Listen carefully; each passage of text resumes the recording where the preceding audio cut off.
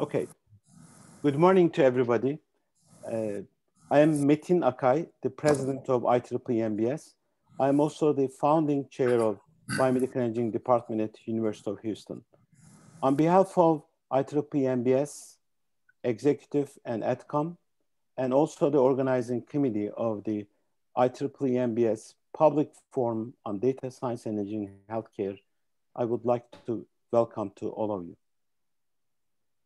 We all know this is a very difficult time since we continue to face unprecedented challenges during the COVID-19 pandemics. But we appreciate our members for their contribution to life-changing scientific advances. We appreciate for their public groundbreaking publication, journal articles, and their engagement in pioneering technical activities. Despite all the significant financial, social, and human loss and challenges, we, the IEEE EMBS, continue to drive, and we also, again, appreciate your engagement, continued engagement. Our mission as a society is to foster and promote global biomedical engineering innovations, research and education. We aim to improve the quality of the life, the lives of all humanity, as well as to increase the public awareness on the impact of biomedical engineering innovations in healthcare, in the economy, and society. To achieve this, we have built a vibrant global ecosystems of engineers, scientists, physicians, healthcare professions, and also industry leaders.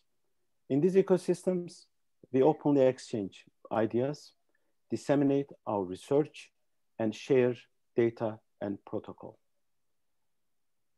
We have envisioned four public forums as a part of these unique ecosystems in the, uh, during uh, the, uh, at the end of 2020, and we started with the first one on COVID-19, and this will continue throughout my tenure as the president.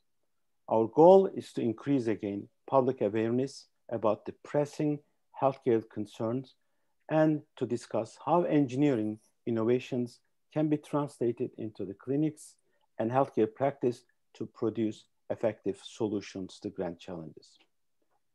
We virtually hosted the first free public COVID-19 uh, forum on healthcare screening, tracking, and treatment on November uh, 2020 with the participation of 29 global experts and 770 participants. This was a great success, I'm pleased to inform. The current one, today we will start the uh, virtual one, is going to be a paradigm shift event to discuss data science engineering in healthcare. The initial, initially we were planning to have this form in Technion, at the Technion as a partnership with uh, the in the University of Technion. Regrettably, because of the pandemic, we have to postpone. We hope to have the face to next one face to face in the beautiful Mediterranean Sea area. Current form, we, we are, I'm pleased to inform you that we have 36 exceptional the scholars with the participation of more than 1,600 people. And the, these experts coming from healthcare, healthcare industry, research institutions, and academia in four the amazing symposium, including medical imaging, precision medicine, digital healthcare, and the brain and neural systems. So each symposium has been chaired by two colleagues. The medical imaging will be chaired today, Amir and Andrew, and the, from Columbia and also Louisville. And the, tomorrow will be precision medicine, Colin Brennan, Ali Nazli, and then the uh, digital healthcare will be chaired by Paolo Bonato, Jeff Palmer, and the, finally, the brain and neural system will be chaired by Erica Ross and Paul Sajda.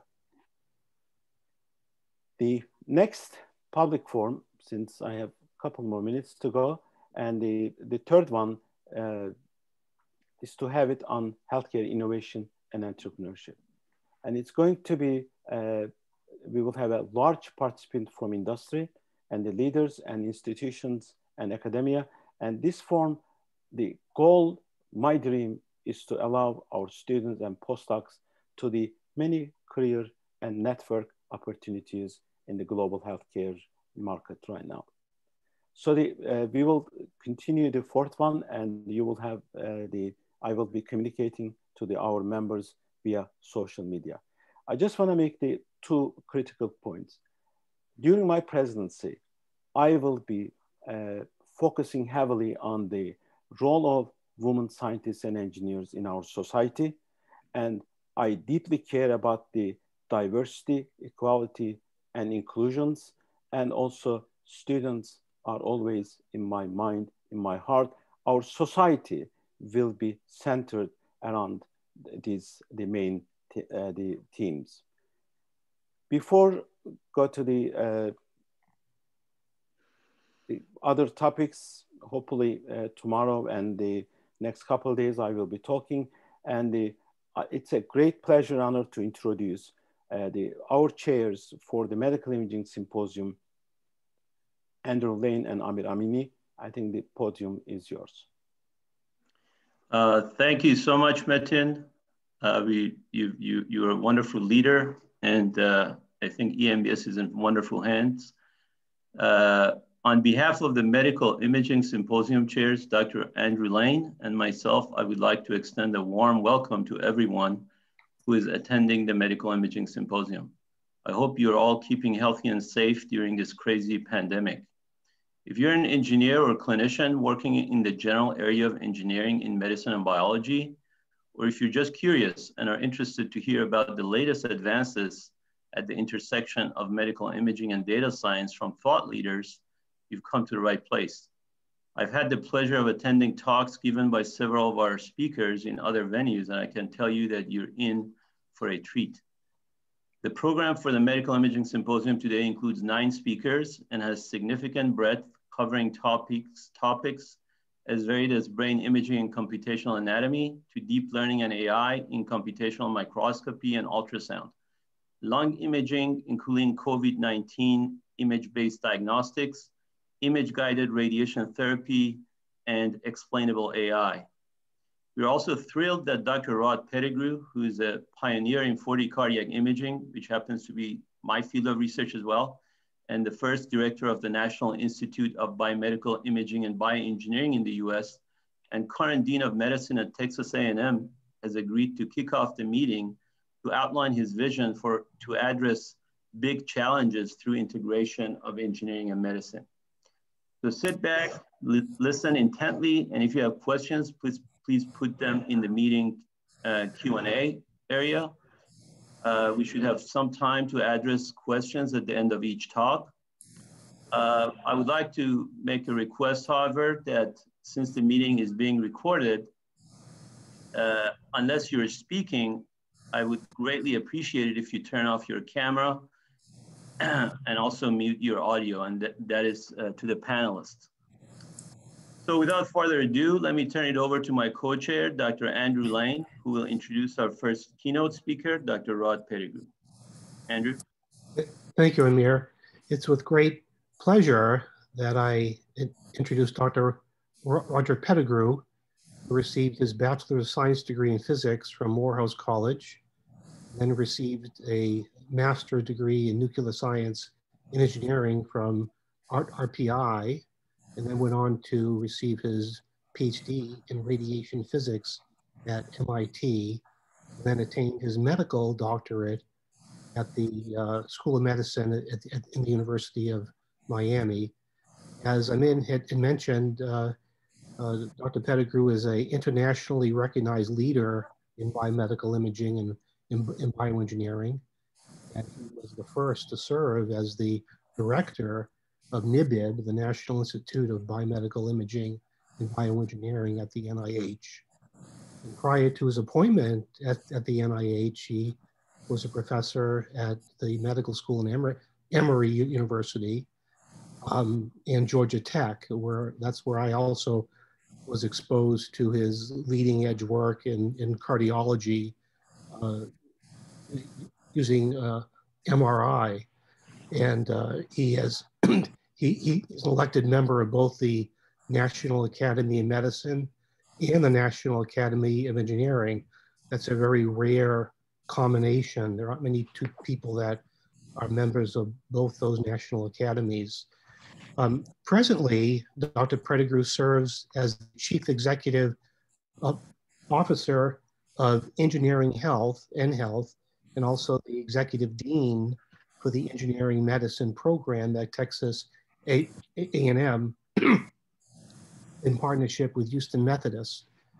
Uh, Dr. Pettigrew also holds the endowed Robert A. Welch Chair in Chemistry. EnHealth is, is a very unique uh, organization and is the nation's first comprehensive educational pro program that fully integrates engineering into all health-related disciplines. And EnMed is the nation's first four-year, fully integrated engineering and medicine curriculum that uh, leads to both uh, an MD degree and a master's in engineering. These are truly leading edge, you know, 21st century thinking in terms of uh, ed education. And it gives me great honor to have, have doc Dr. Pettigrew tell us about that vision and the direction uh, and challenges ahead. So thank you very much for, for coming, Dr. Pettigrew. The, the floor is yours. thank you, uh, uh, Metin, Amir, and Andrew. And good morning, everyone. It's my great pleasure to join uh, the virtual audience and have this discussion uh, on the topic at hand. Hopefully you can all see my screen. Uh, Andrew, if I get a head nod from you, I know that that it's working. Yes, you're perfectly. All right, excellent.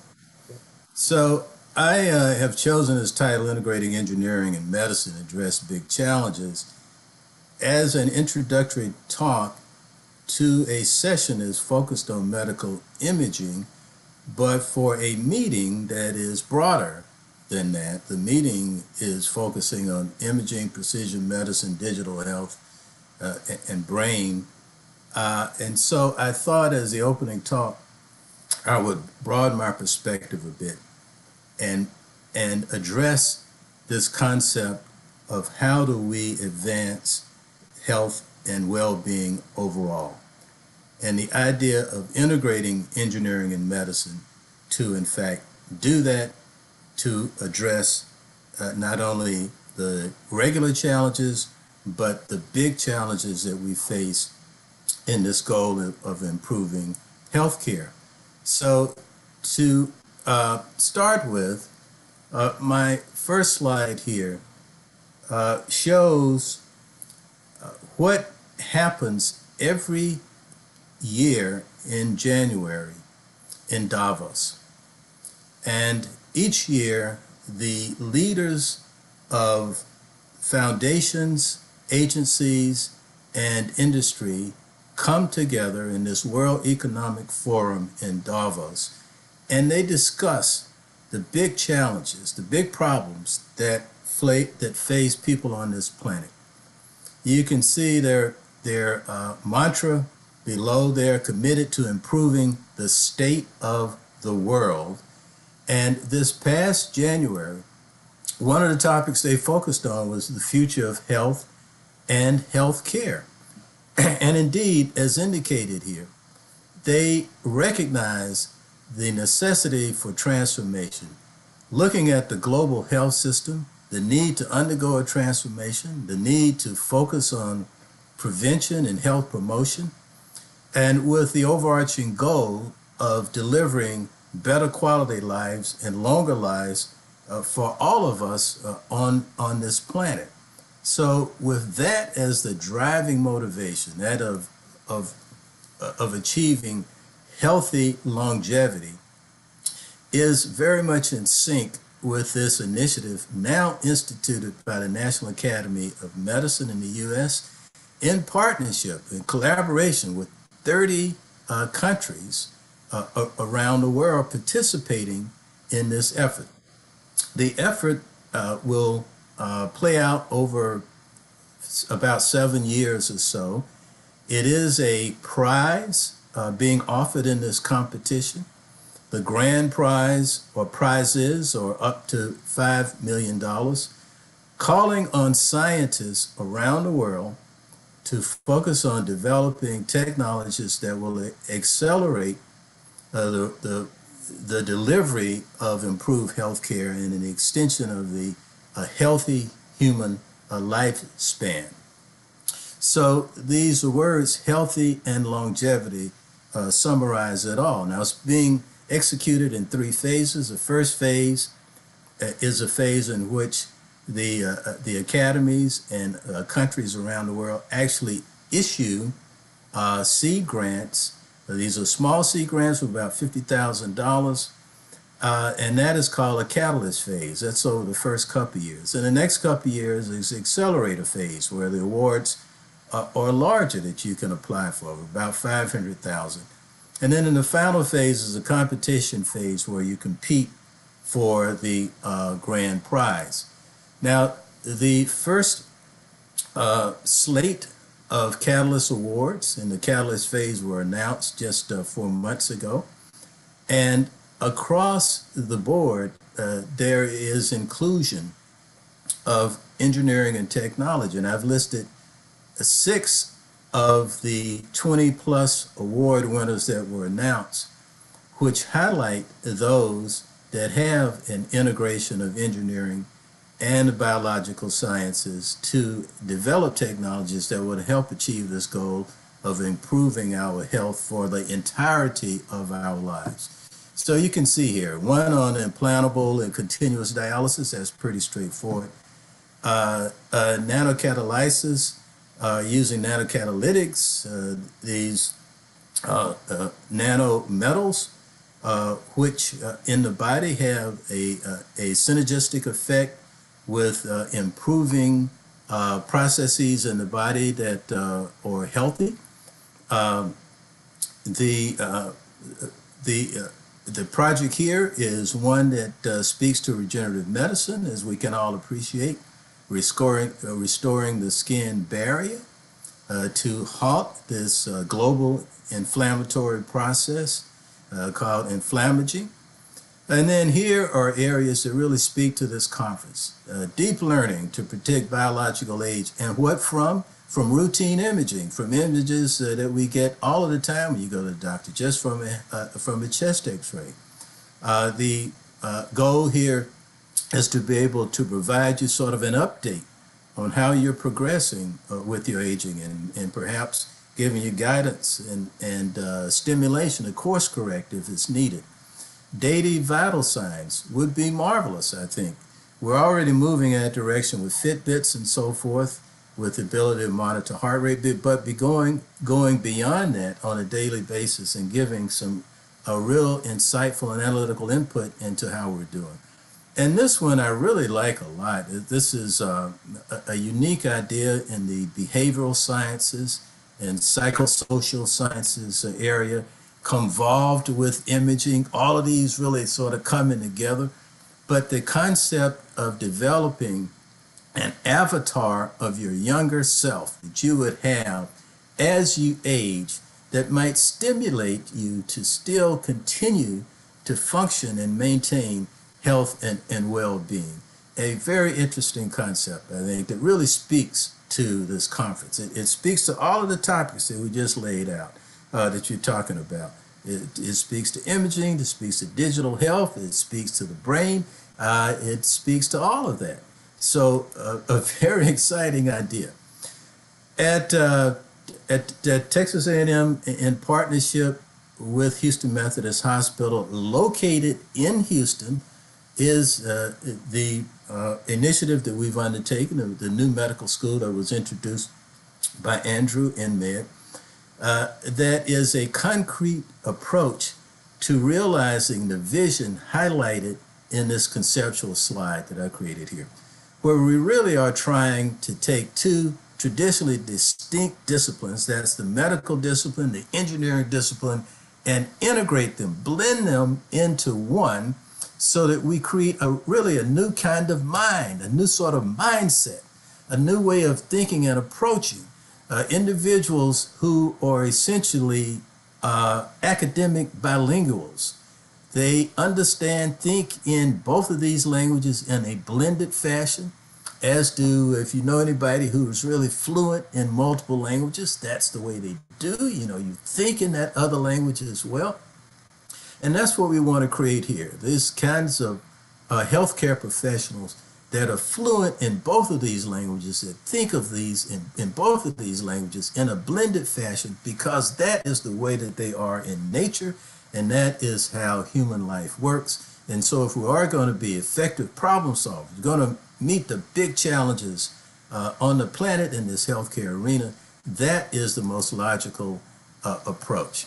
So uh, this slide uh, indicates what we're about in, in EnMed, Engineering the Future of Health. And as Andrew uh, mentioned, uh, this is a formalized educational paradigm and approach to create these physicianeers, we call them, these blended mindset individuals who are trained to be invention and problem uh, solving minded persons. Uh, actually, uh, formally getting in four years two degrees, one of them being an MD, and being able to produce an MD and a master's in engineering in four years, the time that it normally takes to produce an MD, occurs because of the blended training, because you're learning both in an integrated uh, fashion so that in the four-year period you get both degrees.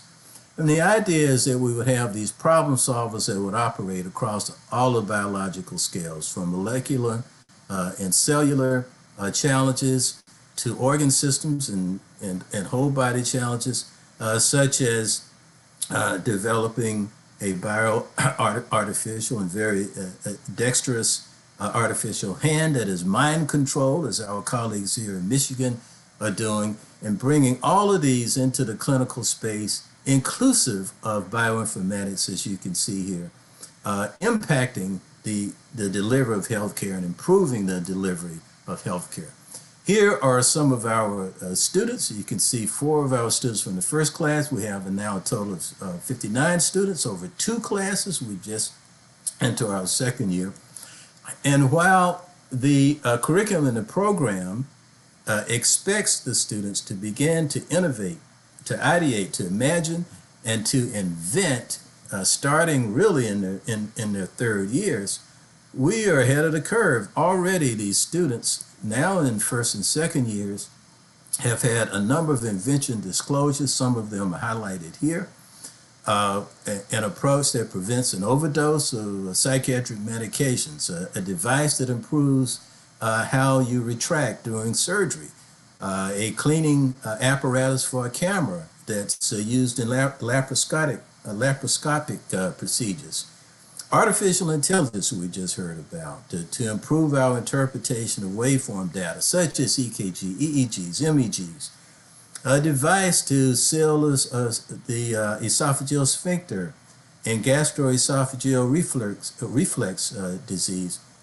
And in the COVID arena, an app on the cell phone that would help you improve your fitting of a mask. And we appreciate now uh, the discussion about mask wearing, even doubling masks, and talking about the most important things that you wear properly, that it fits well. And for N95s, that's critical. Now, this concept of integrating engineering and medicine is not a new one. It's you know been evolving over the last uh, decade or so in high fashion. In fact, I would say NIBIB was created uh, as a result of this kind of concept and, and emerging. Uh, but six years ago, several of us, you will recognize these individuals here, Shu Chien, Rashid Bashir, the late Bob Nerem, who we uh, dearly miss, uh, one of the fathers of, of biomedical engineering, uh, and myself wrote this article where we talked about the integration of engineering and medicine and medicine into engineering. In this phase, I'm particularly fond of until boundaries vanish. So this was six years ago. We talked about this as a way to really deliver on the promise of uh, integrating these fields to improve the quality of healthcare and to do this with greater value, where I view value as utility over cost uh, times complexity. So we don't have to look very far today to see how this is actually playing out. We can see how engineering is already advancing our delivery of health and healthcare. Looking at the public health uh, uh, uh, crisis that we're living in now, consequent to COVID, uh, that started last year and are continuing uh, as as we speak, and with those crises being in three uh, converged areas, the medical one, which began it, uh, the, the social, which has already uh, existed but has been highlighted by the medical one, and the economic crisis that is a derivative of the medical crisis. But if there is one silver lining in the COVID cloud, the one that I would point to most immediately, as that this this this has led to the emergence of convergence. It has stimulated us to bring engineering and medicine together to meet these challenges. An example here is derived from uh, looking at the Nobel Prize that was most recently awarded in chemistry. The development of this CRISPR Cas9 system by uh, Charpentier and, and Doudna. And that was derived from an observation and understanding of bacteria and how bacteria defend themselves when they're invaded by viruses. So they have this CRISPR complex, which is this component of, uh, of the DNA that identifies the invading uh, nucleic acid from the virus, uh, not only identifies it, but seeks it out, and then upon seeking it out, carries with it essentially a set of uh, genetic scissors, so to speak, this enzyme. And the, the, the enzyme is called is the Cas9. So this Cas9 complex uh, cuts the invading DNA of the virus to render it uh, harmless, and that is the way that the bacteria protects itself. So they reason that if we could uh, emulate that this, and control it, you could actually use it. You could use it to engineer modifications in the DNA and cut out uh, mutations and replace those with the correct ones. And this is already being done now uh, to effectively uh, treat for the first time and, and, and develop cures for sickle cell disease. Uh, but Jim Collins, a bioengineer, all of us, or many of us, if not all of us, are familiar with, originally at BU, uh, now at MIT and Harvard in the Wyss Institute for Biologically Inspired Engineering, uh, has taken this CRISPR Cas9 concept, modified it a bit using CRISPR and Cas13, which is an enzyme uh, more suited and specifically adapted to cutting uh, RNA and use it to develop this smart uh, face mask. So he is, uh, has, uh, has developed this in the laboratory. It's now uh, being developed further with the potential of commercializing it. It hasn't reached, reached that stage yet. But the concept is shown here and illustrated in this. It has these multiple layers. And the beauty of this, this smart mask, is this is all passive.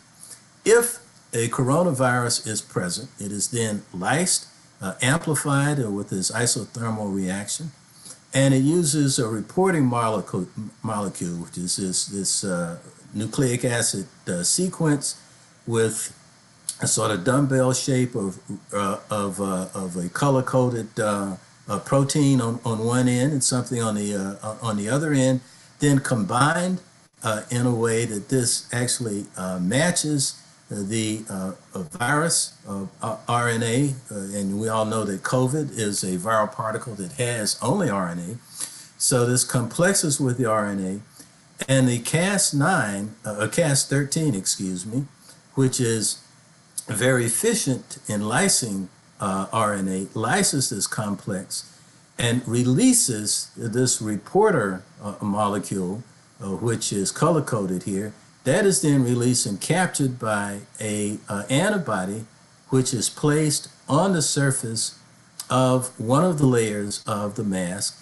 And when this is present, you know, uh, when the uh, when the COVID is present, this becomes a positive test, as reported by this color-coded reporter, a molecule captured by the antibody specific for it for that.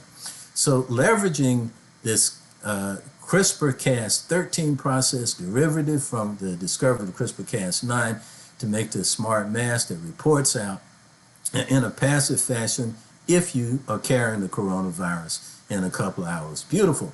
Now, we recognize that there are emerging point of care technologies, uh, one of them funded by NIBIB and the RADx uh, um, program, uh, which should be available uh, now, uh, emerging in drugstores, uses a different sort of technology.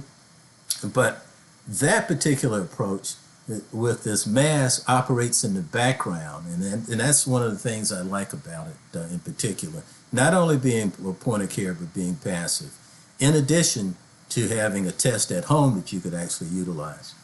So discovering whether or not you're carrying the virus is one thing, but what we really want to do is to prevent it and prevent us from getting the illness even if you are uh, subjected to the virus. That happens through a vaccine. So not surprising that science, which announces its breakthrough of the year every year, this year, uh, breakthrough of the year was the discovery uh, and the development not of one, but of multiple vaccines. Um, uh, but despite the creation of these uh, vaccines, there is hesitancy to avail oneself of these vaccines by some members of the community. And there are also challenges with access to the vaccine, even for those who um, would like to take it.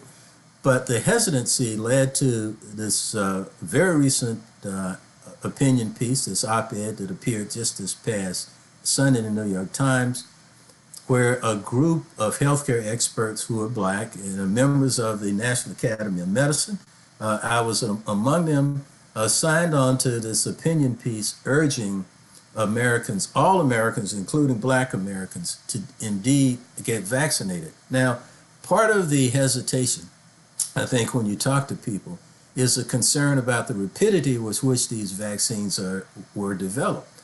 But those of us who work in this field know that it just didn't happen overnight. It indeed was accelerated, but it's based on science that's been emerging uh, for quite some time now, for a decade. So here we can see three years ago this review article uh, talking about mRNA, mRNA vaccines, the technological innovation that was occurring, the engineering of the RNA sequence, uh, and engineering specifically of mRNA approaches.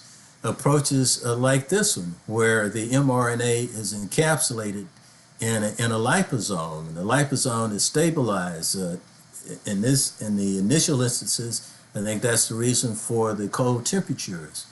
Uh, but delivered to uh, the cell, incorporated in the cell, and the ribosome uh, then uh, translates the in, instructions delivered by the mRNA to produce this surface protein, the spike protein, Uh, producing that in the body, and the body recognizes and makes uh, antibodies against that. This uh, immunoengineering is the is the process, the beautiful process that existed in theory and, and was demonstrated in the laboratory and now in practice. And voila, with that sort of research as a backdrop, focus support from the government and crosstalk between these sectors, government and the private sector, we're able to deliver these vaccines at, at, uh, uh, at uh, unprecedented speeds. Now, we're still also faced with challenges in the economic and uh, arena and also in the social arena. And here we can, can see the consequence of uh, health inequities. The, that uh, because of the disproportionate impact to um, underserved populations, and the fact that those un underserved populations don't fare as well because of long-standing health inequities, the actual cost of the healthcare system is substantial uh, not only in, in, in, outright dollars to, to uh, um, provide care for such individuals, but also in lost productivity. And in fact, the Kaiser Foundation has recognized that the economic burden as a consequence of health inequities and health disparities in 2020 was estimated to be about 126 billion and if left unchanged uh, in 30 years time that this would uh, almost triple uh, a frightening uh, scenario. So my question to those of us who are engineers is that uh, since at the core of this is this challenge uh, associated with delivering health in an equitable fashion can we help the system out? Can we engineer functional guardrails to assist the practitioners of the healthcare and such, and also the consumers, such that there are built-in checkpoints and routine feedback in the system uh, that would help us to do this in a more equitable uh, fashion. The challenge is highlighted here. You can see that if you're an indigenous American, or a person of color, the hospitalization rates are quite higher, as, as shown here, substantially higher, four to five times as high. And then once you age adjust for the death rates, the death rates are also quite a, a bit higher. Uh, two to 300, almost 400% higher if you are a person of color or an indigenous uh, individual. So that is a big challenge that needs to be met and uh, engineering could conceivably help. We recognize now, for example, that your zip code may be and is more important than your genetic code in determining your lifespan. Uh, for those of you who are international, and even for those of you who are U.S.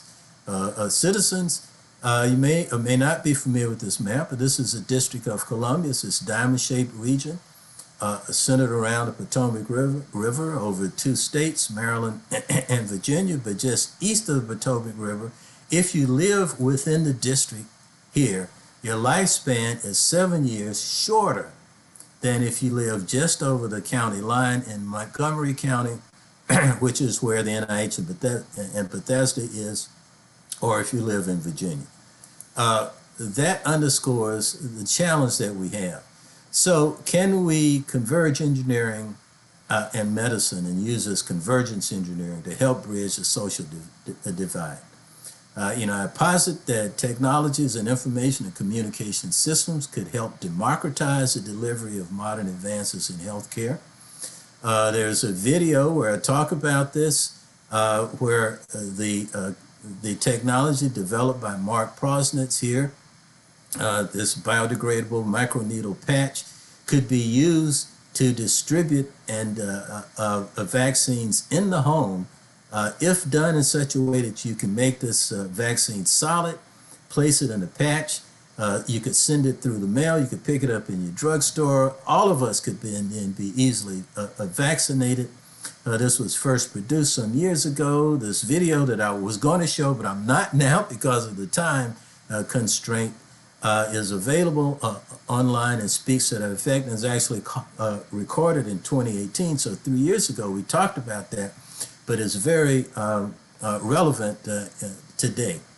Similarly, the concept of challenging engineers of for using modern technology to improve the tracking and delivery of health care. The example that I'm showing here is the rapid advance that we've made uh, in in bringing innovation uh, to uh, to people and the masses and delivering and bridging the social divide. Uh, the example here is uh, the technology we're using to communicate with and hold this conference with right now. Uh, really wasn't imagined just 12 months ago. Even though we had Skype over a decade ago, the basic technology was there. but the focus advanced where the intent is to reach uh, across uh, the, the, the social uh, divides that we have underscores the extent to which we could focus on problems like this and solve them through technological innovation. Uh, for example, further acceleration of telehealth using this uh, smartphone enabled Bluetooth connected to the cell phone otoscope, where this individual is placing the otoscope in the ear. You can see the eardrum quite nicely there and here are several different conditions. One of these is normal, the others are, are pathological or post, post-pathological. Bringing telehealth to the market, uh, to the to the masses.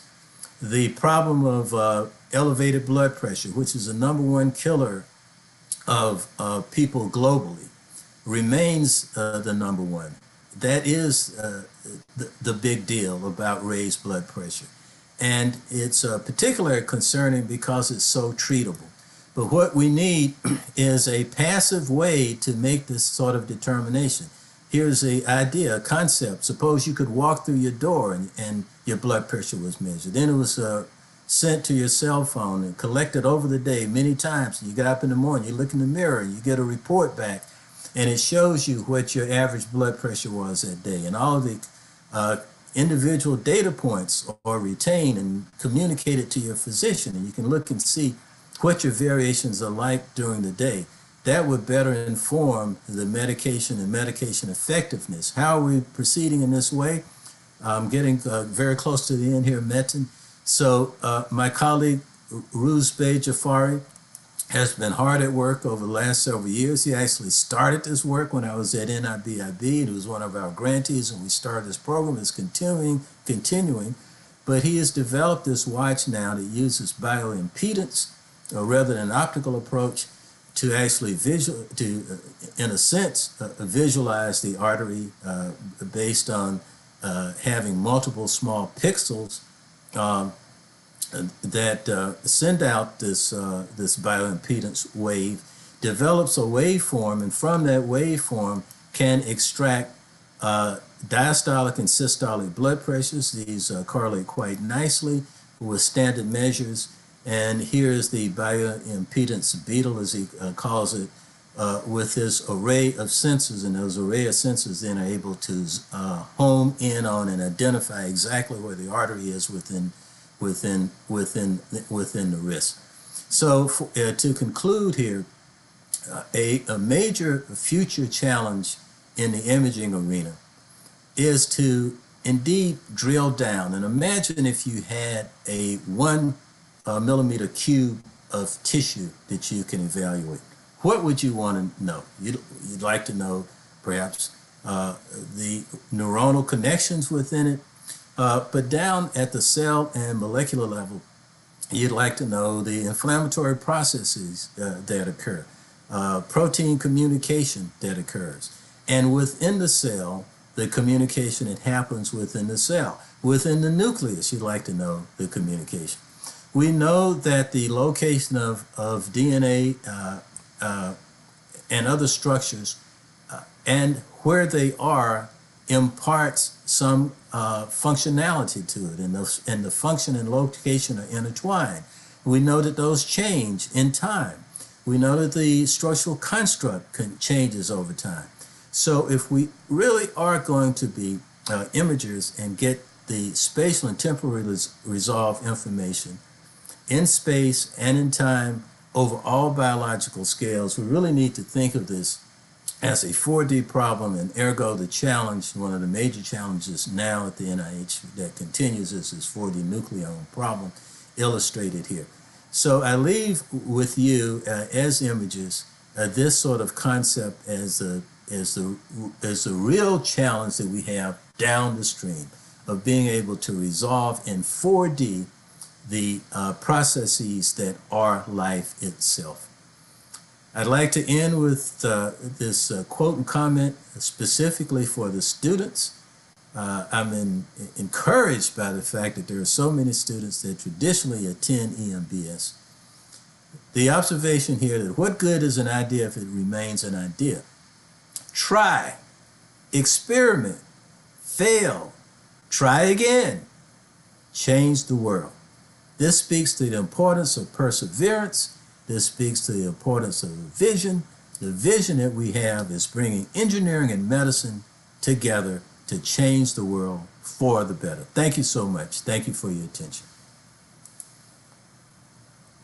Wow, thank you. Fantastic talk, Dr. Pettigrew. That really you really touched upon so many important uh, uh, areas and, and topics, and really put forth a vision that we all can dream about uh, into the future. Um, are there any specific questions for, for Dr. Pettigrew? Um, I'm looking I at, think Dr. Pettigrew probably consumed his Well, that's okay. maybe we have time for one, one question. There's, there are some questions, but they're, they're kind of general, uh, related to AI and data science and all these things. But, but, but I think, uh, you know, the, we could spend probably the entire day taking deeper dives into the, in some of these areas that, that you brought up. There- There's, there's so much here to talk about. Uh, Looking at the list of topics you have in the imaging symposium, I would imagine at various points throughout, you'll have an opportunity to entertain and address those. Yes, yes. Uh, Okay, so I, I think um, my, my question would be, when do you, so you've graduated uh, one class with, within the N, N engineering school, is that true? Uh, no, we, started Okay, two classes. okay. So we have one class that's now in their second year uh-huh. and one class which is in their first year. Wow, And my point was, even though these are first and second year students, they have already begun to problem solve. They've already come up with ideas. wow. And I will take a moment to say that one thing that I'm particularly proud of, a suggestion that they've made, is that they plan to adopt an underserved community. Visit that community over the summer, see what challenges and problems they have in having healthcare delivered to them, modern healthcare, and then come back and develop approaches and technologies uh, that might bridge that gap that would be able to reach into the community and help deliver modern healthcare to those individuals in these underserved communities, both within Houston and in rural Texas. Terrific. That's, that's, that's a fantastic vision and goal, and I look forward to hearing, uh, hearing about that perhaps in another And, year. and that was suggested by the students, by the way. Ah. They suggested doing that. Wow. So that's the right, having the right group of students in this program is critical. So proud of them. Absolutely. Thank you, everyone. We're, we're proud of your talk and uh, again, much appreciation for, for sharing your vision with us. And uh, I think in the interest of time, we should, uh, we should move on to the next, the next speaker. And so thank you again, Dr. Pettigrew, and I will pass the podium, the virtual podium, over to Amir to introduce the next speaker. Thank you again so much. Thank you. Thank you, Dr. Pettigrew, for that, for that uh, truly inspirational talk. Uh, truly enjoyed it. Uh, so uh, the next uh, uh, keynote speaker on the program, it, it will be given by Dr. Michael Miller of Johns Hopkins University. Uh, and the title of his talk is Brain Imaging and Mapping. Uh, and uh, let me just uh, say a few words about Dr. Miller, whom I was colleagues with at Washington University in a, in a, in a previous life. So it's truly a great pleasure to introduce our uh, second keynote speaker, Dr. Miller. Dr. Miller earned his Bachelor of Science degree from uh, State University of New York at Stony Brook and his MS and PhD in biomedical engineering from Johns Hopkins. He was the Newton R. and Sarah L. Wilson Professor at Washington University in St. Louis until joining Jo- Johns Hopkins in 1998. He's currently the Massey Professor, Director of the Department of Biomedical Engineering, and co-director of the Kavli Neuroscience Discovery Institute at Johns Hopkins. Uh, he's an internationally recognized leader in medical imaging and brain imaging. He pioneered the field of computational anatomy. Uh, he has received many honors and awards, too numerous to state here. Uh, but to name a few, he was awarded the Herschel Ruth Seder uh, Professorship, and he was a National Science Foundation Presidential Young Investigator. He was also appointed as one of the 17 inaugural University Gilman Scholars at Johns Hopkins in 2011.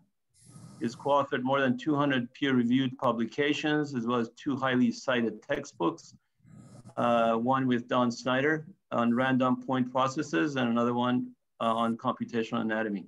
The title of Dr. Miller's keynote, once again, is Brain Imaging and uh, Mapping. Uh, we really look forward to uh, Dr. Miller's talk.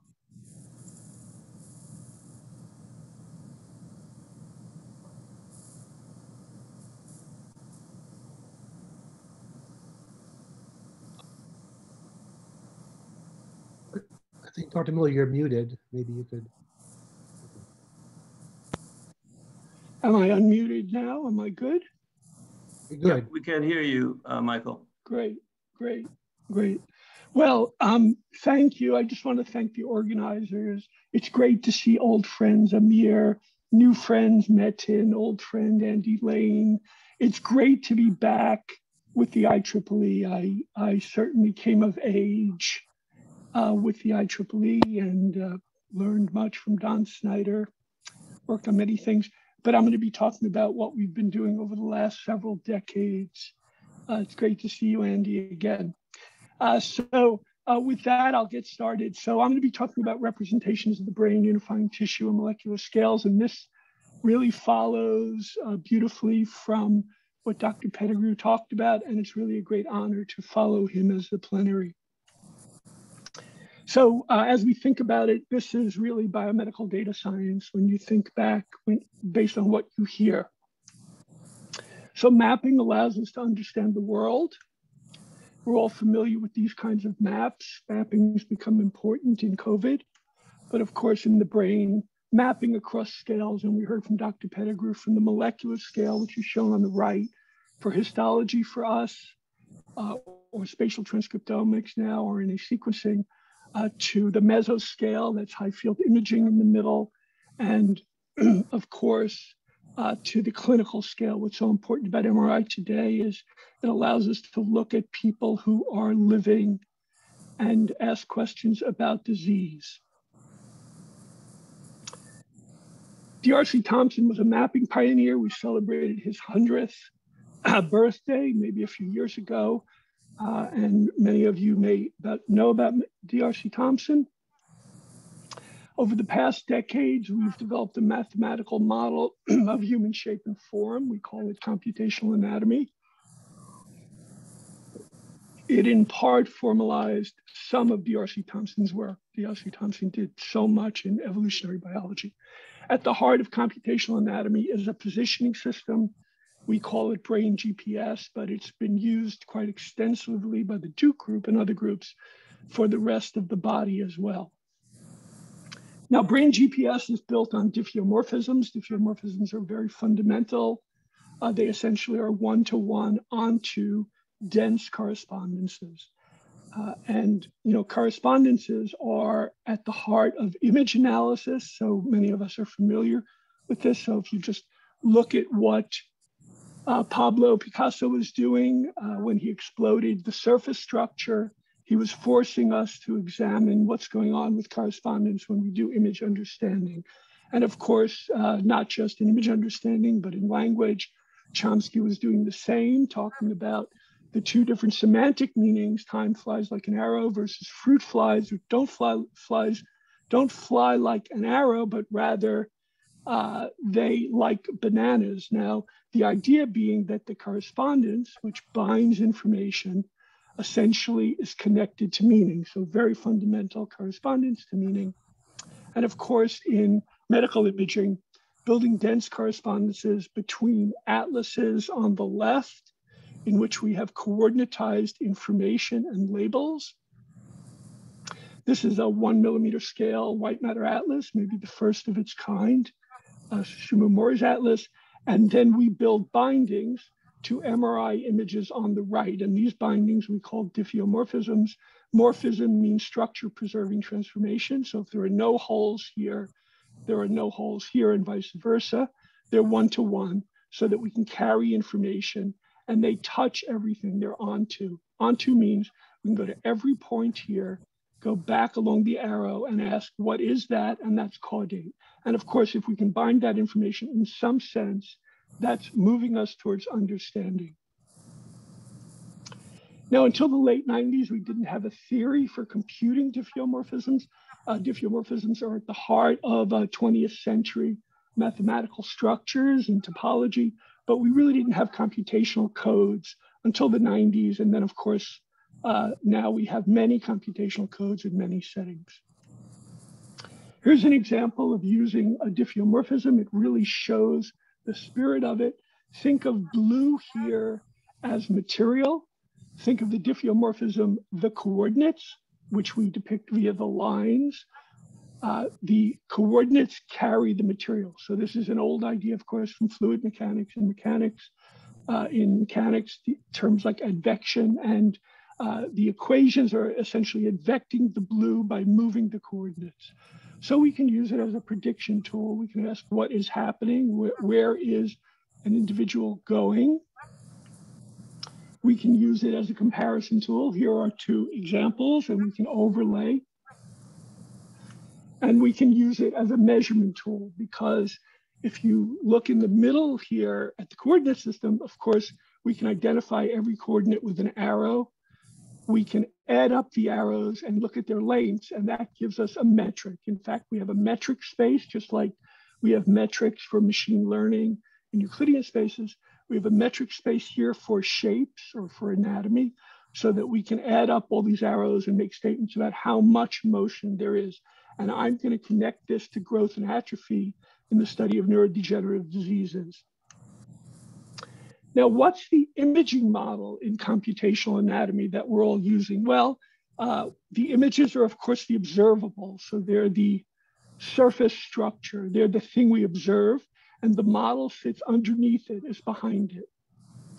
So then we use an old idea from Euler, Leonhard Euler, uh, goes back to the 18th century. Of course, Leonhard Euler, if you look him up, is considered to be in the top three of greatest mathematicians in the history of the world. Why he was doing this in the 18th century, who knows?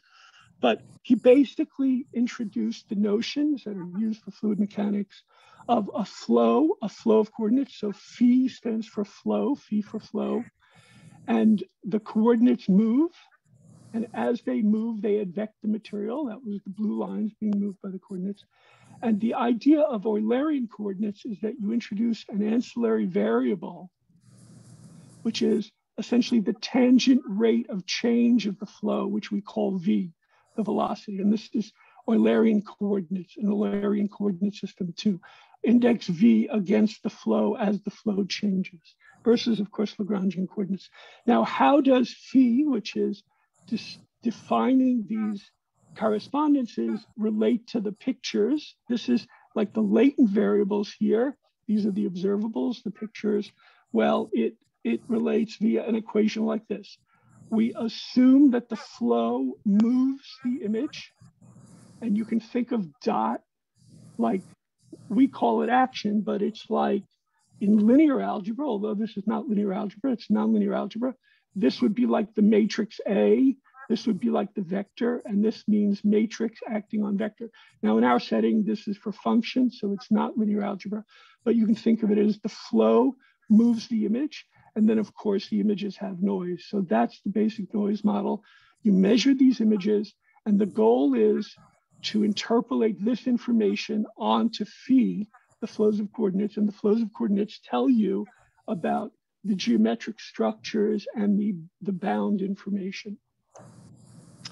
So in the brain, it allows us to read out cognitive state. So we can go from pictures to these flows to variables that we do machine learning on to make statements about the cognitive state. Now, here's an extreme example of an individual that we're studying in our Alzheimer's group called the BioCard study.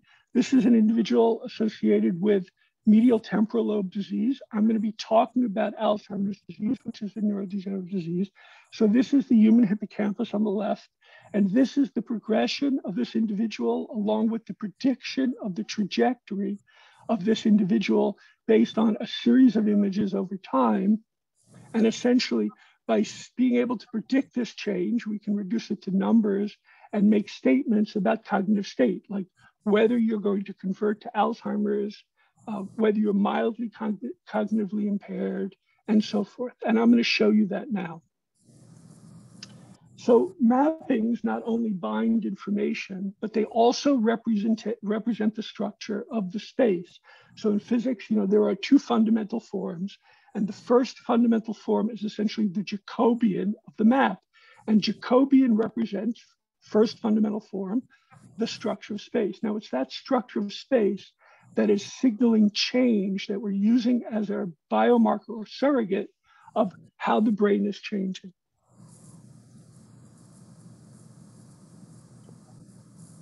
So here's an example, and I'm going to make it into mathematics, but we have a grid, and then we're going to change the grid.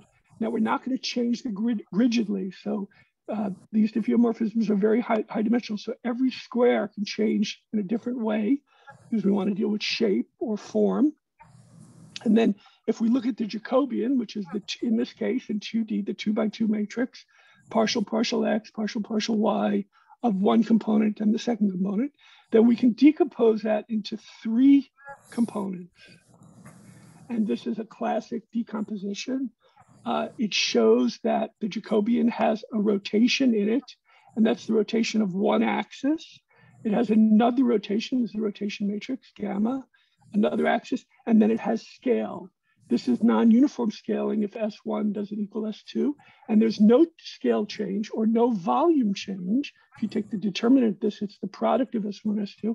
If S1 equals S2 equals one. However, disease or growth is related to these scale changes, and we're gonna turn that into a marker. So here is this idea made explicitly. So here we took the two axes at this coordinate. Of course, this is one coordinate xy. We have this everywhere. And what we did was we scrunched up the face, but we didn't change the vertical dimensions. So the length of this arrow is basically the same, which means if this was the length of that arrow, then this would remain the same. But the length of this arrow got smaller, and that corresponds to squishing. So it's the it's these elements that determine the determinant of the Jacobian, which is going to be a marker essentially for change, for growth, atrophy. So what are we measuring with the diffeomorphometry biomarker? Diffeomorphometry meaning the study of morphometry or shape via diffeomorphisms, turning it into a marker that we can then use to make statements a, as a secondary marker in a drug trial or prediction uh, what are we measuring and what's the biological importance. So, uh, so the basic idea is shown here. We interpolate the tissue scale images onto the Eulerian flow model. So we take pictures and we imagine that the coordinate systems flow by solving an optimization problem, fitting the flow model to the pictures.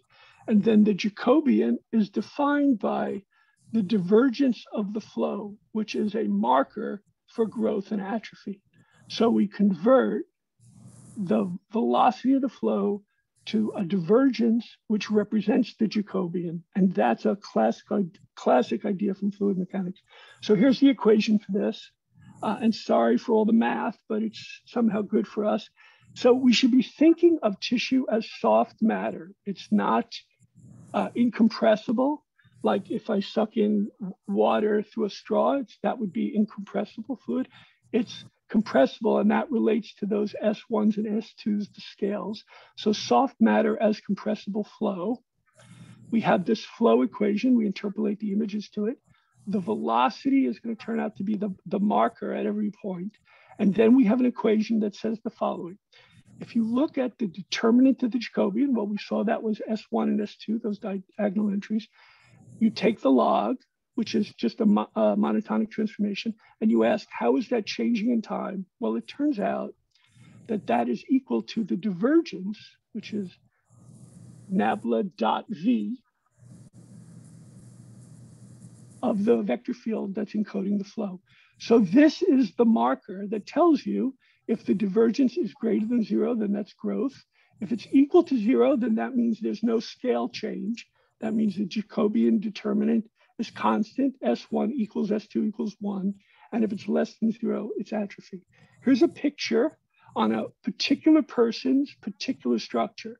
So this is a particular structure, which I'm now going to talk about more extensively, called the entorhinal cortex. And this is a plot of their divergence as a function of time during the disease over a series of scans. And I particularly picked an individual that had quite significant loss of tissue. Red means loss, uh, deep red is 50% atrophy. And so uh, the divergence essentially is increasing. And this is a plot of the marker across the tissue. Now we have the marker throughout the whole brain, of course. I'm showing you a particular structure that I'm now going to tell you about in Alzheimer's disease. It's called the entorhinal cortex. It's extremely important for early clinical disease. So I'm going to turn now. That was my foray, and I'll return a little bit at the end when we look at molecular representation, my foray, foray into engineering and uh, biomedical engineering. And now I'm going to talk about the, the clinical application. And let's call that the neuroimaging face of Alzheimer's disease.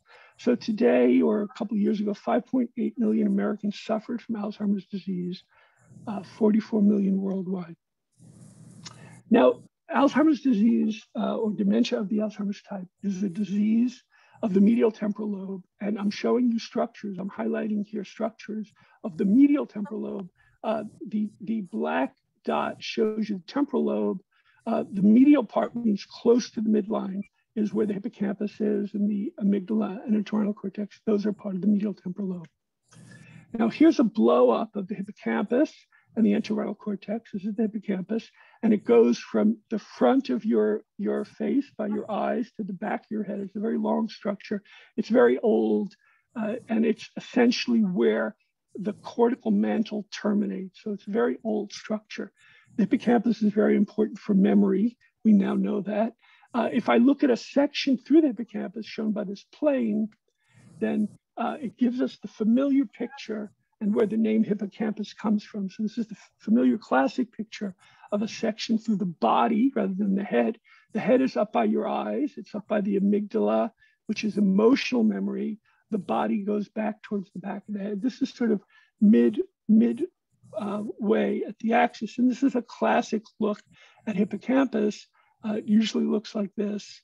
And this is the entorhinal cortex. Now, the important idea is that two pathologists in 1991 showed that the earliest phase of dementia, of clinical Alzheimer's disease, can be linked to pathology that starts right here at the, at the lateral part of the entorhinal cortex, which is here. It then spreads.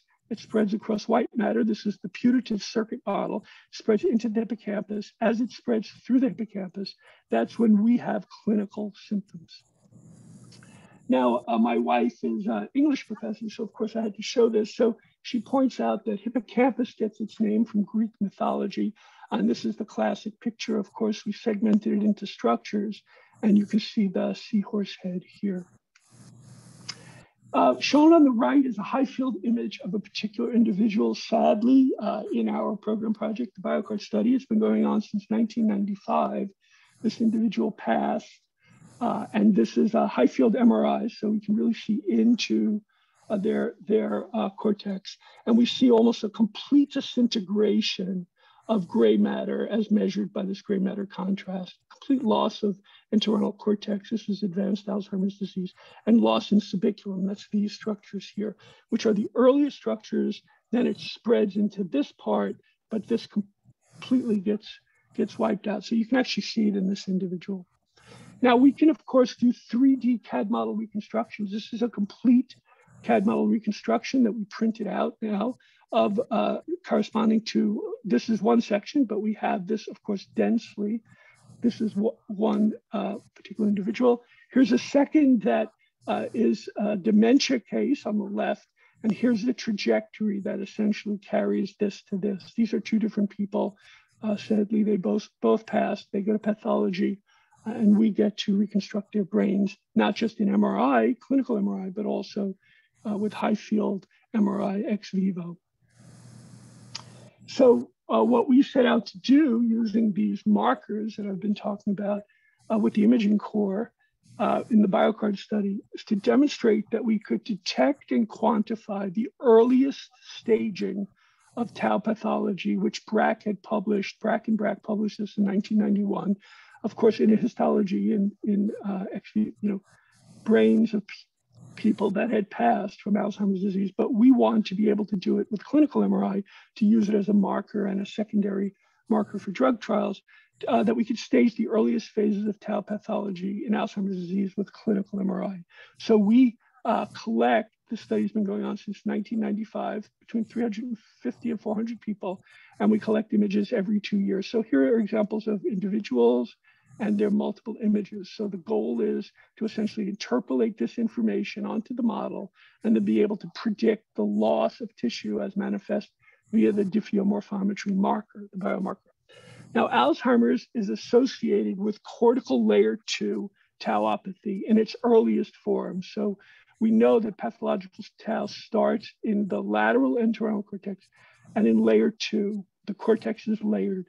So the natural length measure, if you think of uh, the fundamental form in 3D, it has three axes. The natural length measure for a biomarker is cortical column depth. It turns out that the cortex is organized uh, as, as I guess uh, Mountcastle showed, uh, columnarly. And so looking at the lengths of the columns is a very good indicator and it's a very, it's the most sensitive marker in our hands anyway.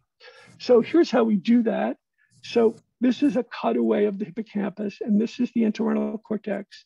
This is Braak's finger pointing to the earliest place where disease starts, the lateral part. This is medial, so this is called lateral. It's over here in the model. And this structure is like three millimeters thick. It's an evolutionary uh, constant for cortex, so columnar organization.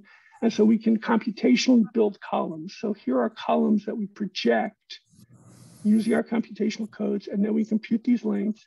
That's one axis in the normal coordinate, we call it the normal coordinate system. And then there are two other axes for the surface coordinates. And those three axes define the volume measure that we were talking about before. Uh, essentially the Jacobian of the, deter the determinant of the Jacobian and the Jacobian matrix. Here's an example of an individual, uh, one entorhinal cortex, and this is the trajectory of particles as they move. And everywhere it's red really means something about length being decreased. So this is an actual fit of the model to actual individual images or in individual entorhinal cortexes. Here's another individual. And of course, we have these arrows everywhere over uh, the continuum uh, associated with the dense change uh, in these maps.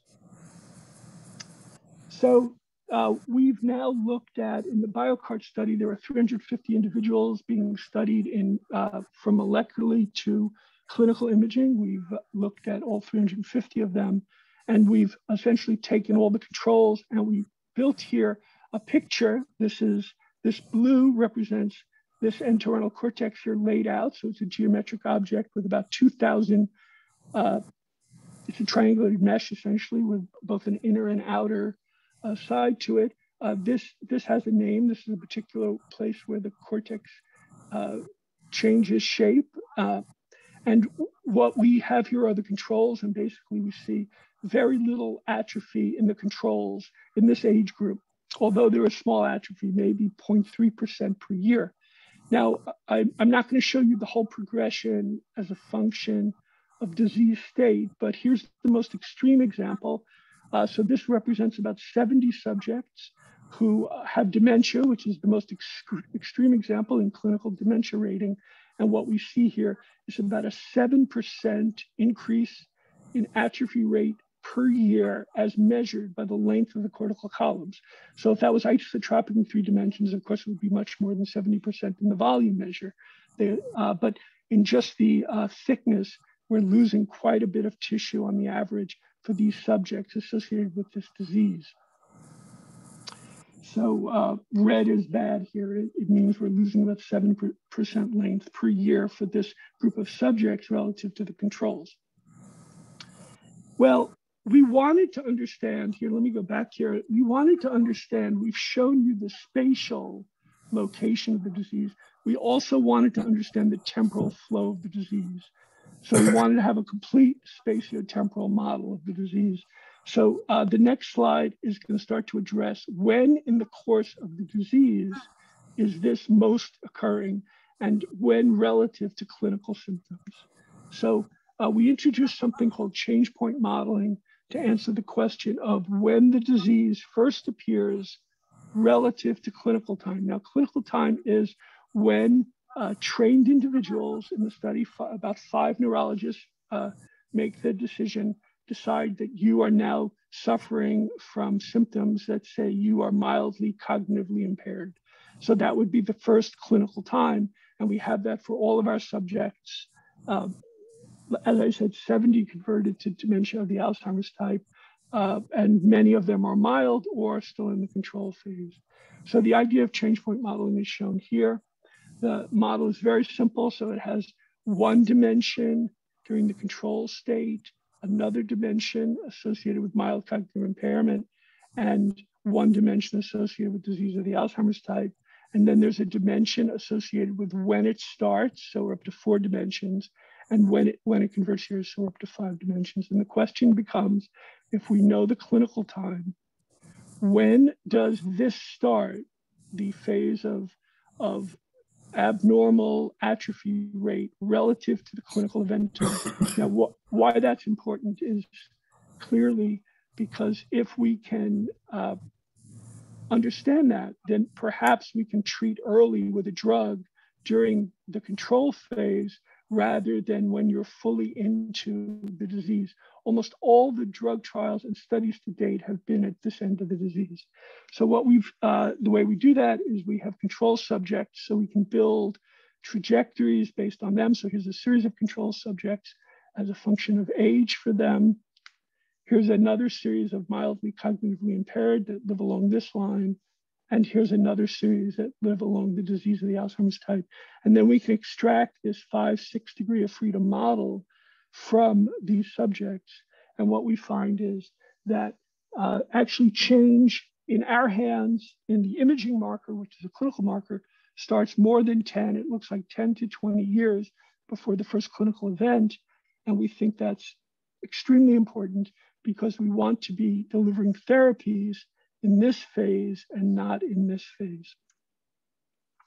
So let me see where we are. Where are we in time, Amir?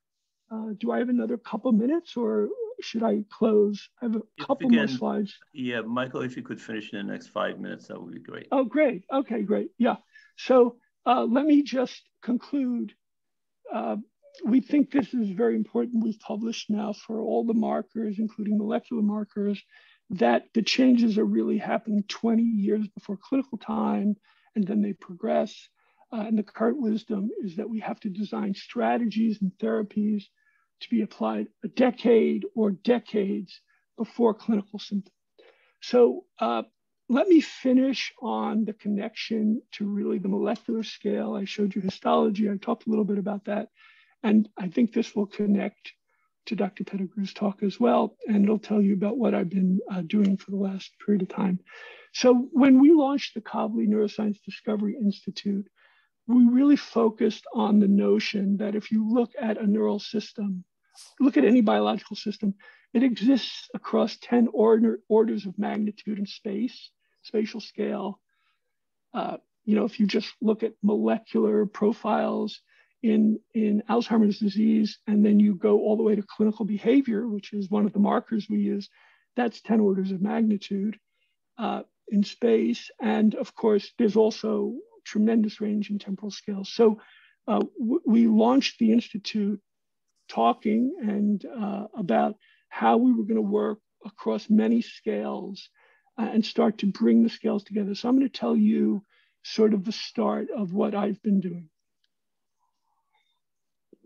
So if you think about it, the work I've described has been at the anatomy scale, which is really the continuum, what's called, you know, historically been called continuum mechanics. And it, you know, it's really the uh, mathematics and, and applied mathematics of classical physics, right? The 19th century. Uh, and, and I'm not saying that to be negative. I'm saying that for the scale of classical mechanics, it's it's continuum. I mean, the Euler equation is a statement about the continuum. But over the past several years, we've really been working on how to integrate information between molecular and cellular scales, which are much more modern physics, much more non-classical mathematics, uh, which you know in the 20th century are words like generalized functions, measures, uh, reproducing kernel Hilbert spaces, Sobolev spaces, all of modern mathematics, which is addressed towards thinking about particles, what Dirac started us thinking about. How do we think about points, which are not functions? And we know they're not functions, they're, they're non classical functions or generalized functions. So if you just look at this tissue that I showed you at MRI, you can see already in the histology that the uh, tau disease and the amyloid disease, which we have, uh, which we have, is really a molecular. It's really particles, and particles are not continuous. You know, if you take a point and you integrate it, like you filter it, which is what we all do, you know, the output of the integral is zero. So we have to think of it in the way that Dirac introduced, uh, which gets us into sort of the modern, more modern theories of non-classical representations. So I'm going to not go too far into that, but I'm going to just show you what that means in terms of multi-scale. So the top picture is, you know, a whole section of histology. Uh, and of course, if you go and you, add, you, know, you ask your machine learning code to build up its representation and you go to the micron scale from this scale, then you see that it's individual tau particles which are misfolded, and maybe you even have amyloid, you have amyloid pictures associated with it as well. So we have to build an abstraction, if we think about it, that essentially allows us to manipulate the scale simultaneously. And so here's an abstraction that shows that. And so uh, at the very finest scale, we should be thinking about particles. And as we move up in scale in the brain, this is called the mesoscale. We move up in scale maybe to 10 or 20 or 30 microns. And then, of course, at the tissue scale, so this is tissue, this is meso, this is molecular and submolecular down to RNA. Uh, at the tissue scale, of course, we're really thinking of continuum because we're aggregating these particles, we're averaging them in some sense, and that's giving us a continuous function, which is what these models are all based on.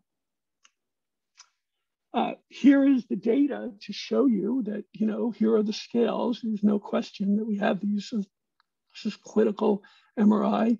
This is whole field imaging uh, from uh, apical, rostral to caudal, eyes here, head of the hippocampus here, all the way back to the eyes.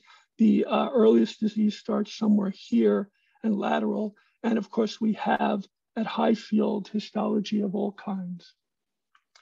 So what's the idea? We want to build a mathematical structure that allows us to think about these all simultaneously. And so it's very natural to think of this as a hierarchical dynamical system. Dynamics is associated with growth and atrophy. That's the dynamics as we've been talking about. And we imagine at every scale, we have some process. I was using the term phi for a diffeomorphism that flows along with an associated marker called the velocity. Uh, as you move down in scale, you add more dimensions. You can think of this as like a multi-resolution pyramid, if you like. When we're at the particle scale, we have motions that are very, very fine.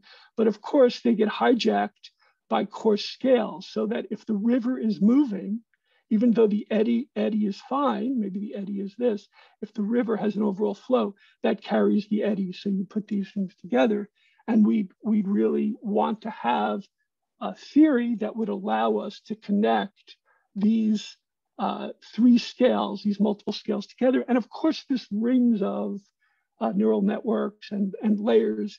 Uh, and but we're of course trying to put this in a in a tight theory that keeps us close to modern physics and and uh, continuum continuum theory. So uh, the basic idea looks something like this, and I'll, I'll finish with this, that so we have at every scale a process with some dynamics. This is the dynamical system, uh, some dynamics, and this would be the coarse scale, and this would be tissue, which I've talked about. Of course, if I want to carry meso or or even RNA, I have to add more dimensions. This is like spectrum, so you could think of these as higher and higher frequencies.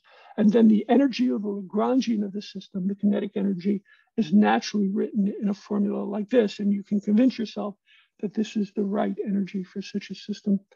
Uh, so I think with that, I will uh, skip and just show you some, uh, I'll finish uh, by showing you in this system, uh, the particle trajectories are highly curved. So geodesics are not straight lines.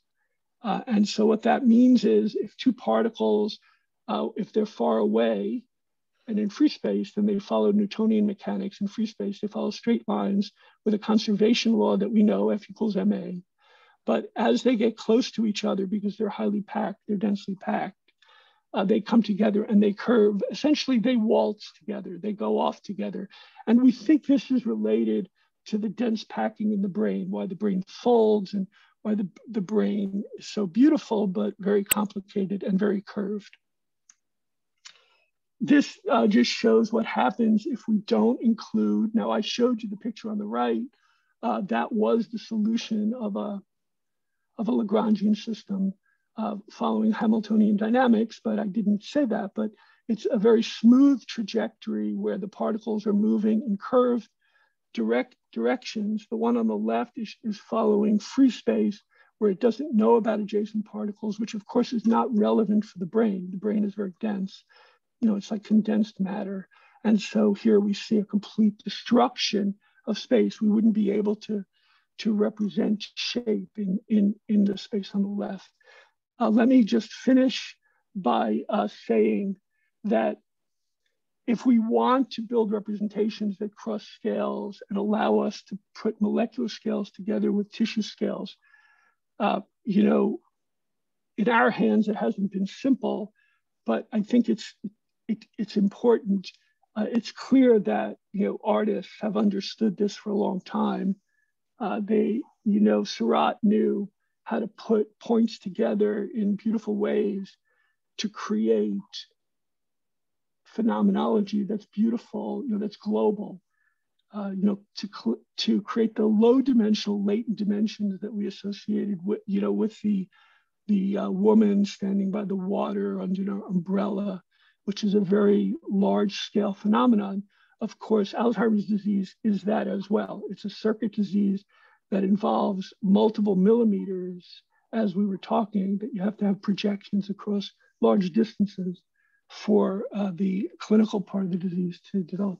So with that, I'll finish and I'll again thank the organizers for inviting me. I really had a fun time putting this talk together. Thank you so much, Michael, for that inspirational and wonderful talk. I truly enjoyed it. Uh, uh, in, there's very little time for questions, but I just something is burning and I need to ask you, what are the salient uh, modes of uh, uh, uh, essentially atrophy in, in Alzheimer's disease in, uh, in, uh, in the hippocampus that you've been able to uh, yeah, yeah, clean out. Yeah, yeah. So, you know, the disease starts in the preclinical phase, which means 15 years before a clinical symptom. It's mostly in the lateral most part of the entorhinal cortex, which is a contiguous sheet of cells that is contiguous with the hippocampus. Uh, and then it spreads along that like a fire. So the, so the forest fire starts, at least in our hands clinically, that we can measure in one little location. And then it spreads along the entorhinal cortex. And then it seems to follow into the hippocampus and end up in the next phase, affecting uh, what's you know people think is subiculum and CA1, which is the other part of the memory circuit uh, complementary to the entorhinal cortex, and that happens over about 10 years. So the progression time course is, yeah. is slow, but it's based on molecular diffusion, you know, yeah. and and transport on the axon. It's, it's a horrible disease, but uh, you're at the forefront, and uh, you know I'm, I'm, sure that this will be highly impactful in in uh, in uh, uh, diagnosing and, and treating uh, you know, this truly vulnerable population. I will turn it over to Andrew and Andrew will introduce the next speaker. Thank you so much, Michael. Yeah, thank, you, Michael. thank you, Michael. Great, great talk. Okay, so we are just looking at the clock where we're about uh, 20 minutes behind our schedule. I, I, I think Metin, is that uh, is that right? Yes. So I'll, I'll try to uh, uh, watch the clock more carefully in the next few talks. Um, and so uh, uh, perhaps Dr. Bell could share who who who was the it's, it's Dr. Bell's the next speaker, correct? No, no it's uh, Dr. Dr. Rudin. Oh, okay, hold on. Maybe you could uh, hold on here. And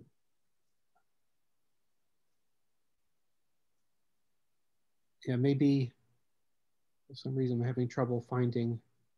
Okay. Would you like to? Would you like me to introduce the speaker? Yeah, yeah why don't you go ahead? I, have somehow lost lost her bio. Please.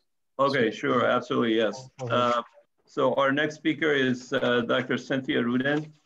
Uh, she's a professor at uh, Duke University in computer science, and we'll be explain. We'll be talking to us about explainable AI. Uh, it's a more generic uh, talk, but as you all know, I'm sure, and many of you know, explainable AI is a very uh, important area, a very hot area in, uh, in medical imaging these days. Many people are working on it. Uh, the title of her talk is Stop Explaining Black Box Machine Learning Models for High Stakes Decisions and Use Interpretable, interpretable Models Instead. Uh, uh, she, uh, let's see, she, she's a, a professor in computer science, electrical and computer engineering, and statistical science at Duke and directs the prediction analysis lab, whose main focus is inter interpretable machine learning. She's also an associate director of the Statistical and Applied Mathematical Institute, SAMSI. Previously, Professor Rudin held positions at MIT, Columbia, at NYU. She holds an undergraduate degree from University of Buffalo and a PhD from Princeton. She's a three times winner of the Informs Innovative Application Analytic Award and a fellow of the American Statistical Association and the Institute of Mathematical Statistics. Uh, as a personal note, she's a uh, she's a, a, daughter of a very good friend of mine, uh, Steve Rudin, who is a professor in uh, uh, in uh, SUNY Buffalo and a pioneer in CT physics. And I always look forward to seeing Steve at at the medical SPIE medical imaging conferences. So I will with that, and you know, of course, I didn't know Cynthia, and uh, and and Metin suggested that he speak, and we are very appreciative that she accepted. So I'll, uh, uh, uh, uh Cynthia, would you be would you be kind to share your screen, please? Sure. Um, I just need Michael to stop sharing his screen very quickly because I can't I can't share unless he stops sharing. Great, okay. thank you. I'm sorry. No worries. that was a wonderful talk you gave. I really enjoyed it. Um, I'm looking forward great. to yours. so um, yeah, so I, I actually work in interpretable machine learning. I don't work in explainable AI because I actually don't like that field. Um, interpretable machine learning is much, much older than explainable machine learning. We're, we're actually trying to build models that are inherently interpretable rather than simply explaining black box models. Okay, so why, why should we care about interpretable machine learning in medical imaging, right? Why, why, why is that important? Um, well, there are a lot of reasons, and the obvious one is confounding, uh, like the clever Hans phenomenon. Okay, so clever Hans um, was a horse, and he really seemed to be quite clever. He could answer questions like, if the eighth day of the month comes on a Tuesday, what is the date of the following Friday? And Hans would answer by tapping his hoof 11 times. And his owner and, and everybody else had no idea how he was doing this. But it turns out that Hans was simply looking at the level of stress in his owner's face and when the owner relaxed, Hans would stop tapping, tapping his hoof. And this is the kind of problem we do not want in medical imaging. We want an AI system to reason about an image in a way that we could actually trust. And actually, you know, we want it to actually use proper medical information that's in the image instead of sort of other stuff. Okay, so um, I always say the two major reasons for interpretability are high stakes decisions and troubleshooting. Um, clearly, whether or not someone should get a biopsy is a high stakes decision. So we don't really want to mess that up. And for troubleshooting, we really, we can't really question the reasoning process of a black box, right? We wouldn't, if we're using a black box, we wouldn't be able to answer questions like, will it work for new or different equipment manufacturers? Will it work for all types of patients? Can I check right now if it's working on my current patient? And is the information that I fed into the system actually correct? Um, there's also the issue of responsibility, right? That it's the doctor's responsibility to make a good decision. And if the AI doesn't provide enough information about whether it's being trustworthy, then the doctor can't really you know, take on that responsibility because they have no idea what the black box is doing. So either they trust the black box and then, you know, who knows what's happening, or they, um, or they ignore the black box and make the decision themselves. And so there's no point in having the black box there. Now, I've been working lately in computational mammography. Um, so why is creating an interpretable model hard for mammography?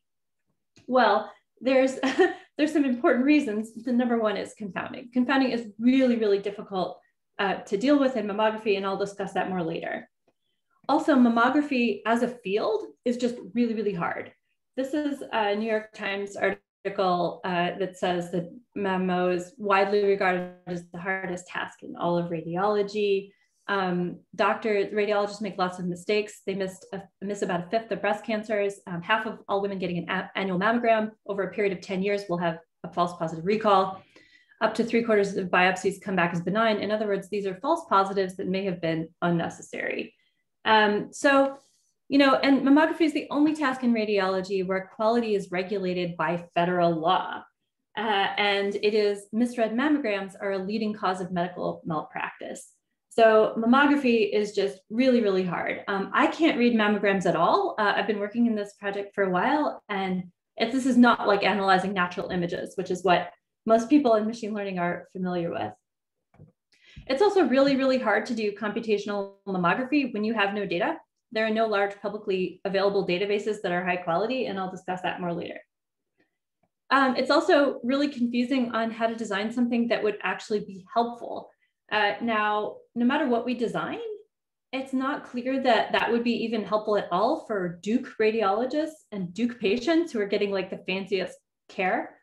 But um, it might be helpful for like, if we could design such a tool that would sort of mimic what the Duke providers are doing, it might be helpful for less fancy medical providers and in um, regions where they don't have access to high quality medical care. So what we're doing here is kind of a gamble, but we think it might be worth it. And then an interpretable neural network for mammography, what does that even mean? Now, um, I have some idea what this last one means, but first I'm gonna tell you what it doesn't mean. So what it doesn't mean is explaining a black box. So a lot of people try to explain neural networks, but it really doesn't work very well because neural networks are not actually designed to be interpretable. So there's no reason why they naturally should be. And this is an example of one kind of explanation for a black box that is particularly bad. It's called an attention map or a saliency map. And it's supposed to give you the explanation for why this image is classified as a husky. And indeed, the network is highlighting the part of the image that you would expect for classifying the husky. So you think you might believe the network, you might even trust it sort of, but then you look at what else it's doing. Right here, if you ask it, what's the evidence that this image contains an, a musical instrument? It gives you the same exact, well, almost exactly the same explanation, right? It highlights this same part of the image. And so like, you know, it, we need you know we need to think carefully when it when saying that attention is explanation because it's clearly not. Now i should mention that there's a lot of work in mammography right now on designing good attention maps. So this is something that i think is a, a little bit um, a little bit scary to be honest. All right so our approach is is to do something different. We wanted to create a deep neural network that actually performs a type of case-based reasoning now, case-based reasoning is where the doctor reasons about a current case in terms of its similarity to past important cases. Now, I'm going to show you a result of, of a, a, a, neural network uh, that's been trained to do case-based reasoning on a, a very uh, important data set. It's a, benchmark data set in computer vision for natural images, and it is a bird watching data set. So here's an example of the type of output that the network actually provides. So here we're, we're asking the network, well, why, why did you classify this bird as a clay colored sparrow? And I, I love work, working on the birdwatching data set because I don't know anything about birdwatching either. so here the network is explaining to me, you know, what's the reasoning process? Why did it classify this bird that way? And it's saying that this part of the bird up here looks like this part of that bird. And this is a prototypical clay colored sparrow. And then this part of the bird looks like this part of that bird. And this is a prototypical clay-colored sparrow. And this part of the bird looks like this part of that bird, and this looks like that. And so it's gonna, you know, the network's picking out different parts of the bird and telling me that they look like prototypical parts of, of, a, of a clay-colored sparrow. Now, this is how the network actually reasons. This is not an explanation of a black box. This is what the network is actually doing. And the prototypes, these comparison points, these are all learned. And the distance metrics, that's all learned as well. Now, because the network is doing these kind of comparisons, this looks like that, this looks like that, this looks like that, we just called the paper, this looks like that. So that, that's what's called. The paper's called, this looks like that. And um, what the what the idea in the paper is is that you take your favorite black box neural network and you add a layer to it. It's right before the last fully connected layer. You add a prototype layer that forces the network to do case-based reasoning. And so it transforms the black box into something that's forced to forced to reason this way. And all the prototypes, again, are, are learned during training. So uh, just to kind of repeat that. Um, so you take your favorite black box, you your favorite convolutional neural network black box, and then you add a layer uh, which transforms it to be interpretable. And now we usually, um, we have some number of prototypes per class. For the birds, we use 20. For mammography, we use five per class. And um, the number of prototypes can be chosen as a parameter. And now after the network is trained, it scans the image looking for parts of that image that it thinks resemble the prototypes. Now I'm gonna, um, I'm gonna expand on the reasoning process in this last layer um, in the next slide so you can see kind of what it's doing a little bit more. So here, uh, this is this bird is classified as a red-bellied woodpecker. Okay, so why is that? And the network says, well, it's because this part of this bird looks like this part of that bird. And it's giving it scores for these comparisons. So 6.499, that number here is the similarity score of how similar the network thinks this looks like that. And then this number here is what's called the class connection weight. It tells you how important this prototype is for the red-bellied woodpecker class, okay? So there's these, like I said, two columns of numbers. This one tells you how similar, the how, like how good the comparison is. And then this set of numbers tells you how important each of these prototypes are. And again, all of these numbers and the selection of prototypes is all learned. And then all of these numbers are added up, all 20 of them, because uh, there are 20 prototypes. And then it, the total score for this class is 32.73, okay? So that's the amount of evidence the network has for this red-bellied woodpecker class. And then it does the same type of computation for all of the different classes. So the next highest class is a red cockaded woodpecker. Um, unfortunately, red cockaded woodpeckers don't have red heads. And so the network really is doing its best to try to gather evidence for why the bird could be a red cockaded woodpecker. But since it can't use the head, it just can't get enough you know, points. So it uses like the comparisons on the feathers, the patterns on the feathers, but it only gets 16 points. And so that's why it says, oh, that's why this is a red-bellied woodpecker. Now, it doesn't always get everything correct, okay? So the interesting bit is not where it gets it correct, where it gets it wrong, all right? So here's a case where um, the network got it wrong. And it classified this little bird as a prothonotary warbler instead of a Wilson's warbler.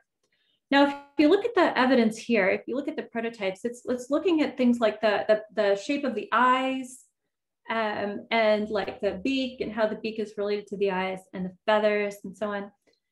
But I think what's going on is that it's doing the same kind of thing that that it couldn't do in the last one. So um, so here, to me, this bird actually really looks like these these prototypical prothonotary warblers. The colors really look quite good, the face and everything like that. But um, as I mentioned, this bird is actually a Wilson's warbler. And if you notice, that Wilson's warbler has a dark top to its head. Now, if we change the base network, so this is a DenseNet 161. So here, if I switch it out to um, a VGG 16 base network and retrain, you know, add the prototype layer retrain, um, it actually gets it correct. But you can see that the evidence it's using is different. Like here, it would really like to use the top of the Wilson's warbler's head, but it can't because this bird doesn't have a black head. And so I think it's going on is that this might be a baby Wilson's warbler. And so because of that, it looks more like a prothonotary warbler to the other network. Okay, so now this data set, as I mentioned, is a benchmark data set in computer vision. It has 200 classes of birds. The original black box accuracy is between these values. When we add the prototype layer and make it a ProtoPNet, then the accuracy stays within the same range. And if we take several ProtoPNets and combine them, like it's it's it's still it's still an interpretable model, right? Because it's it's just a giant linear combination. So it's it's a little bit less interpretable in that sense, but it's still using prototypes and, case-based reasoning. Then we actually get um, a network that's more accurate than any of the base models. And it still is, like I said, interpretable.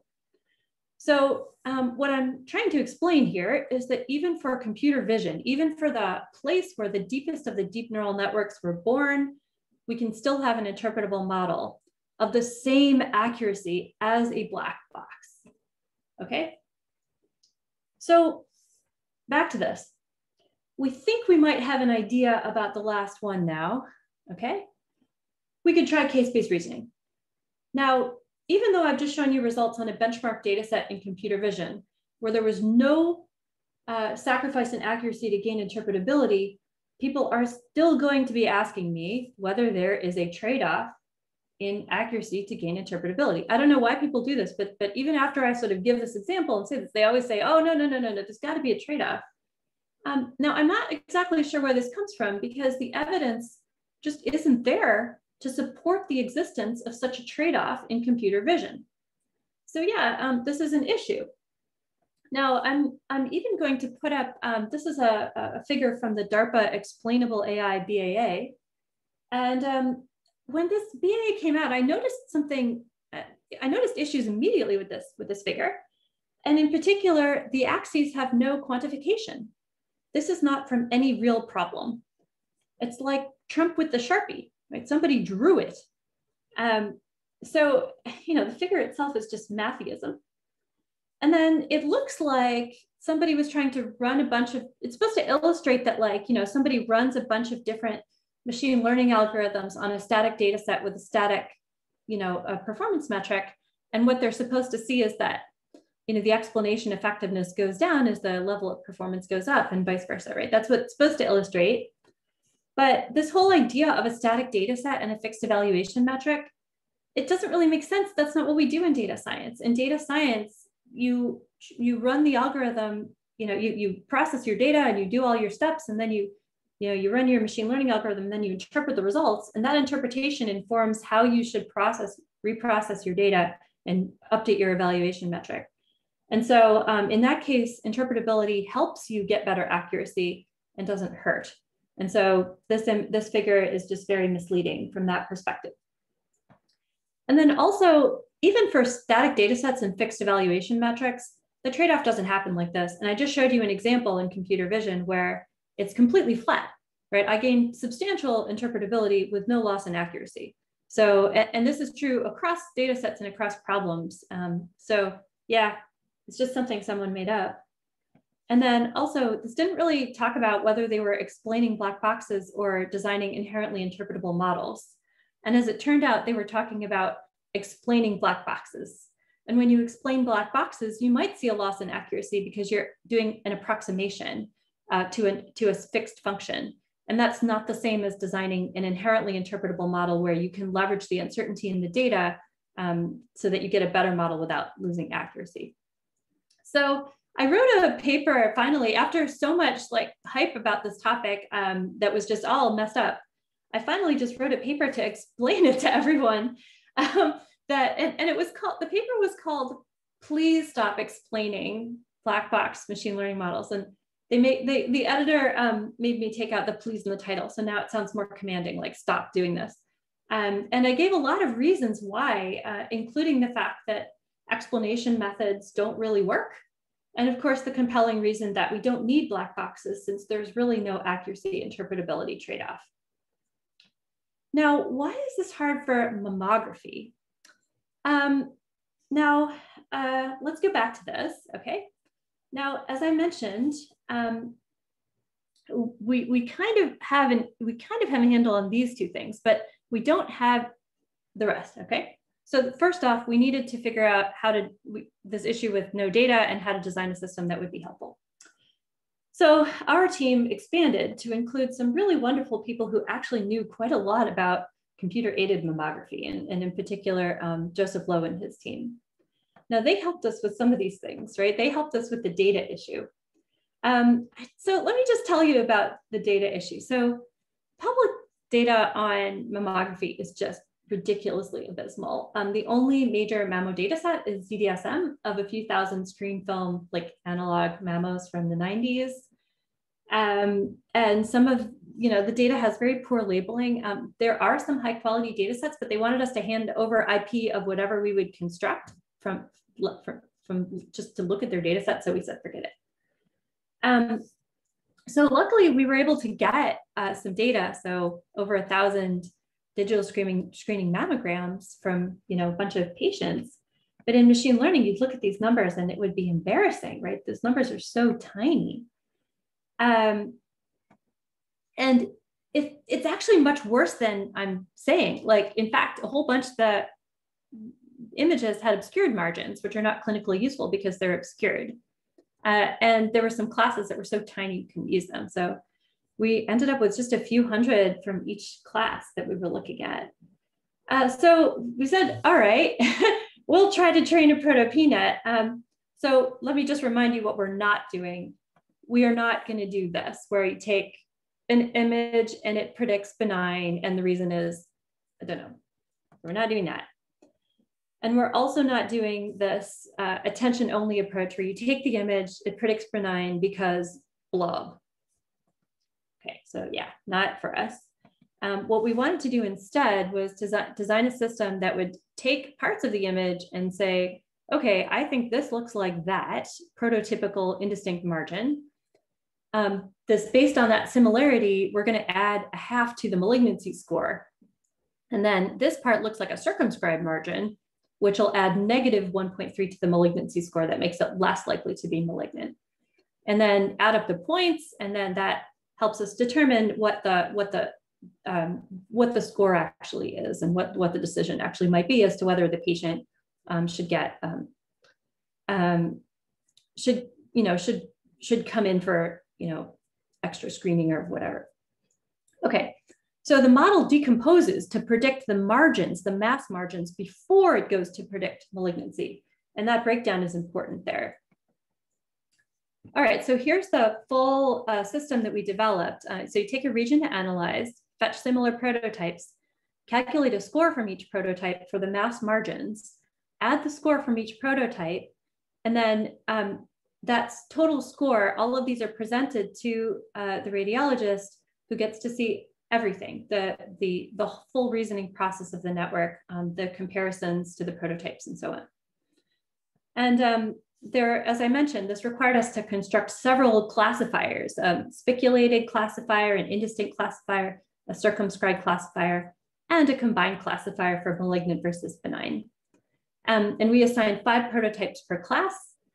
And the nice thing about it, of course, is that the radiologist does not need to trust it. They can say, um, the reasoning process of, of the system is wrong, and I don't trust it, and I'm going to make my own decision. Okay, so how are we going to train this thing? Well, let's try it. and of course, who should show up immediately but clever Hans? Um, so as soon as we tried to train this thing, it was using information from healthy tissue and comparing that to the prototypes. This is not good. Um, but at least we like we at least we successfully applied the, inter the interpretable machine learning technique without losing accuracy, which probably means that the black box model that we compared with is confounded as well. But we found a solution that allowed us to get a lot more information out of our data, which is to use fine annotation. Now, um, in, in particular, like we gave information to the network about where to look. So we had a radiologist, we paid the radiologist a few thousand bucks and we had them add fine labels for only 37 images. So they had to add this very detailed information about where they were looking, what they saw. And then we generalized ProtoPNet to handle this kind of mixed labeling. So we had, you know, these hundreds of images that were that were sort of coarsely labeled, and then we had these fine-grained attention labels that were done by the radiologists, and we we asked the network, hey, you need to pay attention. This is where you need to pay attention. And that helped it actually focus on the correct part of the, of the uh, lesion. So here's the before and here's the after the fine annotation. And so now the network's actually performing kind of the way we expect it. So that made us really happy. Okay, so um, again, here's the full, uh, this is the full sort of setup of the network. You, you have your convolutions, right, that look for things, compares them to the prototypes, and then we can see exactly what's going on using the self-activation. And then um, we have scores for a spiculated, indistinct, and circumscribed class. We have these three classifiers that feed into this final malignant versus benign classifier at the end. And there are, um, there are actually four terms in the objective, not three, sorry. There's a cross entropy term that keeps it accurate. There are these two terms here that force the latent space to be able to handle um, case-based reasoning. And then there's a fine annotation term which tells the network, okay, this is where you need to look and make sure you look here when you're finding out um, where, where to look. Okay, so again, yeah, three classifiers here, and then the final classifier there. Okay, so I want to show you some uh, just some results from the circumscribed classifier.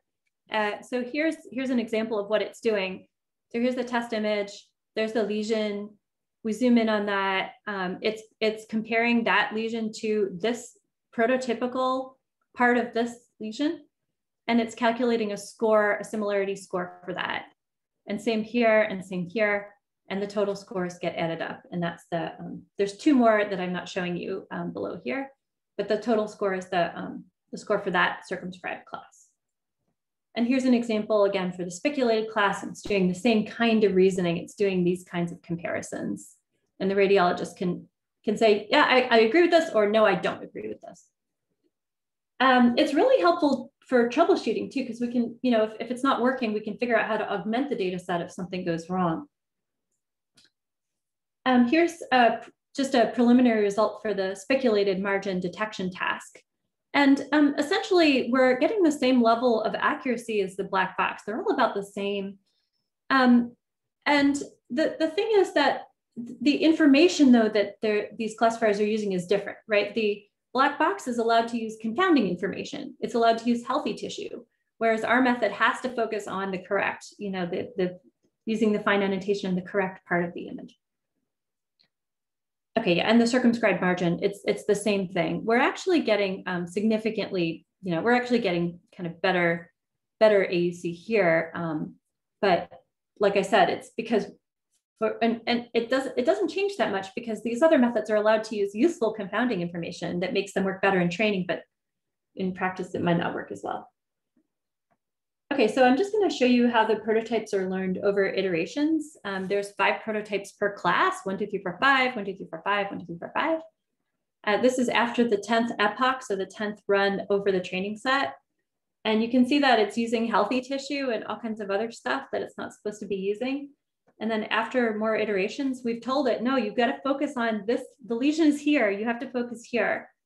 And then after a while, um, after several iterations, um, it's really focusing on the parts of um, parts of these prototypes that are actually really important for doing classification. And then it doesn't really change after that. Okay, so we've figured out how to handle all of these things now.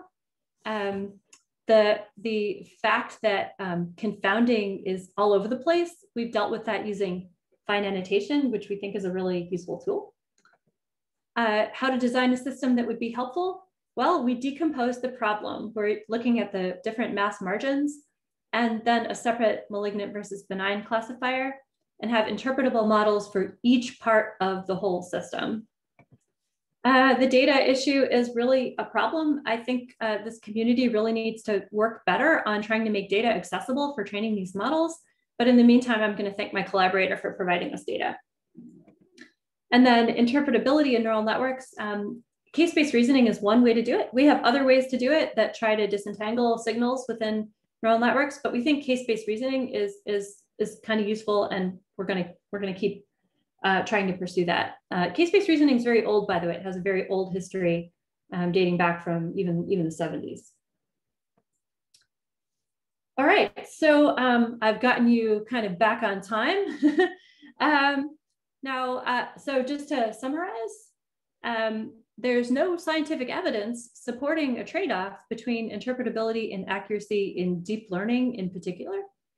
Interpretability is quite helpful in that it helps you troubleshoot, it helps accuracy. There's, um, it's much easier to troubleshoot an inherently interpretable model than a black box with another explanation on top of it, because you got to troubleshoot both of those. So having a, a model that's inherently interpretable is, is much sort of man more manageable and easier to deal with.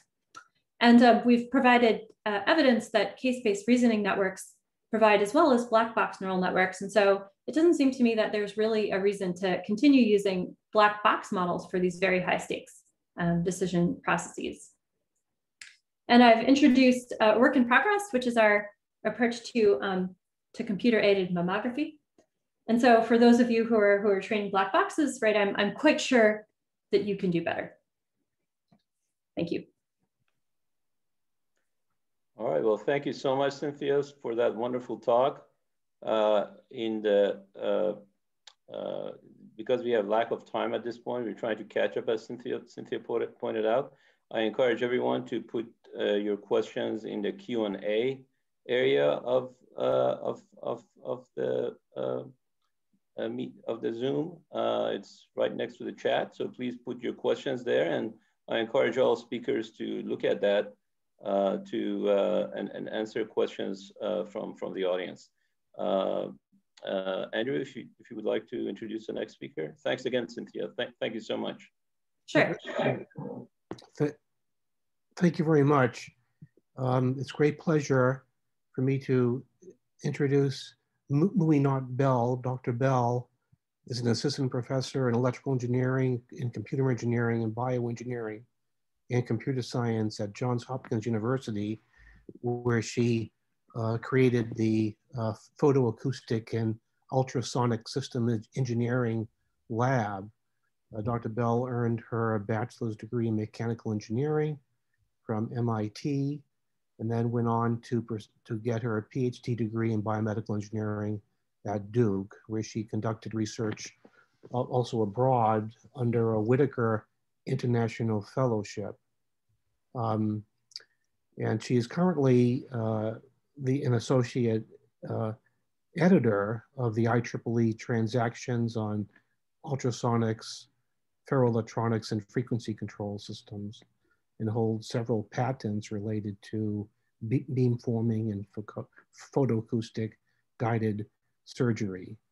Um, she's received numerous awards through in, her, in her career, including an MIT Technology Review Innovation Under 35 Award, uh, NSF Career Award, and an NIH Trailblazer Award, as well as the Alfred P. Sloan Research uh, Fellowship. And um, without further ado, I will, uh, I will pass over to Dr. Bell the podium. Thank you. Thank you so much for the kind introduction and thanks to the conference chairs for inviting me. So I am pleased to be here to talk to you about ultrasound image formation in the deep learning age. So ultrasound is one of the few medical imaging techniques that are widely used both inside and outside of the clinic. This is a standard clinical setup showing a sonographer holding an ultrasound probe and viewing an ultrasound image on the screen with the first version of this technique demonstrated in the 1950s, resulting in a 60-year history.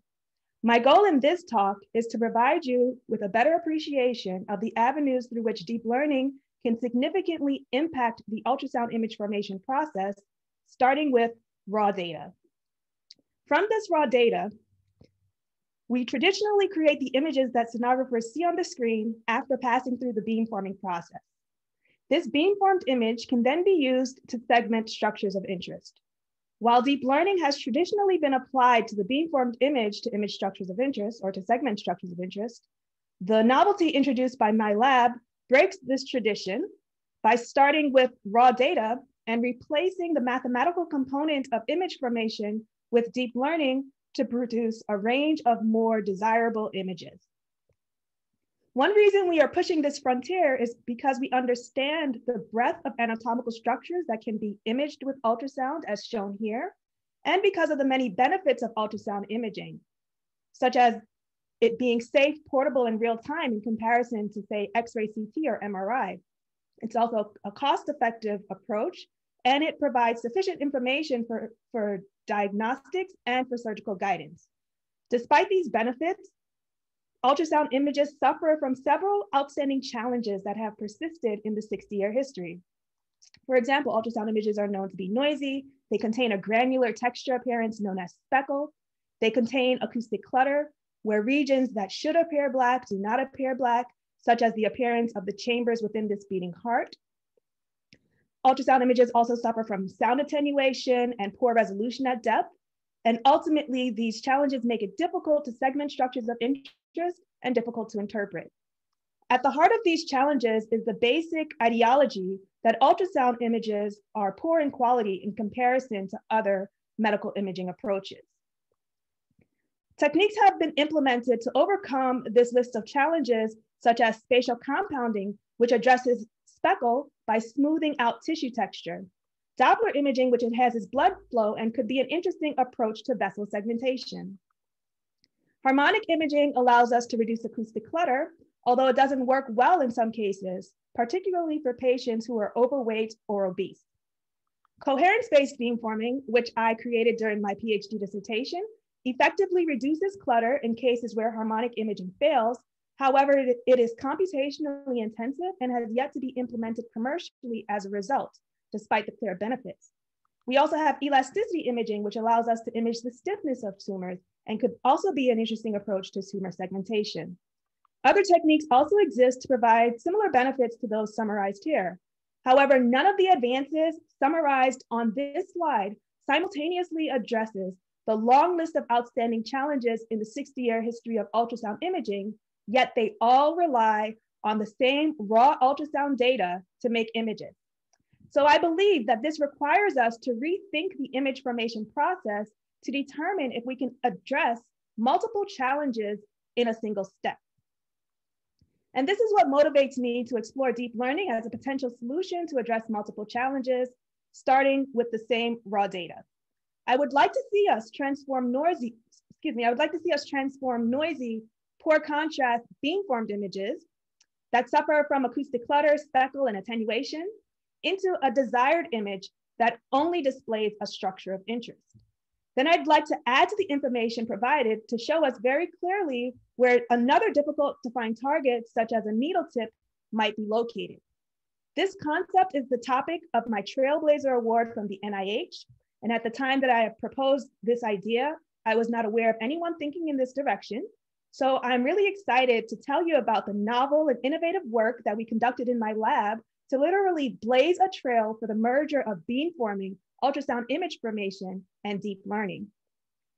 Successful implementation of these ideas would be a significant improvement over the current state of the field, and it would overcome many challenges with poor image quality in a single image formation step. This grand challenge that I proposed is heavily tied to the specific task being tackled.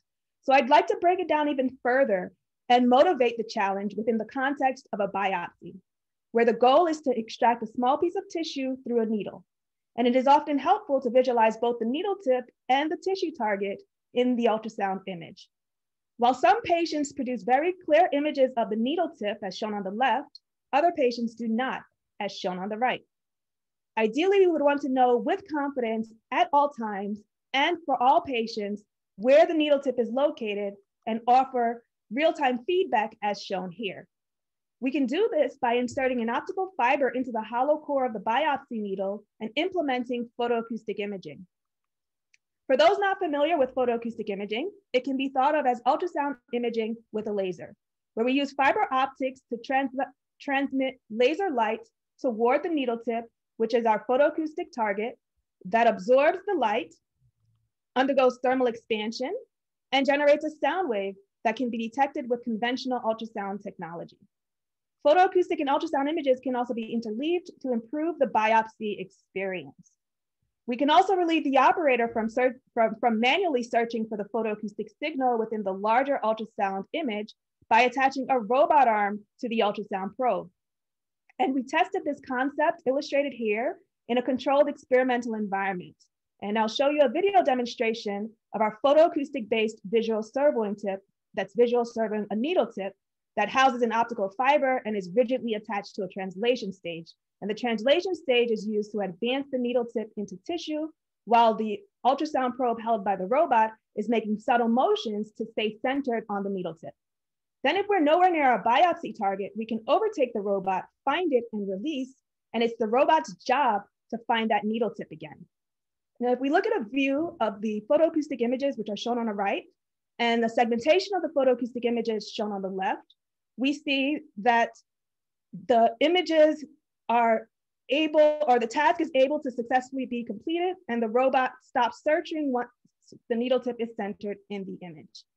And this demonstration allows us to appreciate that deep learning has the potential to enable three specific tasks toward a larger vision of fully autonomous ultrasound guided biopsies.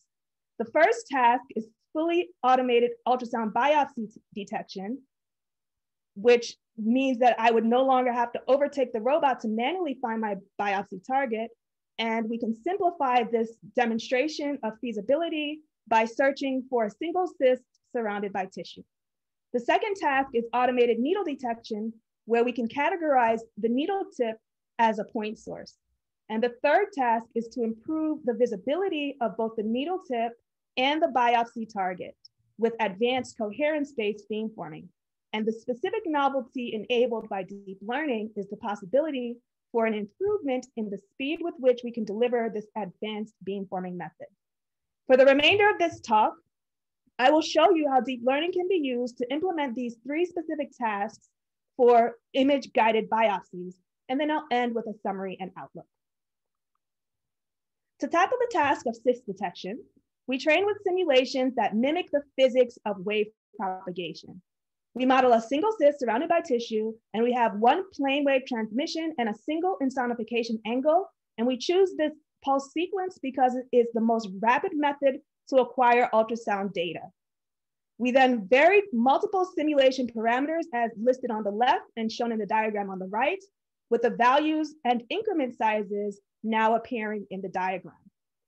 We then created a simulated test set that was not included during training.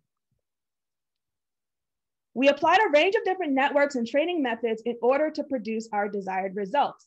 Highlights include first starting with one encoder and one decoder to build a fully convolutional network. We then added hypoechoic cysts to our training data to see if we could enhance the output. We later updated our network to a generative adversarial network to create images and segmentations simultaneously. And I'll explain the rationale for this particular design choice in the next few slides. We then updated our network further by removing the discriminator part of the GAN we realized it wasn't really needed. And instead including clutter masks in our training data.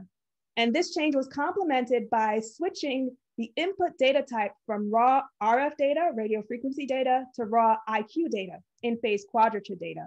And I will discuss the reasons for these design choices as well. And the final two networks included modeling the effects of attenuation during training and testing with sub-aperture beamform data, and finally adding more features during training to further improve the quality of our results. More details are available in the six publications summarized on this slide. And now I'll go into the rationale for some of the design choices that I promised I would tell you about. So starting with the simulated test set, this is our input, our known ground truth into our ultrasound simulator, which, is, which produces simulated raw channel data which is the data that's received by the ultrasound transducer before any pro processing. We then beamform or process the raw data to get an image of the cyst.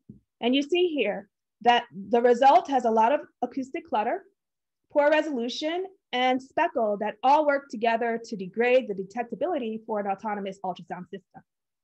The goal of our deep learning approach is to bypass the traditional beamforming process and instead just create what we call our CNN-based image that emphasizes structures of interest, in this case, the cyst, and de-emphasizes structures that we don't care about for automation of biopsy target detection, such as the background speckle. In fact, that background speckle would confuse our autonomous system. The Dice similarity coefficient between the ground truth and our output is 0.98 in this case, where one is the best that we can achieve. We plotted the measured Dice similarity coefficients as a function of the input cyst radius and noticed that the network performance degrades in the presence of small cysts. After grouping the results in integer multiples of cyst radius, we reported a mean and standard deviation shown in blue for comparison to experimental phantom results shown in green, leading to two outcomes. First, we confirmed that we can achieve good agreement between simulation and experimental phantom results. Second, we see that it is not possible for the experimental phantom result to be any better than the simulation test set result as expected. So this led us to question, what can we do to improve the small cyst errors? And this is what resulted in our generative adversarial network, where we said, what if we used feature sharing to force our network output to only produce a segmentation result if it can also simultaneously produce an image that looks like the beamformed image. In doing this, we took a step back and realized that we, for the first time, were able to get two outputs from a single input. And we newly combined both image formation and image segmentation in a single step. So this was exciting and led us to explore this idea further. And we capitalized on this novelty and removed the discriminator because it was more complicated to train and it didn't significantly improve our results. And we also changed our input data type from raw RF data to raw IQ data. And we did this because it allowed us to downsample more vigorously and pass more data through the network for images to create images with larger depth. So these changes allowed us to produce not two benefits in one, but this time four benefits in one, where not only do we have image formation and image segmentation, but we can also have clutter reduction by masking out the regions of clutter during the training process. And this clutter reduction can be appreciated by comparing the beamformed images containing cysts filled with acoustic clutter, which you see in the, the beamformed image on the left, and we compare that directly to the DNN image, which contains the same cysts that appear completely black. So that clutter is eliminated. We also have the fourth benefit of spatial compounding. And we call it a spatial compounding like effect because we can smooth out the tissue texture with this network output. All of these benefits are great for automated biopsy target detection, but the ultimate test of these networks is not testing on simulated or experimental phantom data, but to test on in vivo patient data. And so now on this slide, I'm providing you more details of this final network architecture that we settled on, which was which is described in, in a little detail on the previous slide and in more detail in the publication at the bottom of this slide and also the one that I'll send in the chat if you wanna see more. So the, the two network outputs that you see have the same four benefits discussed on the previous slide. One is a more interpretable DNN image. The second is a simultaneous DNN segmentation. The third is a clutter reduced image in comparison to the beamformed image shown on the right. And the fourth is a speckle smoothing effect. Now in the bottom row, the DNN segmentation output is shown on the left, and it's also shown on the right in red, overlaid on the true segmentation. When we compared to the DNN segmentation output, or when we compared the DNN segmentation output to the ground truth images, we see very good agreement, even for this small cyst, which in this case has a radius of two to three millimeters. So we successfully achieved our goal for detecting cysts. And with this success for cysts, we were ready to transition to how we can look at uh, the second task of identifying point sources, such as the signal from a needle tip.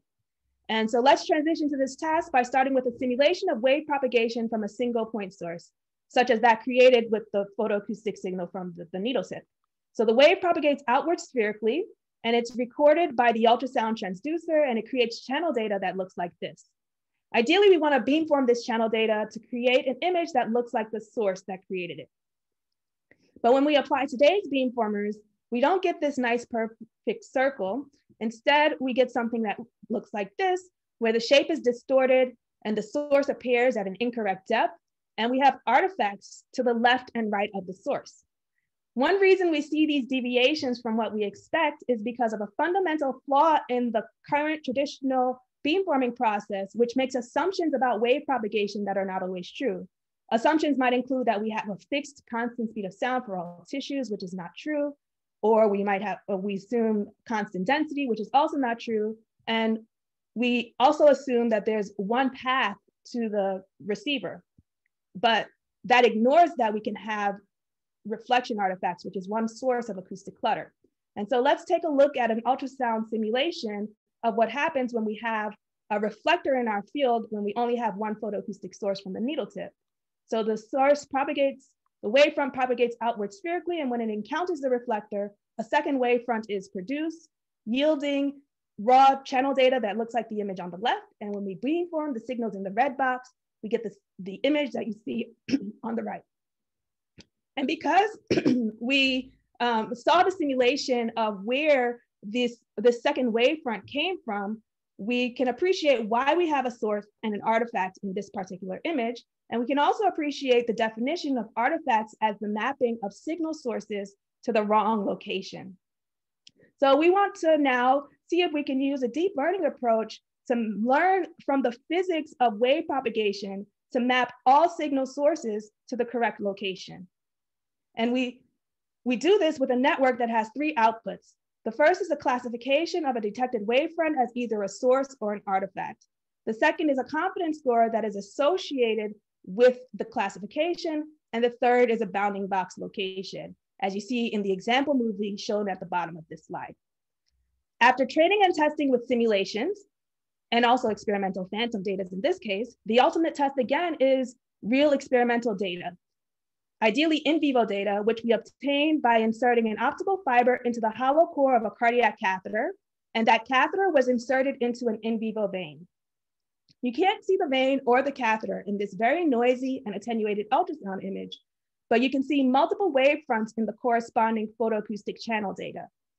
We passed this photoacoustic data through our network and formatted the three outputs to produce a clearer indication of where the catheter tip is located. We can also display the output by itself, which we call our CNN-based image.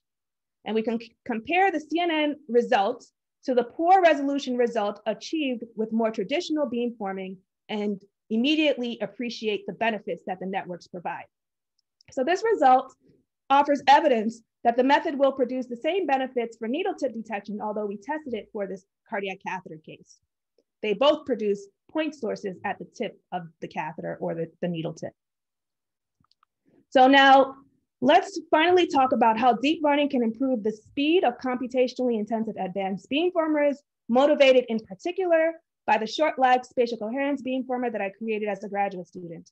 To implement this beamformer, we would take our recorded channel data, as you see represented here, apply time delays, and then we would need to calculate a coherence function that measures the spatial coherence of any two received signals separated by a spatial lag that's determined based on the number of element separations. And that element separation is based on the number of elements in our ultrasound sensor. And then we integrate the coherence function in the short lag region up to a specific value m, and that integral is one pixel in the SLSC image. And we can do this for multiple axial positions to build up our position in depth, or to build up our image in depth. And we would also do it laterally to build up the entire image. And we can see immediately why this is a computationally intensive approach because it requires many uh, coherence calculations. And I contrast this approach with the end-to-end -end deep learning approach discussed earlier that outputs an image directly from the input raw channel data. So now what we're doing is replacing only a portion of the beamforming process with a deep neural network that has the potential to produce, to produce results that are more intuitive and interpretable by approximating specific functions rather than making an entire image. So we demonstrated this potential by replacing the many correlation calculations with a deep learning approach using our newly developed CohereNet architecture. Here are some example images where images created with the traditional pipeline described on the previous slide and summarized at the top of this slide shown to the left, and images created with the DNN output shown to the right.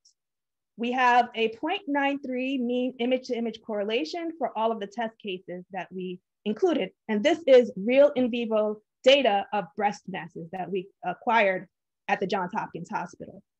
This network also achieves our ultimate goal of processing images at a faster speed, in particular 3.4 times faster than the original algorithm that contains many coherence calculations.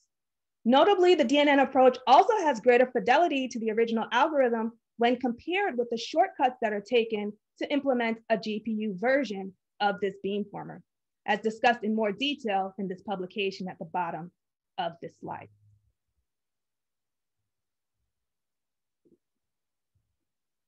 In summary, we can appreciate that both ultrasound and photoacoustic images can be presented in a novel format that extracts information directly from raw channel data with the assistance of deep learning.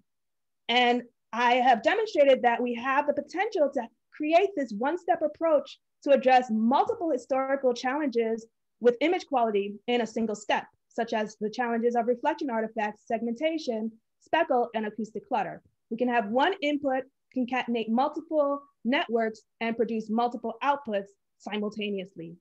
These results highlight the possibilities of deep learning for image formation and for improving the computational efficiency of advanced beamformers. And it's also highly promising for autonomous robotic tracking tasks.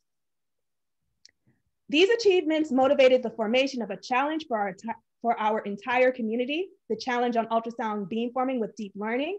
And we have examples that are freely available for anyone interested in exploring this space. Our photoacoustic examples are also freely available.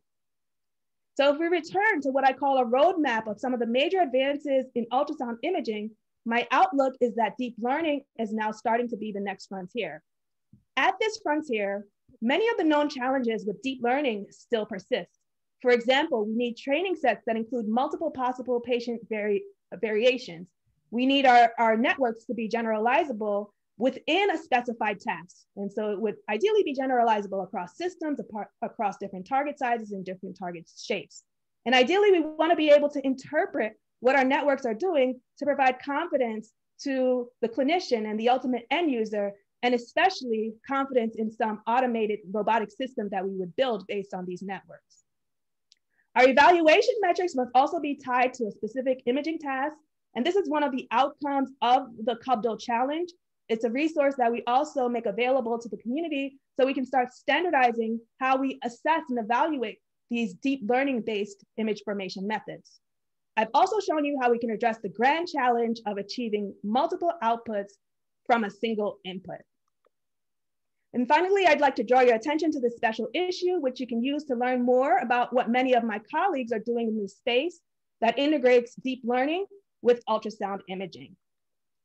And I'll end by expressing my sincere thanks and appreciation to my dedicated team of students and collaborators who have helped to make all of this possible. Thanks also to my funding sources for supporting this work. Visit my lab website, pulselab.jhu.edu to learn more. Follow me on Twitter for real-time updates of our work. And thank you all for your attention. I'd be happy to take any questions. Great, wonderful, wonderful talk. Thank you so much. That was really great. Very, very good stuff. And I wonder, you know, there's probably applications in nuclear medicine also for PET imaging where you've got oh, yeah. noise conditions and some of the models that you presented there, I'm sure would uh, other other people would like to try uh, to apply Absolutely. in those areas as well. Um, and actually, I would like to say, you know, that is one thing that I hope to motivate the community to think about uh, beyond ultrasound imaging, right? All of these medical imaging techniques rely on some fundamental raw data to, that needs to then be processed and reconstructed to create images. And presumably there are lots of different signal processing techniques and they provide different information. So just like we can do this for ultrasound, I would challenge the community to think about how this can be transferred across different imaging domains and potentially be applied to MRI or PET or SPECT or even uh, some of the other techniques that you've mentioned. So, so there is one quick question that we can address in the Q&A. Uh, there's a question about, about the DNN, if they're implemented in software or in hardware, and how mm. artifacts are removed. Oh, that's a great question. So we implement our DNN in hardware, excuse me, sorry, in software. Um, so we are able to acquire our data and then do post-processing. But the inference speed of making the images indicate that it can be done in real time if we needed it to, because we are able to get similar real-time frame rates to what we get with other signal processing methods. And I like the question because in that paper that I talked about um, for CohereNet, we actually stated that one of the benefits of CohereNet is that you can do, you can put this neural network beamformer to calculate cross correlations on hardware. And then this allows you to now have a, a more computationally efficient, smaller portable system, which may not have like the GPU necessary to do the deep learning in software, but it doesn't exclude these more portable systems from benefiting from the deep learning architectures and improvements. Okay, great. Uh, I think in the interest of time, uh, thank you. you. have given the reference and, uh, and please, uh, if there are further questions, please post them in the Q&A and I'm sure Dr. Bell will be able to address them offline. But I think in the interest of, uh, since we're over time, we should probably move on to the next speaker. And so I will pass it back to Amir to do the introduction. Uh, thank you. Thank you, uh, Andrew. And uh, uh thank you, Muyinatu, for that excellent talk. Uh, our next speaker is uh, Laura Waller from UC Berkeley. Her, the title of her talk is End-to-End -End Learning for Computational Microscopy. Uh, to in introduce Laura. Uh, first, I, I, should say that I we invited her to uh, ISBI 2018, and that's the first time I heard her talk, and I was uh, blown away by her presentation. Really uh, uh, amazing. So uh, we're looking really looking forward to her talk today. Laura is the Ted Van Duzer Associate Professor of Electrical and Computer Electrical Engineering and Computer Science at UC Berkeley a senior fellow at uh, the Berkeley Institute of Data Science and affiliated with the UCB, uh, UCSF Bioengineering Graduate Group. She received BS, MH, and PhD degrees from MIT at 2004, 2005, and 2010, and was a postdoctoral researcher and lecturer of physics at Princeton from 2010 to 2012. She's a Packard Fellow for Science and Engineering, Moore Foundation, data-driven investigator, Packard Fellow, OSA Fellow, and Chan Zuckerberg BioHub Investigator. She has received the Carol D. Soc Distinguished Graduate uh, Mentoring Award, Agilent Early Career uh, Professor Award, and NSF Career Award. And she was, as with uh, Muyinatu, uh, the SPIE, she won the SPIE Early Career Achievement Award. So uh, looking forward to a presentation. Great, thank you. Um, all right, so uh, what I'm going to talk about is my group's work um, in in computational microscopy, and I'm going to give you a, a, sense of what that is and how how we use machine learning within this world. Um, so computational imaging is this idea that you should design your imaging systems in terms of both the hardware and the software together. So it's not image processing, but it includes image processing and it also includes all of the optical design. So uh, we don't take data sets that someone else captured and process them. Rather, we design how to capture the data in the most efficient way so that we can solve some inverse problem and reconstruct our, our image. So you don't always measure directly what you're trying to image, but you try to get that information into your measurement so that you can solve for it, usually with some sort of optimization routine um, or maybe a neural network now. Uh, so this like back and forth arrows here is really the heart of computational imaging that we sort of iterate between designs, trying to make the most of the synergies between the using cheap, simple hardware and uh, fast compute that can solve these problems that in a like well-posed way. And sort of the new trends in computational imaging are what I'm going to call data-driven design, um, or like using uh, machine learning to not just optimize how you solve the inverse problem, but to optimize the hardware itself.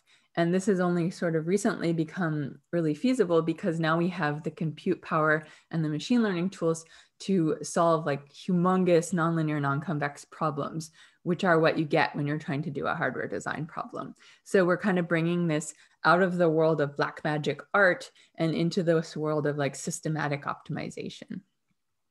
Um, so I'm going to talk about a few projects uh, And you can think of the pieces are like the, the system hardware and then the solving the inverse problem, and you're going after some particular end result. So the first one is like my favorite canonical example of computational imaging. It's a lensless camera problem. I'll show you in a minute how this has any relation to um, microscopy. But it's basically like take your camera, remove the lens, and point the sensor at the world and take a picture. So your picture looks like garbage. It's just a blurry blob because you didn't have the lens there to form the image. But the lens's only job was to bend rays of light in a particular way. And so the light that's hitting the sensor in the case with no lens is the same light that would have hit the sensor if there was a lens. It's just like scrambled because the, light, the rays weren't bent in a particular way. So if you could computationally bend those rays, you could potentially reconstruct the scene from this measurement. In practice, that doesn't work. Um, our project that we have along these lines is called diffuser cam uh, because what we do is we stick a diffuser here on top of the sensor. So diffuser is just a bumpy piece of glass. Like sometimes we just use those stickers that you put on your window so your neighbors cannot see in. So privacy glass sticker just like slapped onto the cover glass of the sensor. So it's really close to the sensor and it's this bumpy piece of plastic, but it's bending the light rays just in a random uh, unknown way. Um, so we take a picture and of course it still looks like garbage because it didn't form an image. Uh, but from this, from this measurement, we can reconstruct our image by solving an inverse problem. I'm not going to explain too much about how, but uh, I want to get at this like philosophy of computational imaging that traditionally you're trying to take, you take a measurement that uh, looks as close as possible to the scene that you're trying to image uh, because you're designing the hardware of your optical system to be as close as possible to this identity matrix. So like this A matrix is our forward model or like our system operator. And optical designers have spent centuries trying to make their optical systems as similar as possible to the identity matrix so that you directly capture what you're trying to measure. Um, when we talk about computational cameras, we really just throw out that idea. And our measurement need not look anything like the object.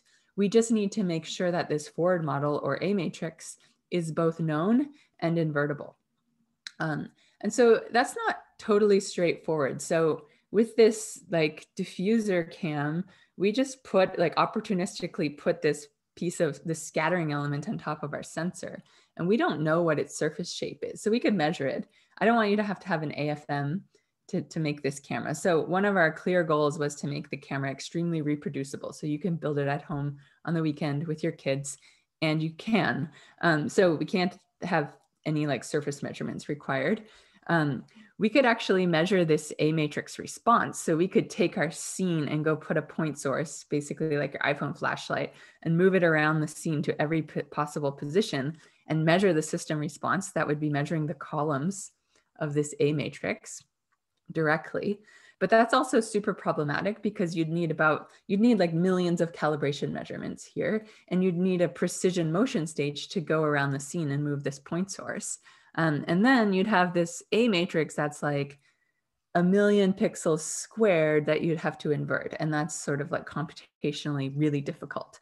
So you could machine learn it. I'll talk a little bit more about that. But in practice, we're going to do something that's uh, really a hybrid of all of these three things um, and it, it, becomes really efficient. We just need one calibration measurement and uh, we do some simple FFT based image processing. So uh, you can actually build this, I mentioned, and we had these awesome undergrads in our lab, Camille and Shreyas, who spent their summer um, getting this to work on a Raspberry Pi camera, which is like the cheapest camera sensor you can buy, using scotch tape it's not a good camera, but it's fun. And they they posted their instructions and their tutorial code, the code that you can use to reconstruct the images. So if you want to try it, you're welcome. There's been some uh, big undergrad classes who've tried to build this as a class project, and it's been really fun. Okay, so how do we solve the inverse problem? We take our measurement y and we try to minimize the difference between that measurement and the expected measurement given our current estimate x.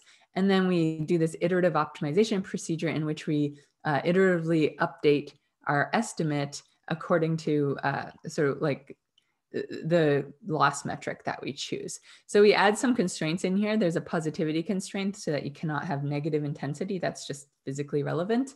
And then this last term here is not doing much yet, but it'll be important later. Um, it's basically enforcing some regular, some nonlinear regularization. You can tune how much with this lambda, and you can choose which sparsity basis set. So you're assuming that the image is sparse in some basis set.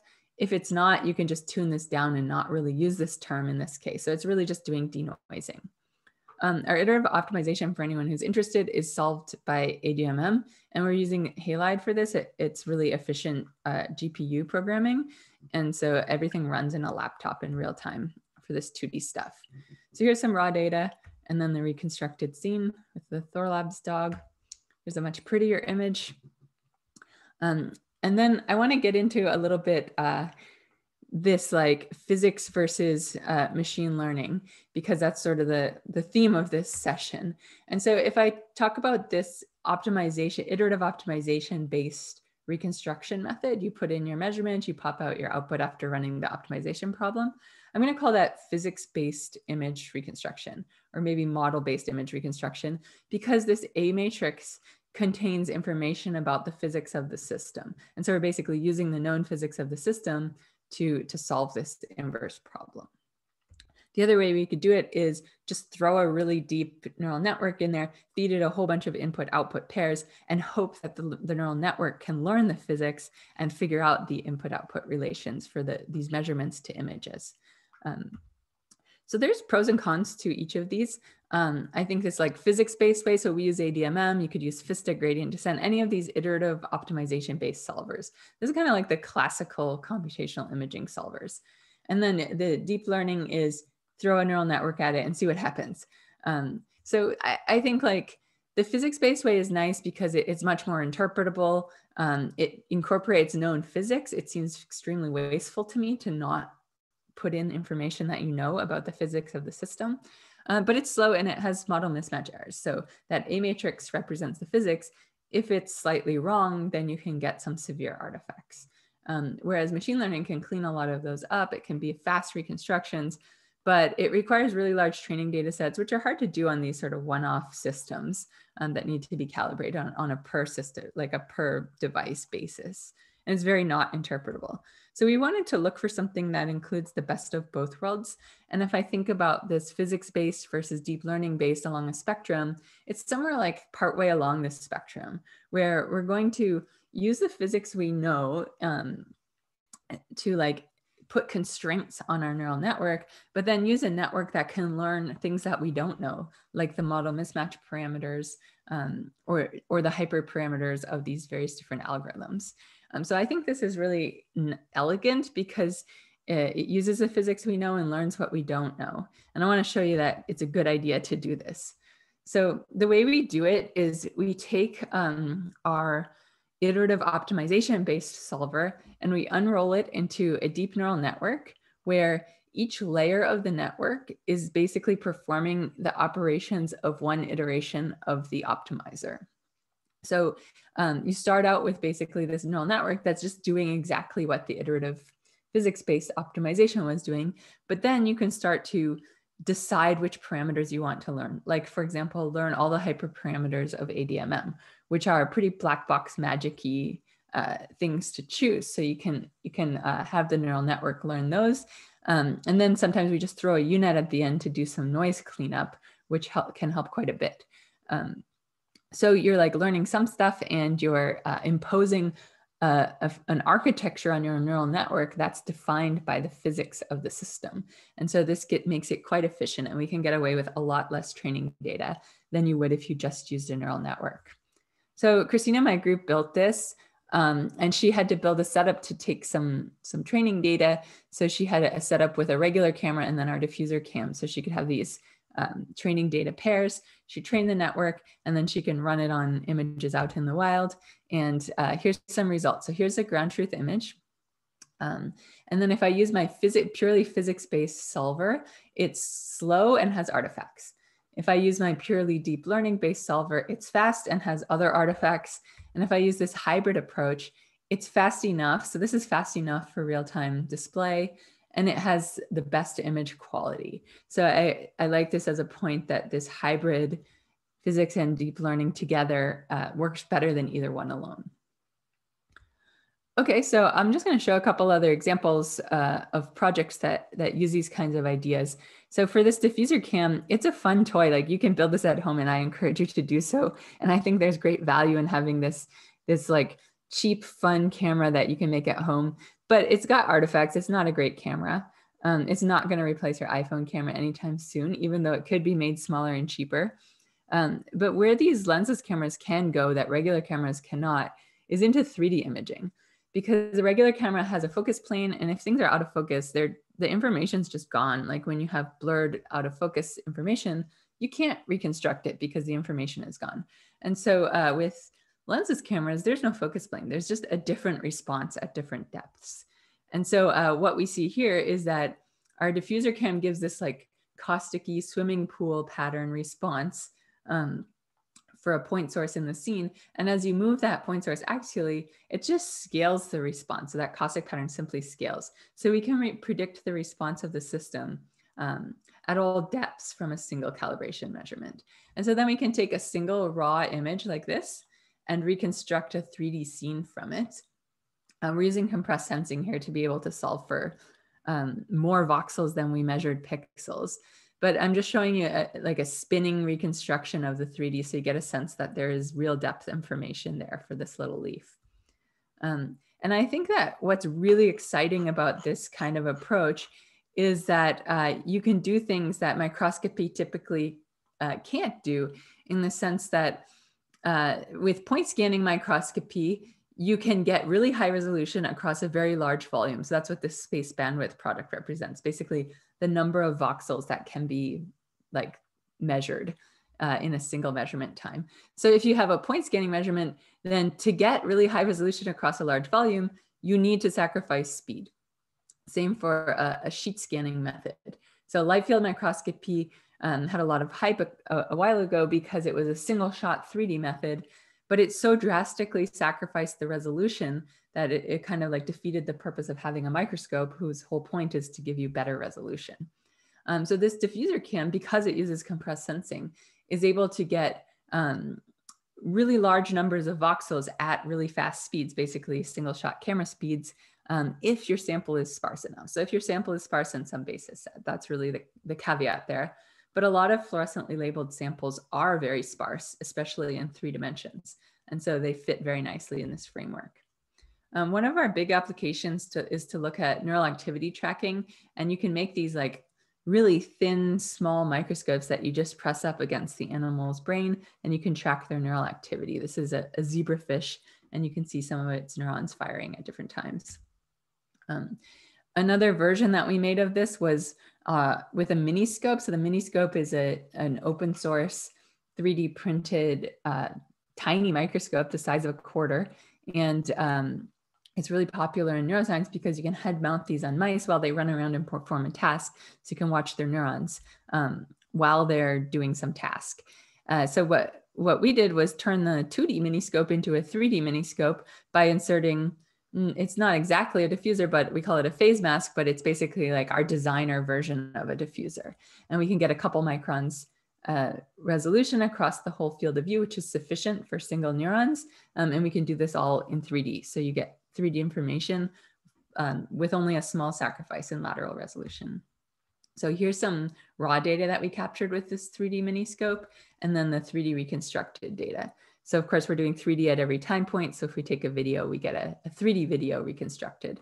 And this is a little water bear. You can see like, it's like a little caterpillar. You can see its legs as it's crawling around here. Um, okay, so uh, I, I talked to, about how we can use machine learning to optimize the reconstruction process. So once we have some measurements, we can optimize how we solve this inverse problem by doing this hybrid of deep learning uh, and physics-based optimization.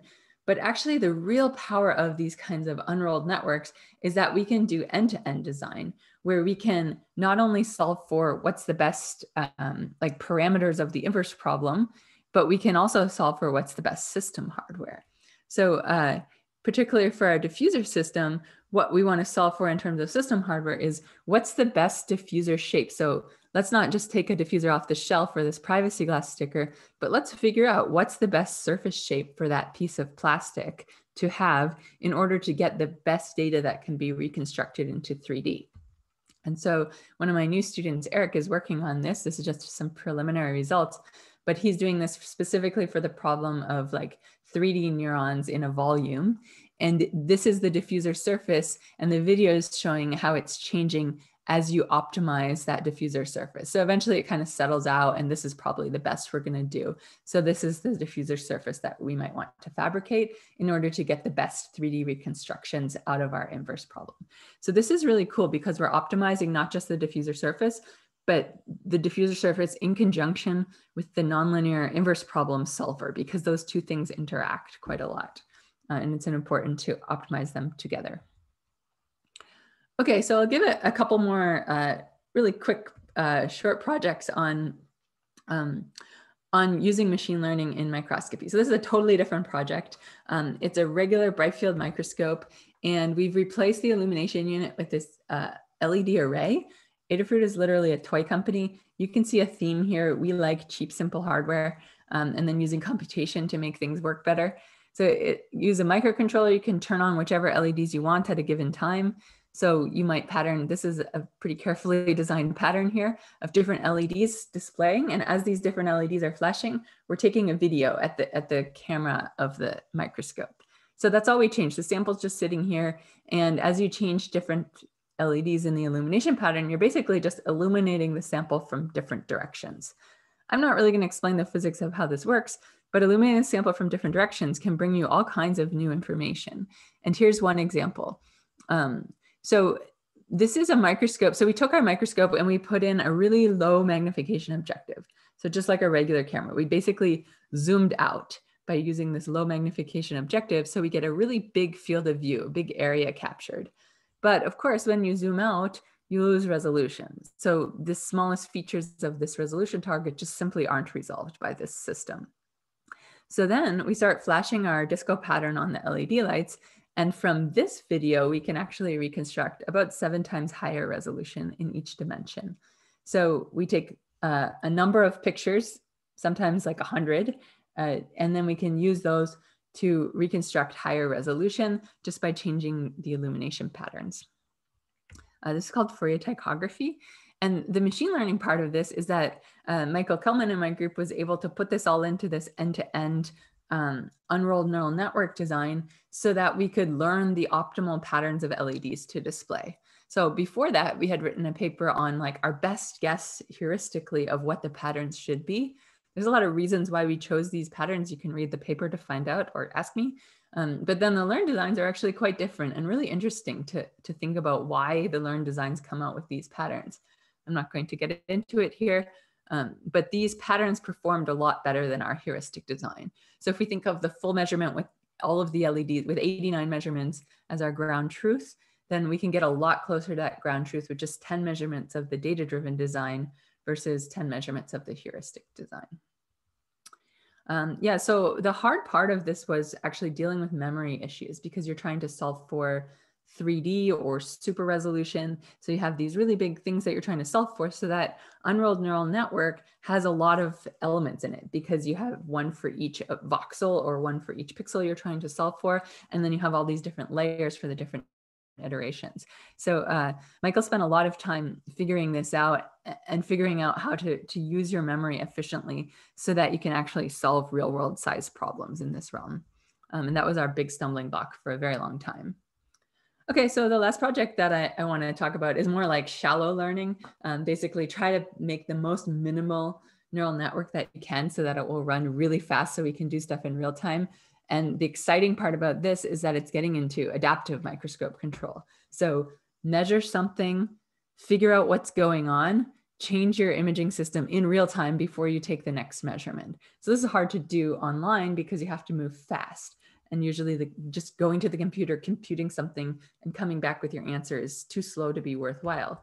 Um, so we did a simple problem. We did autofocusing. Um, you know you're looking at some cells over the course of uh, minutes or hours and they drift in and out of focus or the whole sample starts going out of focus and you don't want to have to go into the lab every hour and refocus the system. So uh, one way that people do this is by just looking at the image spatial frequency content. So if I take a stack of images at different focus positions, so I could just set my microscope to go and take a stack of images at different focus positions, and then I would take the Fourier transform of each of those images. So this is basically a slice of the Fourier transform at every depth uh, of defocus. And what you see is like when the image is in focus, it has more high frequency content.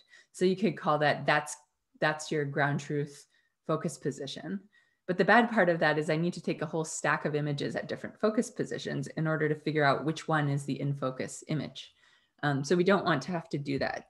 So what Henry did was he used these stacks of images and their, their Fourier content to, uh, to be the ground truth for a set of training data that could train a neural network that doesn't need to take the whole stack, but can just take a single image with an off-axis illumination and it only needs to look at like a tiny area of the Fourier transform of that single image because that's where the information about the focus exists. It basically comes from, from the conjugates of this image being different and feed that as the input into a neural network that can take these ground truth training data pairs to learn when something, where something, how in focus something is.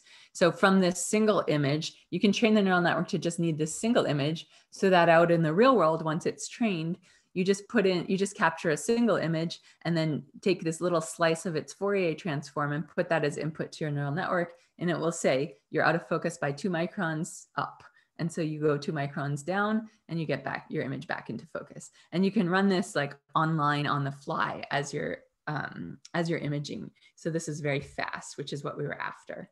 Um, so does it work? Well, it works pretty well. So we trained on, on like, if we train on similar data, um, it works great. Um, and what we wanted, sort of like our metric for it working was, um, can we stay within this green bar? So the green bar represents like an accuracy that's at least the, the smaller than the thickness of the sample itself. So these are just monolayer cells. Um, and how many training data stacks do we need? Somewhere around 20 or so. Uh, 60 is better, of course, um, but it sort of depends on how much time you're willing to spend in the like pre-step of, of pre-training everything. Okay, so the bad news, if you train on one type of cells and try to run it on another type of cells, it will completely fail. But if you just add like a few of these second type of cells into your training uh, data set, then you can get something that works well on both types of cells. So you just have to be careful to make sure that your whatever type of, of cells you're going to look at are represented in your training data somehow.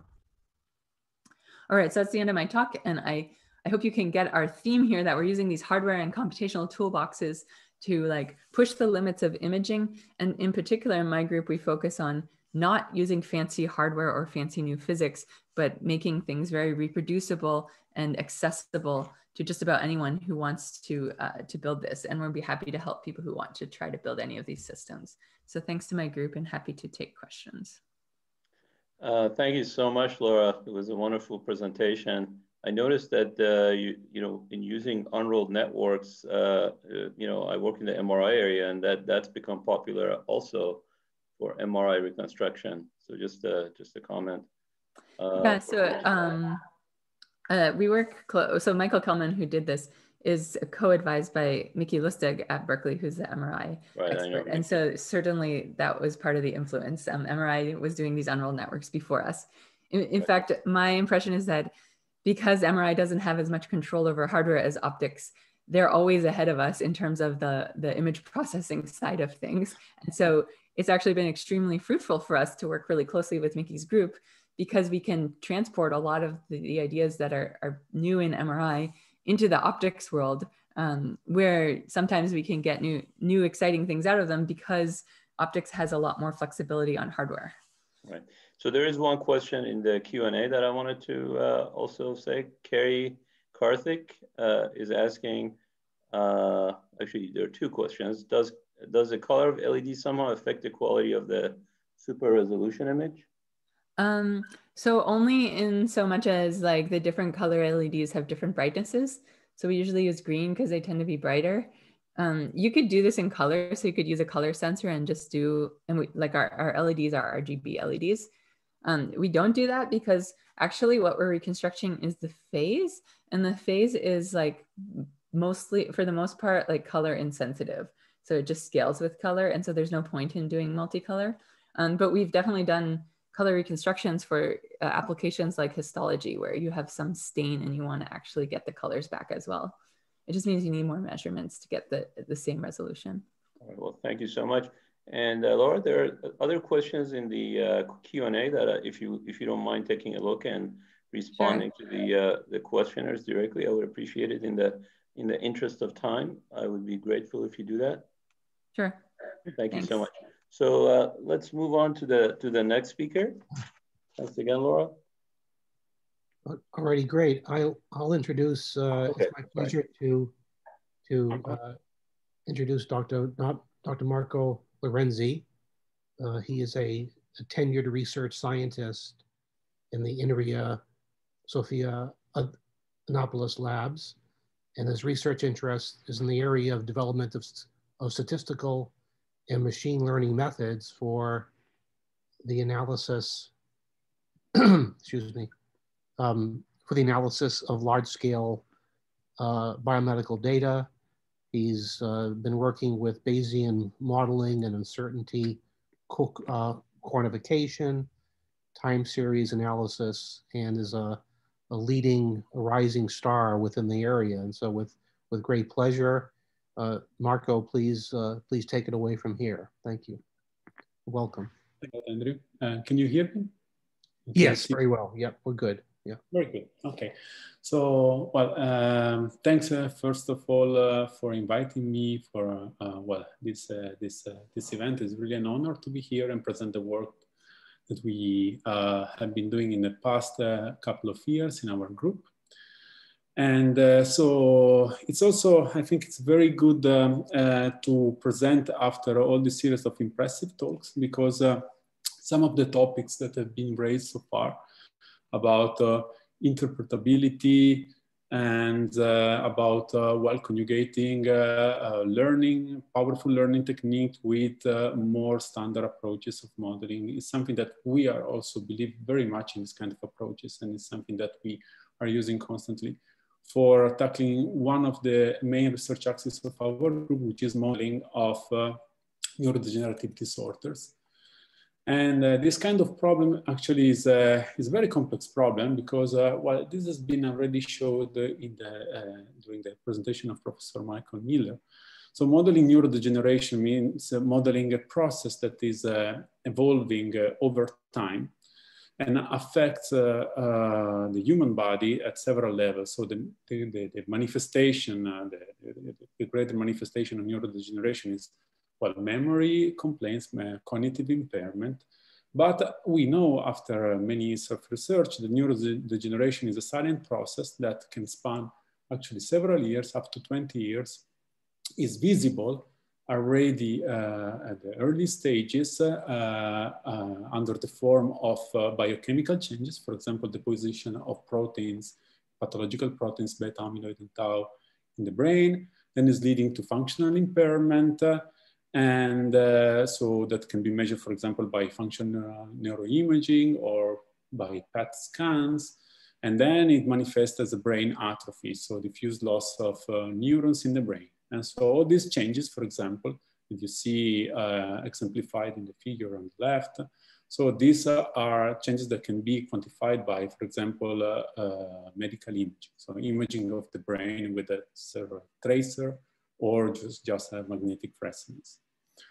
On top of that, we know that there are many components that actually affect how a pathology can develop, uh, the speed and the pace, and this can range from genetic component, vascular component, uh, uh, of course, social demographic component. It's a strong component related to well, uh, uh, behavior, to education, lifestyle, up to now researchers are even uh, uh, dwelling into the microbiome actually. And all of this is, uh, these are effects which are intertwined.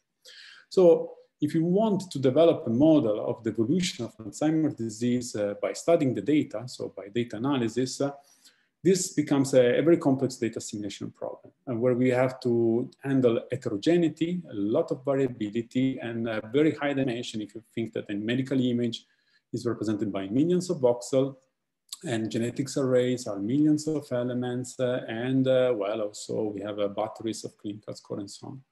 And the two main questions from this data assimilation problem that we want to answer are, uh, so how can we, uh, so can we depict something about the uh, joint effect and the, that the terms of all these, these factors that can affect actually the, the, evolution of the pathology over time? So can we develop an atlas of how the pathology evolves and, and how all these markers or this factor evolve jointly during the, the, the natural history of the disease?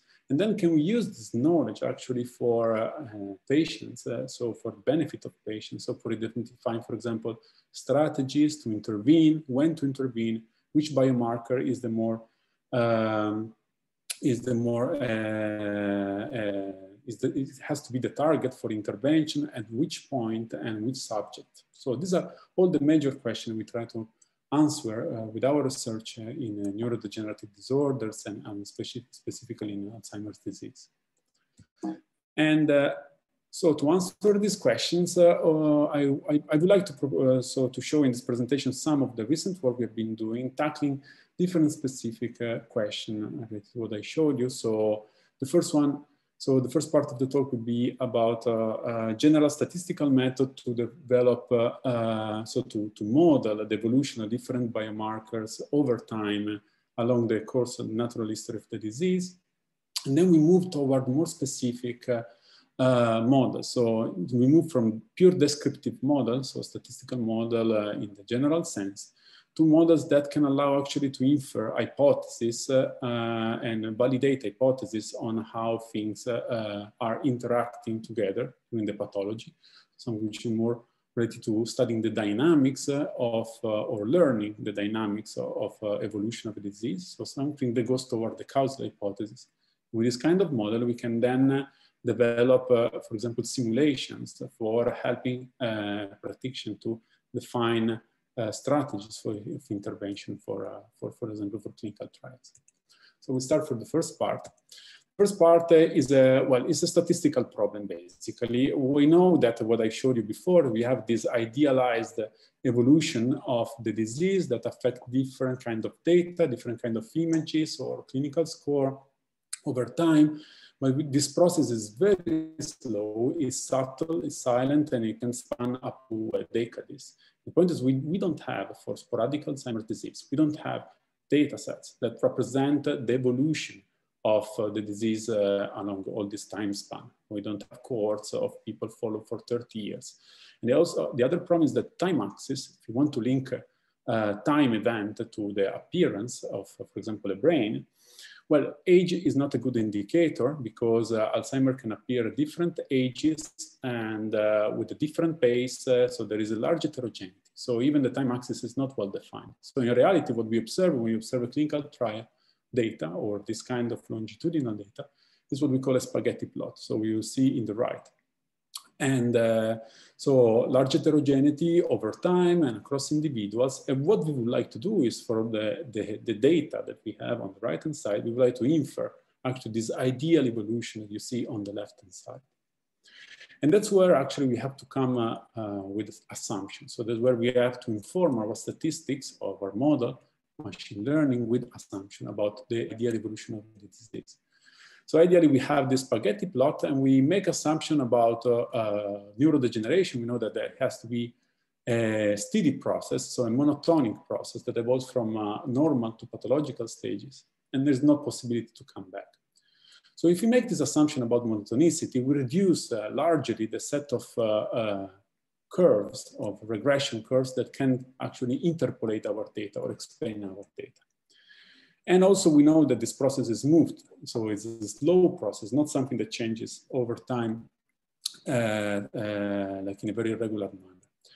And so we can identify some sort of uh, time transformation associated to each uh, patient, so to each uh, set of observation, in order to find the best curve that fulfills these requirements, smoothness and monotonicity, that can explain the data.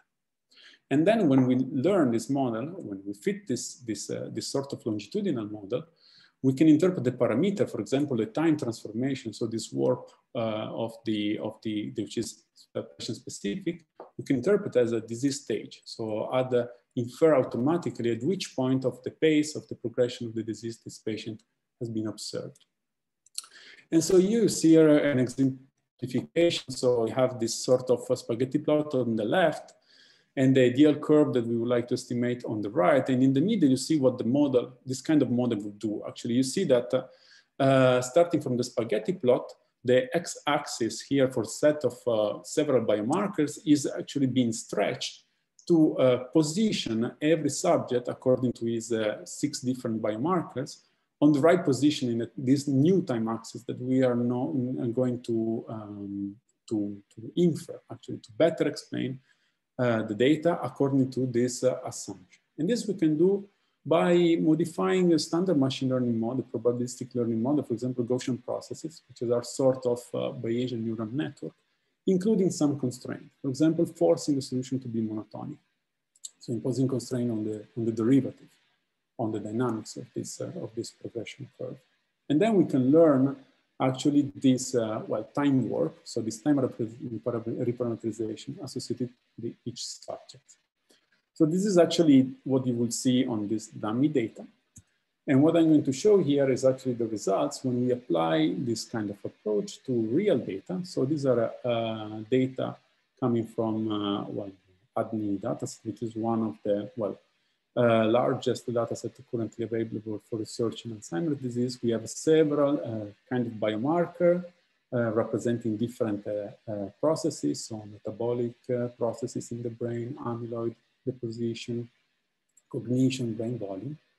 And the, usually the observational time, as I told you before, is a, is a trial, is an observational study. So at the time of the study, it was five years for the subject. But as you can see, the model with this, uh, uh, with this, this, constraints is actually forcing the observation for being explained with our assumption to lie on a time axis which is much longer than five years. So it's about 20 years. So, and uh, you can see how it, uh, with this time transformation, uh, we can actually identify the different dynamics uh, affecting different um, uh, biomarkers or, or features, actually clinical features attached to the subject.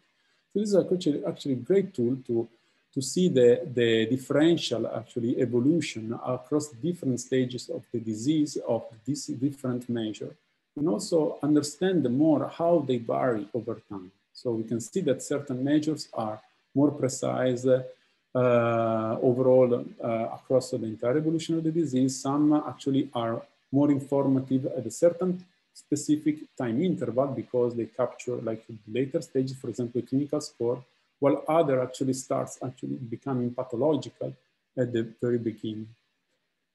So this is a, actually a great tool to better understand the dynamics of evolution of all these biomarkers. And uh, you can see by the colors that uh, allow to stage a subject quite well according to their uh, disease severity. So all the blue individuals, which are the healthy, are positioned at the early stages, while uh, all the, well, when we move toward the more pathological stages, so Alzheimer, AD, we get actually toward the later stages. So this is the training cohort. In this we can see actually how, by using the model as a statistical reference, how we can position, so we can infer a posteriori the ideal positioning of uh, other subjects, so testing subject, uh, according to the model you can see that we obtain actually very nice stratification of different individuals according to their clinical diagnosis. So the, the model allows actually to infer, predict the uh, stage, so the severity of all the subjects uh, across the time axis. So this could be already clinical too. And here you can see actually a validation. So we validated the time shift against actually the known year of onset for individuals which actually are uh, not sporadic, uh, affected by sporadic Alzheimer, but fa by familial Alzheimer. So we know that they have some genetic mutation and we know that they are going to convert. And quite likely uh, according to the same age of conversion of their parents. So we've used that age as a reference respect to where they are now according to their own age. And we plot that uh, information, so this ground truth against the time shift, you can see that there is a very important uh, association, correlation between these two time axes. So it means that the model actually is uh, predicting something which is meaningful, quite meaningful from the clinical point of view, validating these special cohorts. And what we are doing now, we are extending this monotonic constraint to actually more complex data, not just a scalar measurement, but uh, uh, full volume, so full 3D imaging information you can see here. So this means uh, keeping the monotonic constraint, but accounting also for spatial relationship across the neighboring uh, location in the brain. So in the, in the brain images, so we're talking about 3D model. And you can see actually how the model nicely predicts uh, uh, how the different uh, uh pathological process of the brain, so atrophy, amyloid deposition, tau deposition, and hypometabolism, become abnormal throughout the uh, time axis of, of, uh, of the disease. This is quite actually a very, very valuable information for understanding better the, the dynamics of, of evolution of the natural history of the disease. And again, we can use this model as a reference to stage a patient coming from external cohort. For example, this is an ongoing collaboration with the uh, memory um, the Geneva, Geneva University Hospital in Switzerland. So these are patient, uh, unseen patient from the memory clinic, local memory clinic, and we are seeing that by using their scan. So we are talking about complex data because this data, which was not even acquired with compatible sequences with respect to the training one, which was ADNI, so a research data set. But you can see that the prediction that we, uh, we, we, we, we, we obtain, which is in the x-axis, correlate very well with many clinical score and biomarkers, which are classical for Alzheimer's disease, so that were uh, acquired for this patient. So again, the model can be used actually for automatic staging of patients or for helping clinicians in, uh, in, the, in the, their diagnosis. Okay, so we have seen how this kind of model can be used for, uh, for basically a complex regression uh, uh, problem where we have more unknown than the one that we have in classical regression problem. But uh, this doesn't tell us about uh, how the, the, the, the, pathology is spreading in the brain. And so here we, were, we have to model toward a different uh, kind of approach, statistical approach.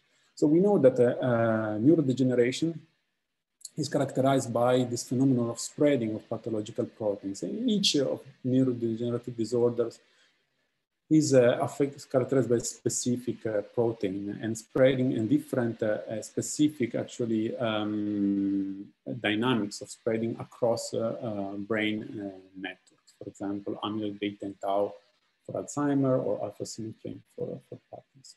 Whereas that we don't have a model of this kind of, of, of a process because it's very complex to measure and especially, but we can only rely on post-mortem analysis, so it's, it's very complicated. The idea is that can we still infer this based on imaging data, for example, of, uh, of from PET data where we can this protein deposition. And idea is to rely to the same framework that I showed you before, but now making it, in turning it into a compartmental framework. So we can make some, again, more hypotheses, not just monotonicity, but uh, hypotheses about how this, uh, this process can evolve. So we can assume that we have different uh, brain areas, and then the proteins uh, start uh, accumulating, and uh, when they reach actually a pathological threshold, they start flowing from one brain area and another according to the geometry of the brain. So according to how the brain is wired through connection of the white matter. And we would like to infer actually this parameter, how fast things spread from one region to the other, uh, what is this pathological threshold? And the idea is to use the same uh, um, um, framework that I showed you before. So this framework based on Gaussian processes. And, uh, but in this, this time, instead of posing a constraint on just on the, on the dynamics based on the monotonicity, we actually impose a, a, constraint which is more complicated. So we impose a dynamical system as a constraint. So we want to learn the best interaction dynamics between different brain areas over time that uh, explains actually the data. Uh, so explain uh, the evolution that we are going to see. And we can infer this parameter by using, again, our statistical, uh, well, our Bayesian regression uh, approach. And this relies on some uh, contribution we made in machine learning, well, a couple of years ago. So we are using uh, PET uh, imaging for the amyloid as, uh, as data that we want to explain. And again, with this concept of time reparameterization, inferring the coefficient of this dynamic system. And this is the kind of results you can see. So very similar as before, but now we have regional. So here I show you three uh, typical regions uh, that we extracted from our brain parcellation. You can see, so we have this evolution, this dynamical evolution uh, over time. And what we see is also this uh, matrix of propagation strength. So these are the coefficients, how they evolve over time over the progression of the disease. So this is already telling us much more about, uh, about the pathology because it's giving us a dynamical information of how the spreading of this pathological protein uh, occur over time. And since we have a dynamical system, we have also, what you see in the left, this uh, flow that we can uh, extract from the dynamical system where we know at each time point at each uh, observation as the initial condition, we know how it's going to evolve over time. So what we can do, we can do personalized prediction. We start from a patient that we see as initial condition, and then we can evolve according to our dynamical system, the observation of the patient and see far away in time uh, how the patient is going to evolve. And here you can see, the, for example, one, one uh, uh, subject that we extracted from uh, the database. You can see how these observations are predicted by the model when the red lines are a confidence bound because we are still working with uncertainty in the measure with our Bayesian model. And you can see that model quite nicely predicts actually follow-up observations, so the red, uh, the, the, the, green crosses. And you can see actually when we project over all the brain uh, areas that we model all together, we can get this very realistic and uh, uh, actually accurate prediction of amyloid deposition personalized because we start from this individual initial condition. So this is a quite valuable tool because allows prediction. Uh, we can test different kind of uh, dynamical system or spreading hypothesis. We can compare them. So it's a very interesting tool for anatomists, for uh, clinicians, neurologists to test and validate their hypotheses and validate them against real data as we are doing here. And uh, well, we are now currently working on extending this to not just amyloid, but the different uh, processes. So metabolism, atrophy, and so on. And to conclude, the last part is uh, what can we extend this uh, framework, not just working with a single modality, but working with several modalities and having a dynamical system that can explain how different processes, for example, atrophy, metabolism, amyloid, and cognition, evolve all together over time.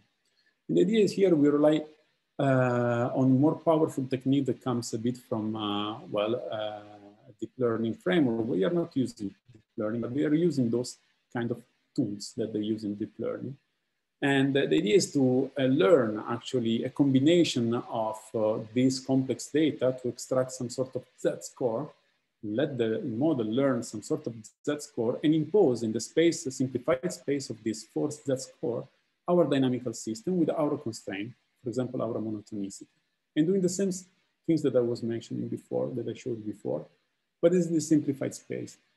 And ideally, this Z-score should represent how each modality, so our each process is evolving over time.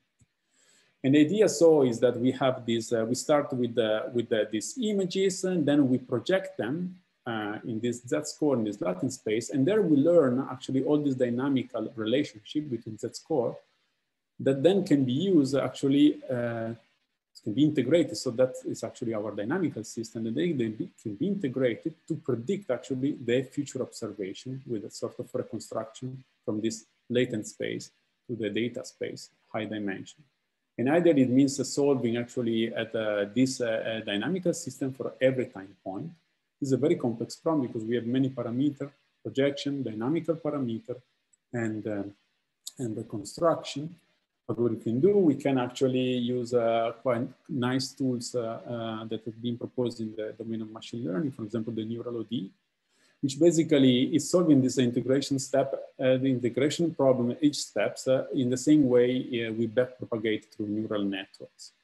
And so this becomes actually very efficient and, and very handy. So basically we can learn this system, which is sort of is a variation of autoencoder, but actually where we learn the dynamics. And the idea is that now that we have dynamics, we can predict. So again, the data, we can get prediction very similar to that we showed before, joint explanation of evolution of imaging data from normality to abnormality to, uh, across our time axis in clinical score.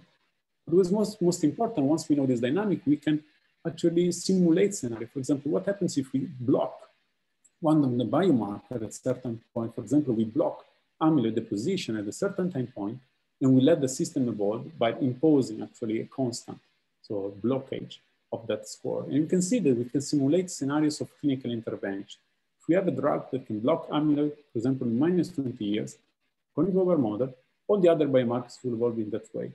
And we can, for example, simulate the clinical outcome derived by this intervention scenario and showing that if we will block amyloid at 20 years, we will see actually a clinical improvement of clinical scores.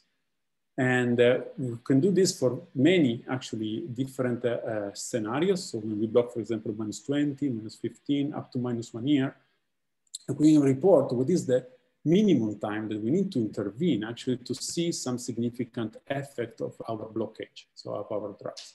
We turn out to observe 10 years as a, as a minimum time of amyloid blockage. And uh, this is actually a bit uh, less, actually quite less than what is currently done in clinical trials. So this could be actually quite a meaningful indication for the development of uh, and the design of future clinical trial of Alzheimer's disease.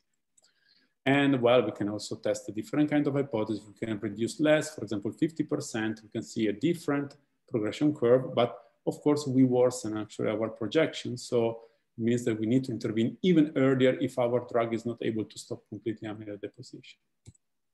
So it's quite powerful tool, as you can see. And uh, so what we believe is that uh, um, machine learning uh, uh shouldn't be used uh, like per se, but uh, I hope that I convince you the power of integrating hypotheses into our model and using machine learning not as a black box, but picking actually what is very good and this can be done, especially concerning inference of parameters for actually defining models which are compliant with our hypothesis up to development of dynamical and causal models. And so in the future, we will, we will integrate a more complex model and also effect of genetic confounder, which is very important in subtypes. And uh, I just would like to thank uh, all the collaborators that contributed to the research that I showed you. And I thank you very much for your attention. Thank you very much, Marco, for that wonderful talk. Uh, this could be very, very impactful in, uh, in, in uh, uh the Alzheimer, uh, for looking at the Alzheimer disease and its progression and uh, hopefully treatment at, at some point. I'm asked by our forum chair, Dr. Metin Akay, that we really need to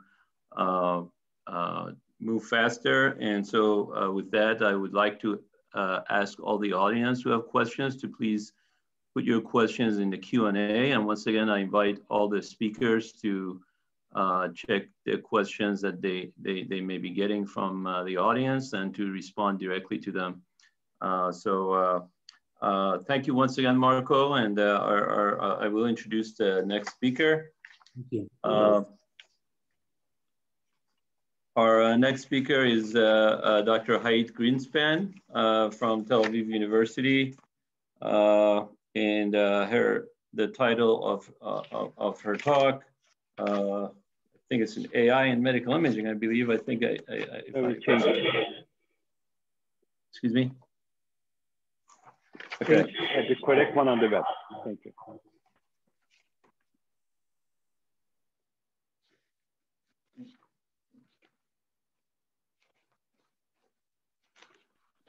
All right, if I can only locate the... That's okay, Amit, I think. okay, uh, yes, uh, AI in uh, AI in medical imaging. So let me introduce uh, Hayit, whom I've known for uh, for a very long time, uh, a superb researcher and member of the medical imaging community. Uh, she's a full professor of biomedical engineering uh, in the Faculty of Engineering at Tel Aviv University. Uh, Dr. Greenspan um, received a BS and MS degrees in electrical engineering from Technion and a PhD degree in EE from Caltech.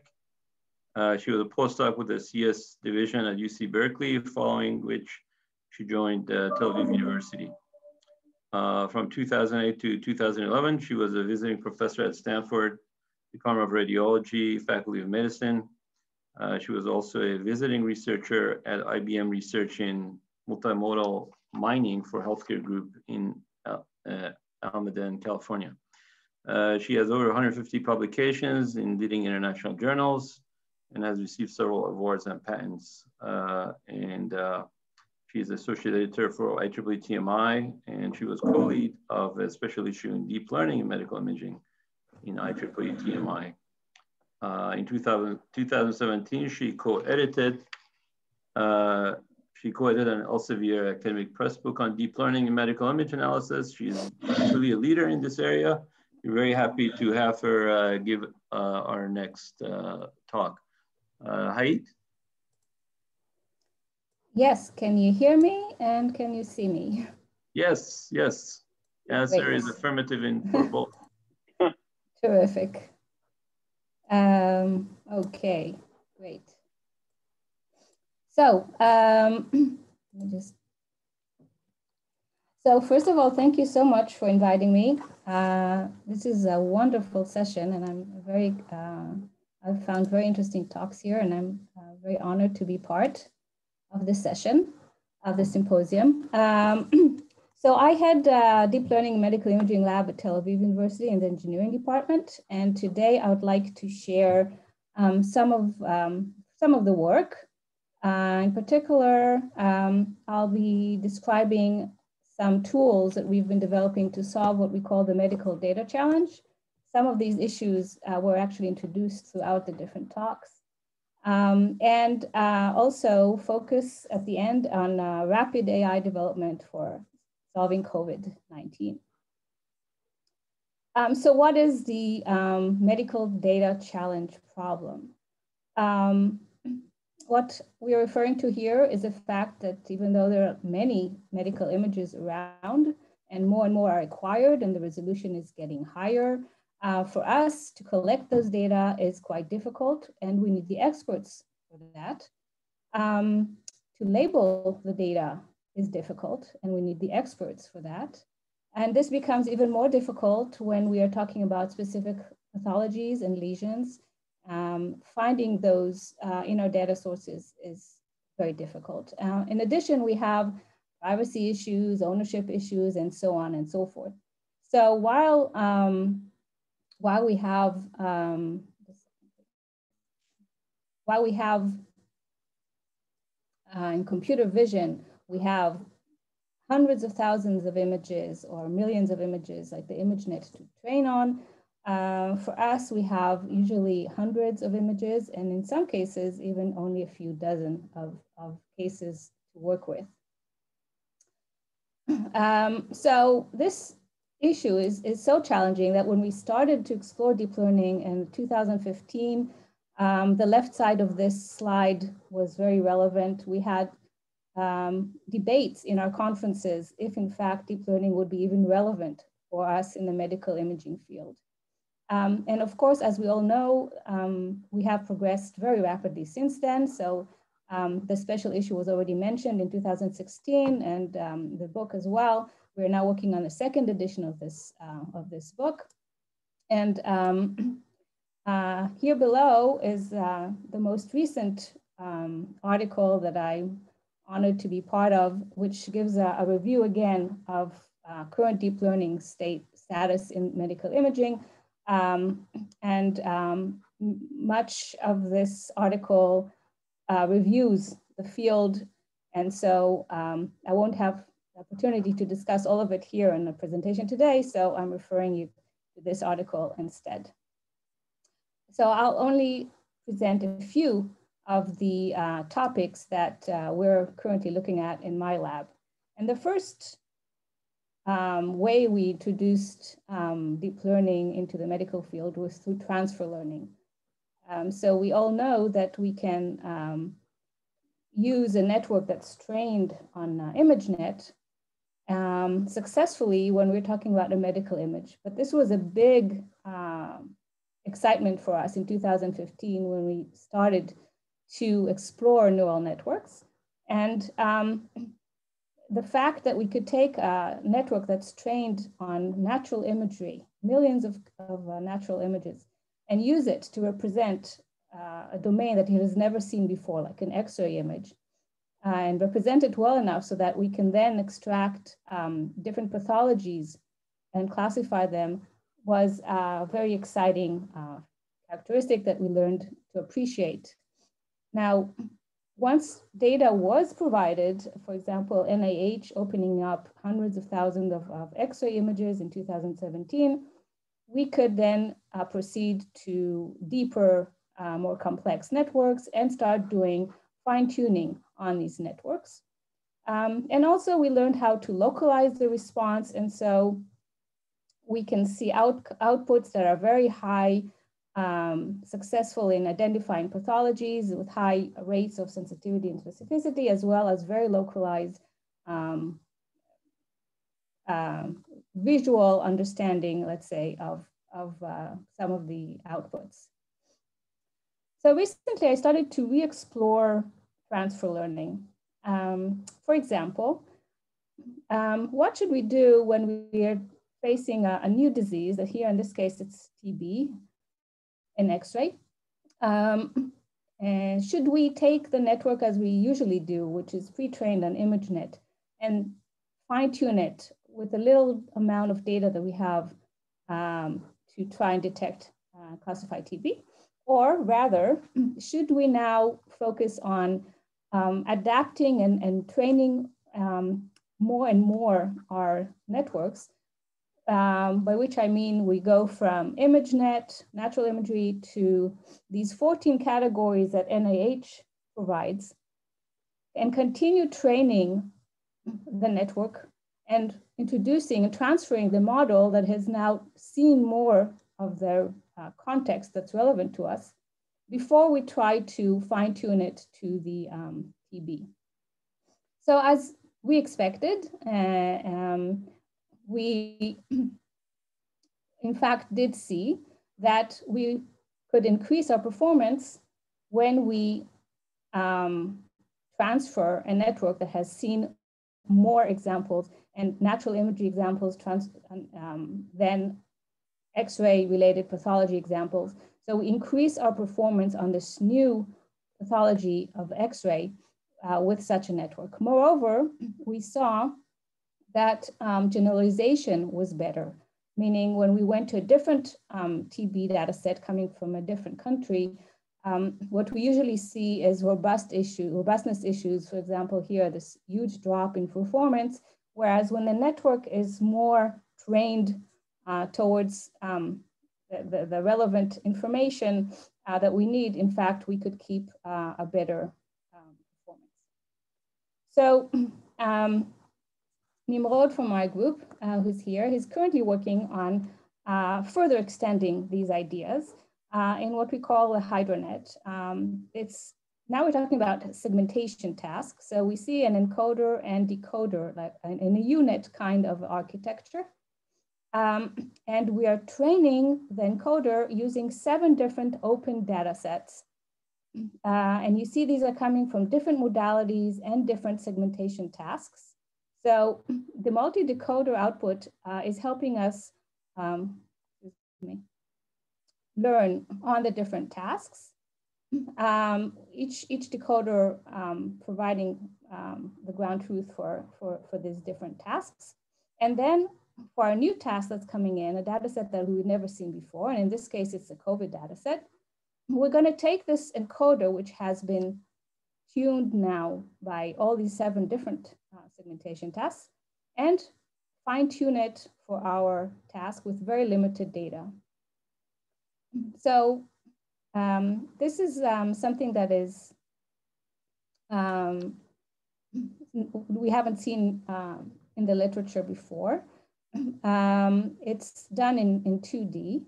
And what we see, as we expected, is that as we um, train more examples, uh, we increase the performance if we, if we just look at DICE, for example. And we can see it here in, in this result up here. So we have the raw data, we, and we have different segmentation maps where the segmentation map um, at the bottom is the one from uh, using HydroNet, um, and green is the true positives, red is false positives. So you see red uh, appearing here uh, in the ones above and much less so in the final row.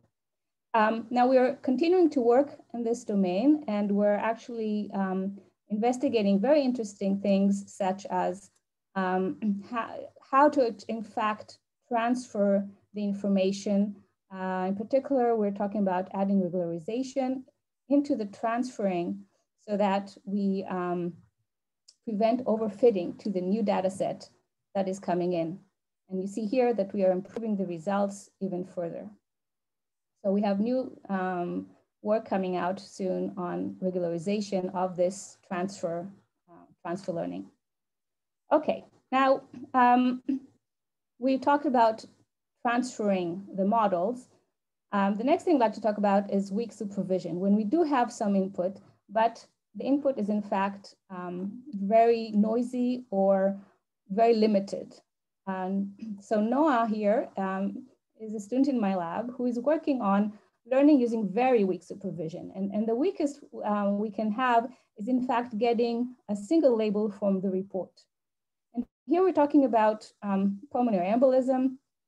Um, we want to detect um, um, the risk um, of high of, of PE, uh, which is caused by um, um, the RV dysfunction, right ventricular um, dysfunction. And what we can get from the report is if there is or is no RV strain. So our input here is, is a full volume of 3D CTPA, and the output is basically the single label that we uh, extract, which is RV strain uh, or not. We have very limited data, which is what um, we usually work with, is very limited data sets. Um, and um, what we are seeing in our experiments is the following. In fact, we are able to build a 3D classification network to which we add self-attention blocks in such a way um, as, as, as shown here. This is an attention block that we use. Um, and won't go into the details, but basically the tension enables us to focus um, the network to the region of interest. And recall that the only thing we can train on is if there is or is no strain, okay? So the network actually needs to um, adjust the parameters in such a way to uh, identify the region of interest. And it, it is in fact doing that, which you see here, uh, it's focusing on the heart region. We can see that uh, when we compare the different layer uh, attention maps um, with when we have the attention on or not, we can see that the attention layers in fact focus the, the network to the correct um, location in the image. And in, uh, with these networks, we're able to get uh, a very strong increase in the area, uh, in the AUC curve, as compared to many other networks and even very recent um, 3D models for classification. So um, this is very promising in terms of dealing with very weak supervision um, scenarios. Finally, I want to talk a little bit about augmenting the data. So we're talking about limited data, so why don't we just augment it? Of course, there's classical augmentation that we can do, but we're talking about more uh, interesting kind of data augmentation. And I'm gonna focus on um, the liver analysis field, which I've been working on for many years. And this is my colleague uh, from Sheba Medical Center. And we've been working together on um, detection um, systems, classification, and treatment support, and so on. And, and today I'm going to focus on the um, classification question. So once we identify, we detect a lesion in the liver, we want to support the classification of it to the different categories, even only three categories. Um, cysts is benign, metastases malignant, hemangiomas look very much like metastases, but they are benign. And this is a critical um, factor in, in their patient um, treatment process. So, um, like I mentioned, we tried classical augmentation schemes. That was not enough. We have very limited data here to learn from. So we um, advanced to generative adversarial networks and the classical schemes shown here. So we're talking now about two networks that um, basically contribute to each other in the generation process. Uh, we start with a latent random variable um, that the generator network then converts into a, a, real sample.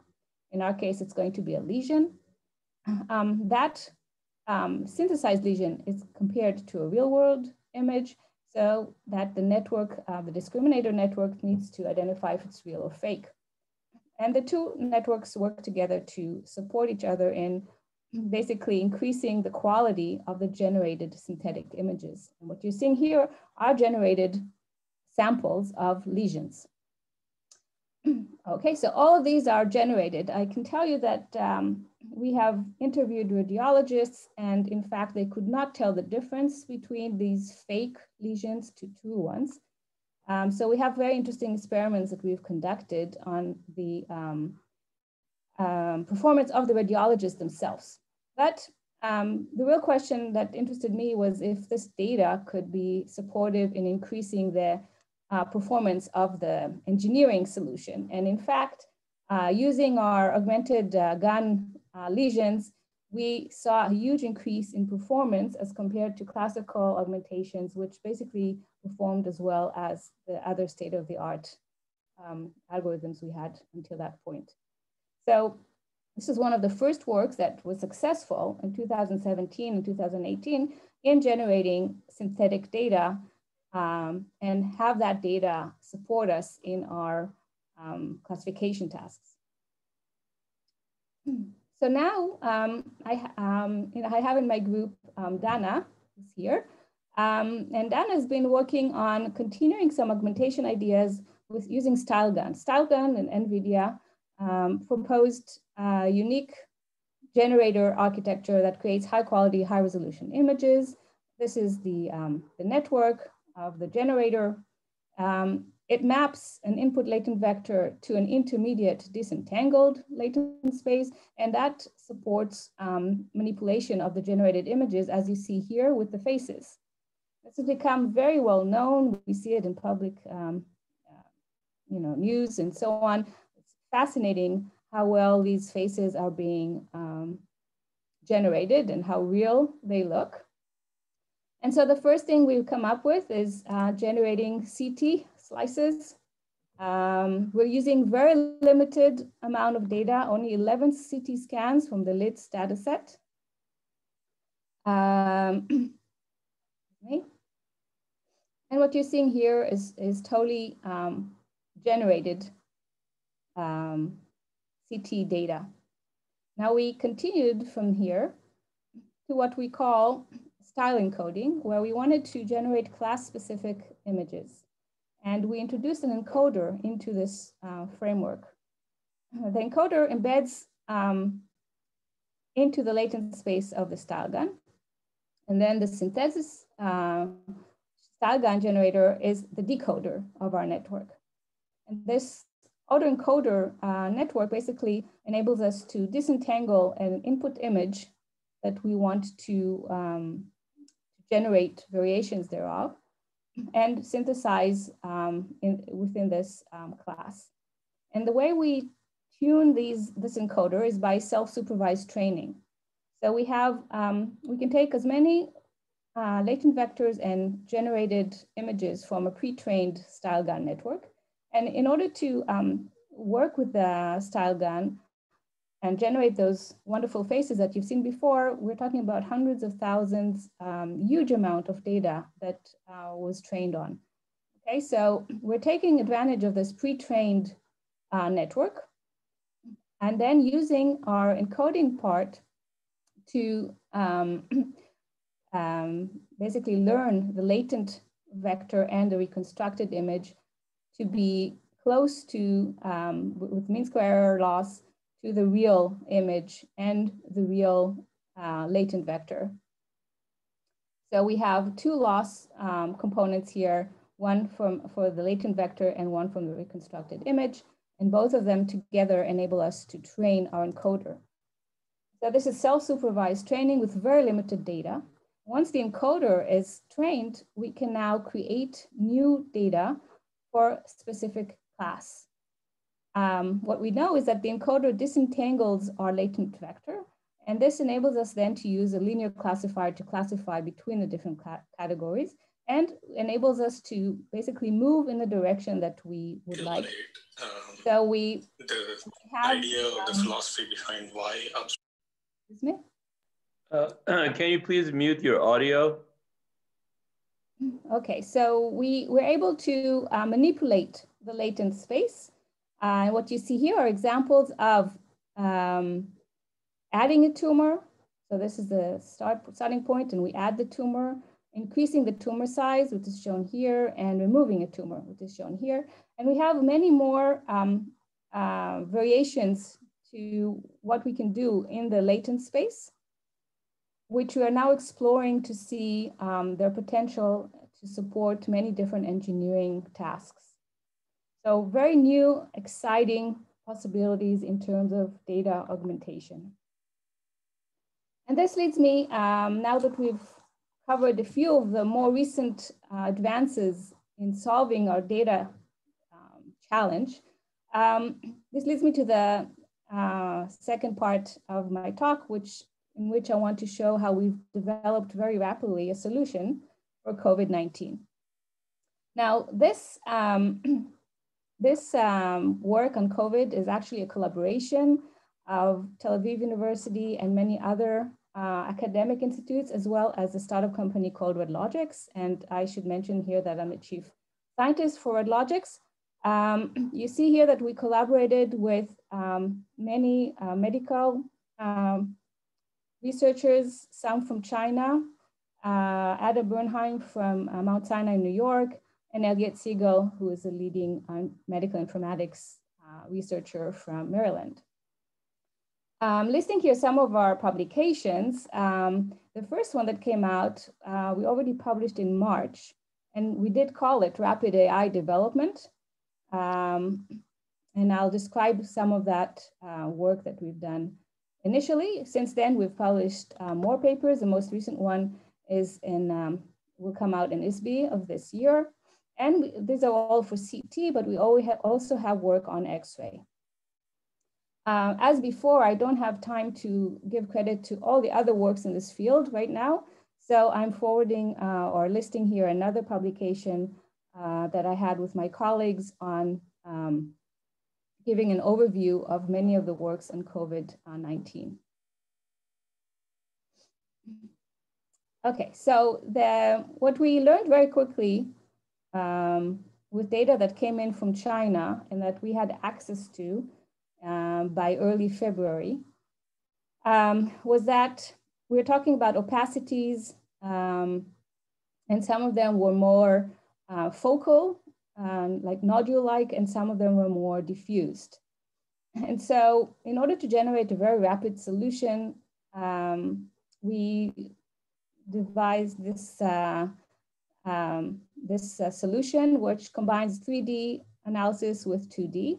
The 3D included um, parts of a system that we already had for nodule detection. Um, and the 2D was a new, uh, new development to support um, specific COVID uh, analysis. And so this is a zoom in on the 2D analysis. And I want to suggest that inside this analysis, we include a lot of the um, know-how of um, dealing with the challenging issues of data because we had very limited data uh, as, a, as the pandemic was just starting and um, we had we were lucky enough to have data coming in from China, but but very limited. So of course, when we go to 2D analysis, we're talking again about a, a very weak labeled scenario. We had um, classification um, for a full case if it did or did not have COVID. Um, we had to uh, then use it uh, across different slice and a slice level to collect a little bit more of the data for training. Um, now we have a lung segmentation component here, which is critical in order to identify uh, that these opacities are within the lung and in order to enable uh, measurements of the pathology extent. And um, I'll start there with um, a little bit more in-depth description. So um, in order to get very accurate lung segmentation, we used um, a U-Net, but it was a, a sophisticated U-Net. We already had previous publication shown here on the bottom that um, played with the fact that we use a VGG16 pre-trained encoder. So we, again, using transfer here from uh, pre, pre-trained encoder as part of the U-Net. And we showed in this publication, in a MICCAI publication, that we could um, uh, segment out leading uh, state-of-the-art results in many different uh, organs. Here, we're using it for the lung, and we extended it with um, very interesting augmentations of, of the lung data. So what's complicated here with, uh, with these opacities is that they sit here on the periphery of the lung. So any segmentation that you try to do may actually not include the opacity as part of the lung, which is not what we want. So we actually introduce new kind of augmentations that include noise-like and blobs um, within the image, images, synthesized images. Uh, and these enabled us to reach very strong um, segmentation results for the pathological lungs as well, which is what you see here. And these are some results of um, what the 2D analysis looks like in terms of our uh, heat maps.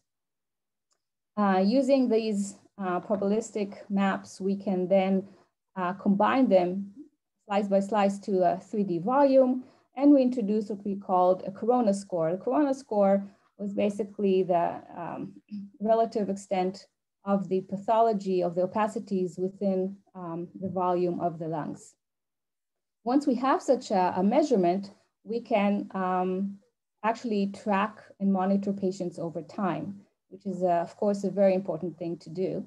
And so here we're showing um, 17 uh, different patient tracking um, this corona score over time. We can see the relative severity between those patients. And if we look at the relative corona score, we can see different courses of the disease. Some um, become more severe and then less and some go, you know, are resolved much quicker and so on. We showed in experiments that this score uh, was strongly correlated uh, to clinical severity by comparing to radiologists. Um, and so we get very strong results in identifying COVID versus non-COVID, and as well as identifying the severity of the disease.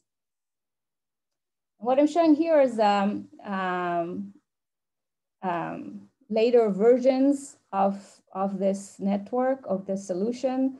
Um, we won't go into detail, but we can see that we now have uh, segmentation of the lobes, and we also have um, segmentation of texture, which enables to identify ground glass versus um, consolidation, which are the two important textures to identify uh, for the COVID.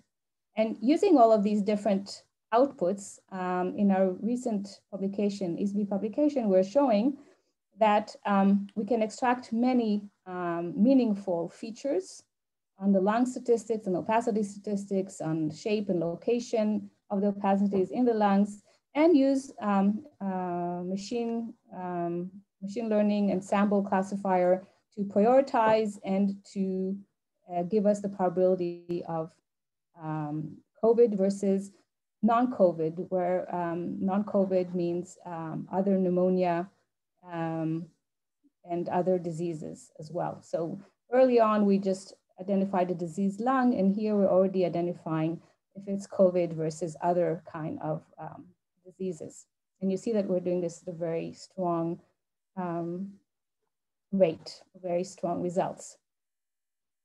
Okay, so this was CT. Um, in some countries, uh, CT is used very frequently uh, with COVID, and this includes China and Russia, I think Netherlands and a few more. In other countries like the US and Israel, in fact, um, um, the uh, X-ray is taken much more than CT. And so we developed a system that um, can um, identify and measure COVID also in X-ray. X-ray is more difficult because of the quality of the uh, scan um, and the fact that we don't have good labels uh, for uh, of segmentation. It's very difficult for experts even to segment out the opacity regions.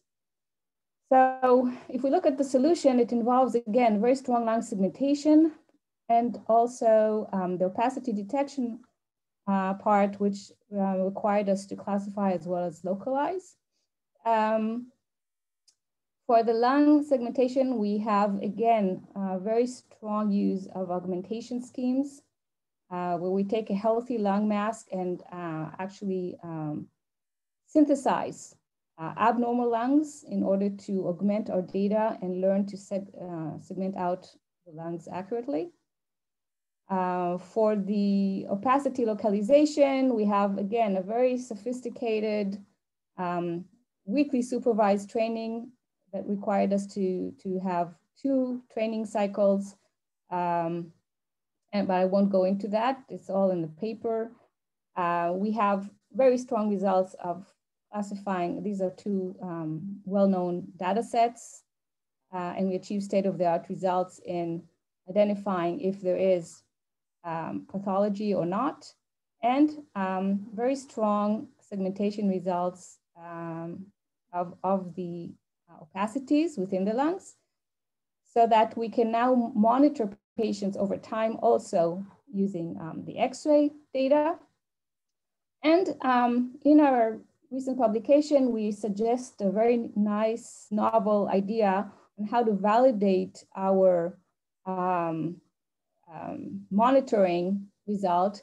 And that is by um, um, using CT to X-ray duality. I won't go into this, but it's a very interesting concept of how the two modalities can support each other.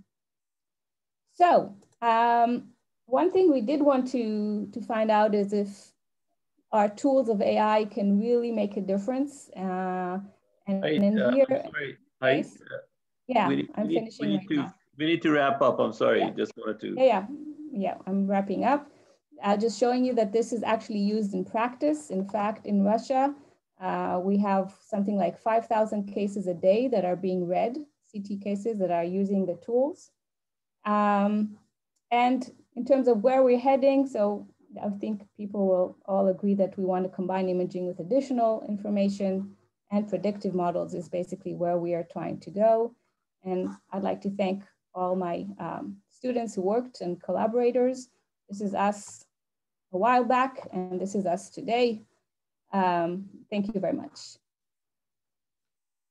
Uh, thank you so much, uh, Hayit, uh, for a wonderful talk. Very uh, uh, uh, motivational, and you know, talking about a variety of areas in uh, application of deep learning in in imaging. so, thank you for that presentation. unfortunately, there isn't really any, any time for for Q and A, but I encourage all participants to please put your questions in the in the chat uh, rather not in the chat, sorry, in the Q&A part. And uh, Hayit, uh, I invite you to uh, respond to those questions. Uh, well, thank you so much. Thanks again for, uh, for, for your wonderful presentation. So our next uh, speaker actually just ties in really well with, with, with the last talk. our next speaker is Eric Hoffman. Uh, who is a uh, true leader in, in the lung, uh, lung imaging area and, and a very old friend of myself. I've known him for many years. He actually pioneered, as he says in, in his biography, the physiology and function conference at SPIE, which I uh, uh, took over after, you know, once he, once he started that. But it gives me a great pleasure to introduce Eric. He's a professor of radiology, medicine, and biomedical engineering at University of Iowa. He's the director of advanced pulmonary uh, Physiomic Imaging Lab in the Department of Radiology and director of the Iowa Comprehensive uh, Lung Imaging Center.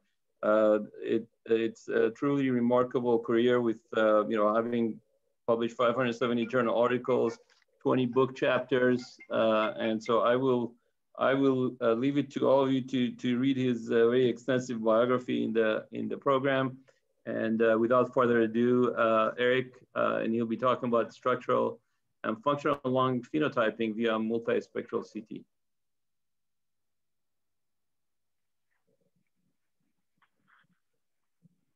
Just got myself uh, unmuted. Perfect. Okay, can people see the screen? Yes, it looks great. Thank you. Okay, great. Uh, well, following along uh, the same theme, uh, pulmonary imaging, uh, I'll talk about some of the efforts we've made over the years to try to understand subphenotypes. Uh, uh, before quantitative imaging, such diseases as COPD and asthma and others have been defined largely by how quickly you can blow through a tube. Uh, and if it is sensitive to differences, those measurements are really just global. Whereas uh, with the advent of quantitative imaging, we can begin to understand and dissect uh, the differences between uh, groups of people that have previously just been uh, lumped together.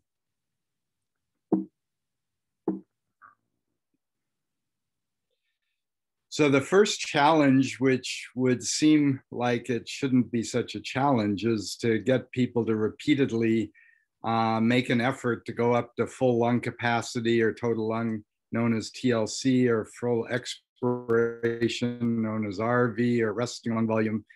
Uh, but if you can overcome that hurdle of getting people to TLC, FRC, or RV, then you need to standardize the imaging protocols so that you can compare uh, subjects across a variety of scanners, make and models.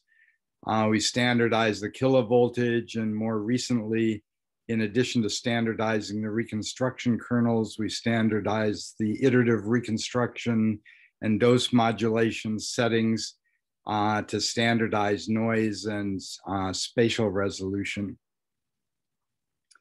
And uh, these quantitative approaches to CT imaging of the lung have been applied and are being applied across numerous large multi-center studies, including the National Emphysema Treatment Trial, COPD genes, Spiromics, SARP, um, MESA Lung, uh, the British Lung Foundation's early COPD, more recently PRECISE, which is an asthma study.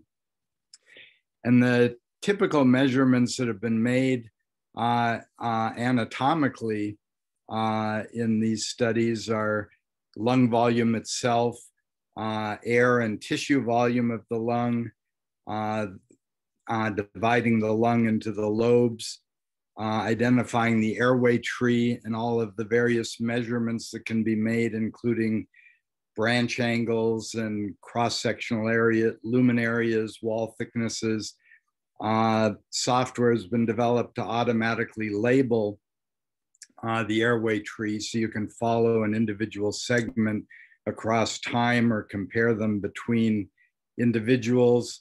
Uh, empirically, uh, emphysema has been defined as voxels below minus 950 Hounsfield units at TLC, or air trapping, otherwise thought of as functional small airways disease, uh, has been defined as voxels below minus, uh, 850 or 856 uh, Hounsfield units at full expiration. Uh, if you uh, carefully uh, repeat the study over time, coach the patient to the right lung volume, have the same reconstruction kernels, et cetera, we showed that in a study of uh, CF, cystic fibrosis, where people uh, were given a new uh, drug known as ivacaftor, that within two days we can show a distinct improvement in uh, the physiology of the lung uh, assessed by the amount of air trapping.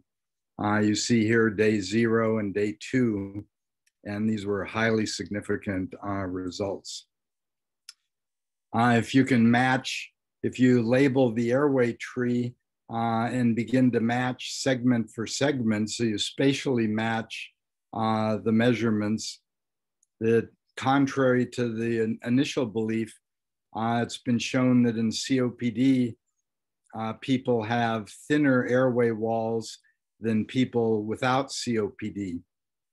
Now, this fits with this central measurement, fits with uh, recent findings out of Vancouver and Jim Hogg and his colleagues showing that actually peripherally you lose airways before you destroy alveoli.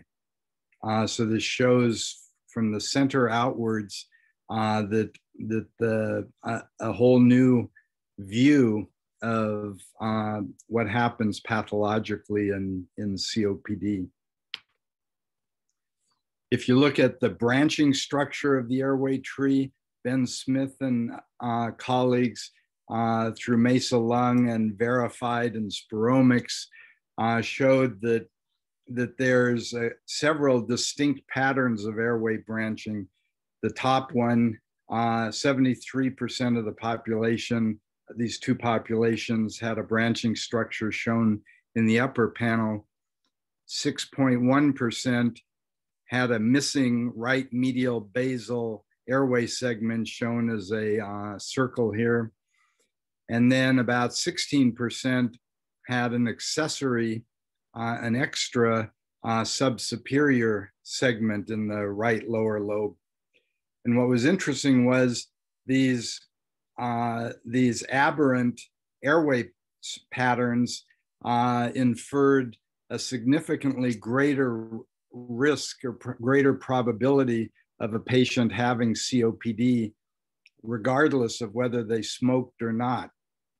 Now, we don't think that just having this one little extra branch or missing this one little extra branch is going to, is in and of itself, meaning that you're going to have alternate pathways of, of deposition of inhaled particulate, for instance, uh, but we believe that these are sort of fingerprints or markers of a difference in the pattern of branching all the way out to the uh, terminal uh, acinar structure. Now, rather than just looking at density itself, uh, over the years we've used uh, Bayesian classifier, we had a set of radiologists identify regions of the lung that they could all agree uh, were ground glass, uh, ground glass reticular, honeycombing, nodular, uh, normal, uh, etc.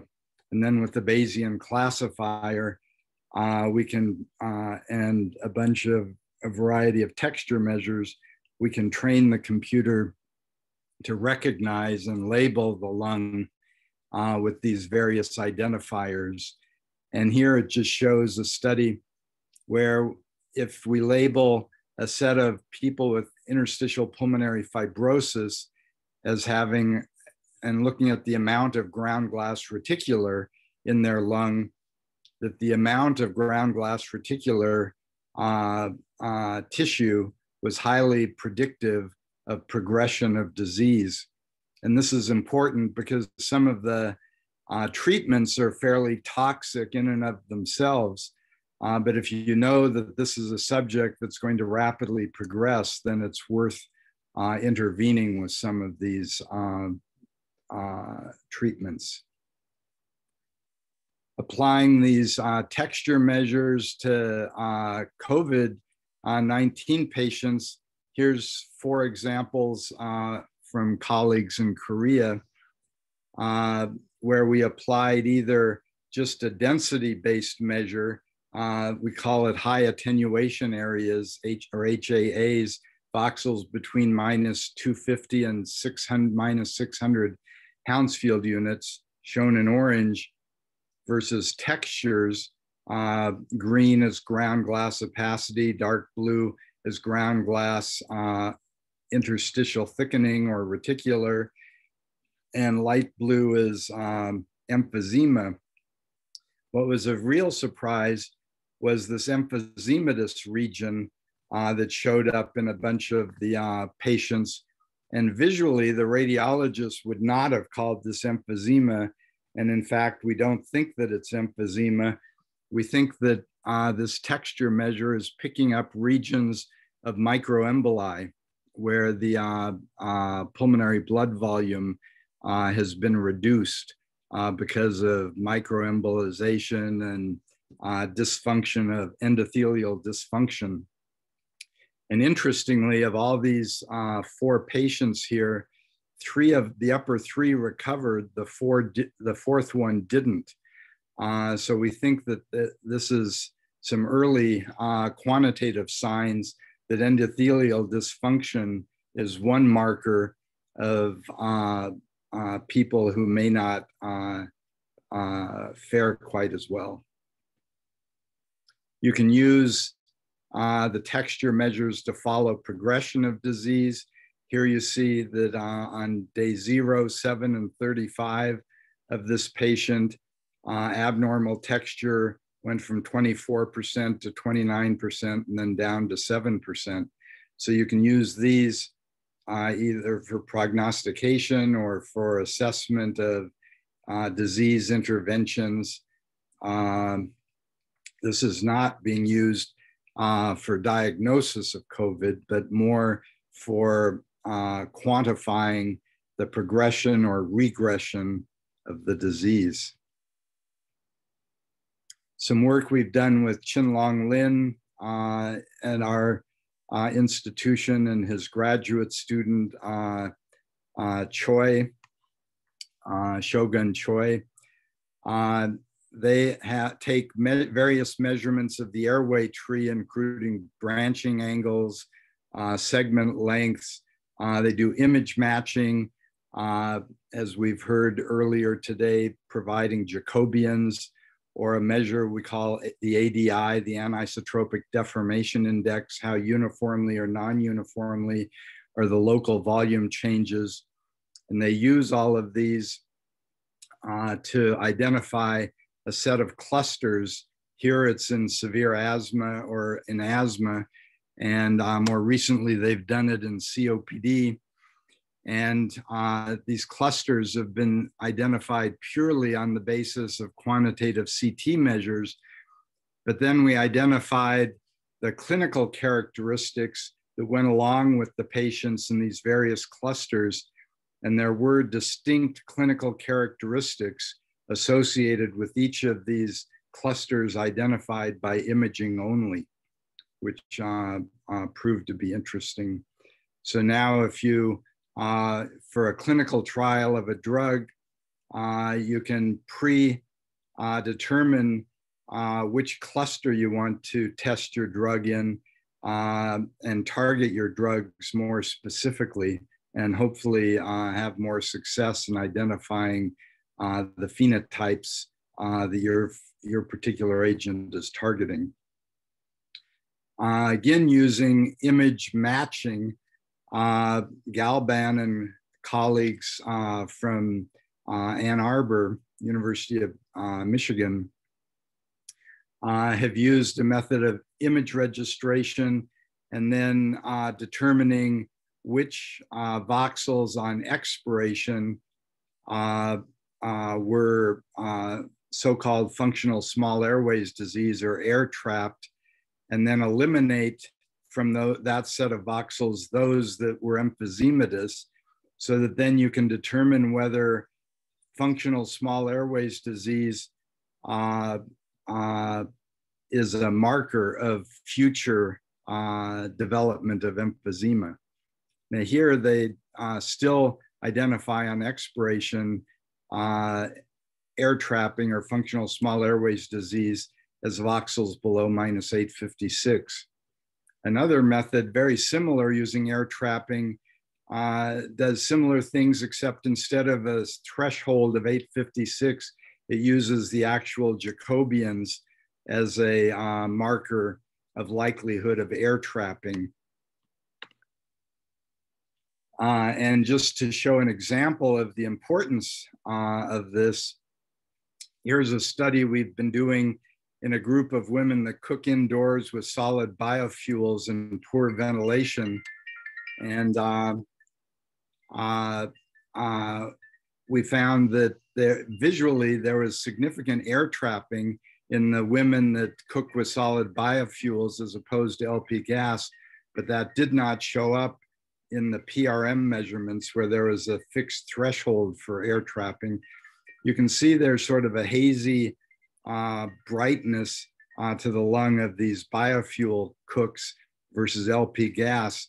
And that bias of lung density uh, really inhibited the use of a fixed threshold for identifying air trapping, which was gotten around by using the Jacobians. Uh, and here you see a group of biomass cooks, and you see their functional small airways disease uh, uh, uh using the PRM FSAD, the threshold base. And you see if you compare these rows, there's not much difference. But if you use the Jacobian based method of identifying functional small airways disease, there's a distinct difference, uh, as well as uh, mechanical differences that show up uh, between these cooks. Uh, moving to dual energy CT, hence the multispectral uh, portion of the title of this talk. Uh, we've been using a Siemens uh, SOMATOM force scanner that has two X-ray guns that you can set at two different kilovoltages.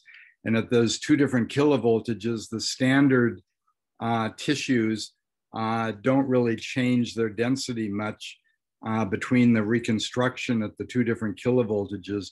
But iodine to tag uh, blood flow or uh, xenon to tag ventilation those significantly shift their uh, uh, Hounsfield units. So you can use that to pull out just the iodine or just the xenon. And we use that to identify regional, uh, an index of regional perfusion. Uh, we call it, it's the perfused blood volume, which blood volume goes up as in perfusion goes up, it goes down as perfusion goes down. So it's a surrogate marker and regionally, we divided the lung into little blocks and looked at the coefficient of variation of perfused blood volume in some pre-sorted uh, smokers, all of whom had normal pulmonary function tests, but some of whom were emphysema susceptible because there were these little early signs of emphysema at the apex of their lung, and others that we called not susceptible because there were no emphysematous signs. And we showed that uh, those that were susceptible to emphysema had significantly higher variability in, uh, in the perfused blood volume, uh, which we think is because uh, they are shutting off blood flow in inflamed lung regions. And if you shut off blood flow in inflamed lung regions, you're not going to be able to resolve the inflammation. We then gave a drug, uh, sildenafil, also known as Viagra, which was originally developed as a pulmonary antihypertensive agent. Uh, we gave sildenafil and showed that this emphysema susceptible subjects, the coefficients, regional coefficients of variation reverted to looking like the not susceptible uh, subjects, uh, suggesting that indeed this was a reversible uh, event. And um, so we've been following a group of smokers through smoking cessation, either on a placebo or on sildenafil. And you can see that if we look at the tissue volume of the lung, which includes all of the extravascular fluid as a marker of inflammation, that if you quit smoking on sildenafil, uh, that you lose uh, tissue volume over 90 days. Whereas if you quit smoking or smoke on placebo, you just maintain uh, the same so-called tissue volume, suggesting that uh, you don't need to just quit smoking, you also need to restore blood flow uh, to the inflamed regions. And very interestingly, we used a marker DNA methylation uh, to uh, demonstrate how successful people were at quitting smoking and that you can and an increase in DNA methylation shows an uh, increase or a decrease in the number of cigarettes you smoked, and that people on a placebo were very much less successful in stopping smoking than if you were on sildenafil, showing that if you feel better, you may actually succeed in quitting smoking. And then finally, just the last couple slides here. Here is a subject that was supposed to be a normal non-smoker that came into our study. And at baseline, uh, this is the TLC non-contrast scan, the uh, perfused blood volume scan. Can, we noticed that uh, this individual had uh, some consolidation that was reminiscent of COVID. We asked him to go get a test. And in fact, indeed, he had COVID. And we brought him back 30 days later. And you can see this heterogeneity of poor perfusion in the lung at baseline with COVID uh, begins to resolve uh, 30 days later, uh, suggesting that indeed there is this uh, perfusion abnormality, at least in some subjects. And that the using texture in the same subject, ground glass opacities over 30 days reduced. Here is a comparator of a normal non-COVID that only has 1.2%. And tissue density went down over those 30 days. Interestingly, we applied mechanical analysis uh, to this COVID subject, and that at 30 days, the standard deviation of the Jacobians uh, is significantly down, uh, suggesting a more uniform distribution of ventilation in this uh, subject after 30 days. And the last slide here, I'll just show that if we take a TLC image and match it to the FRC uh, dual energy perfused blood volume scan, uh, that we can uh, use the Jacobians for ventilation, the uh, perfused dual energy perfused blood volume as a perfusion index, and then we can look at the matching of ventilation and perfusion uh, throughout the lung. That all stop. Thanks.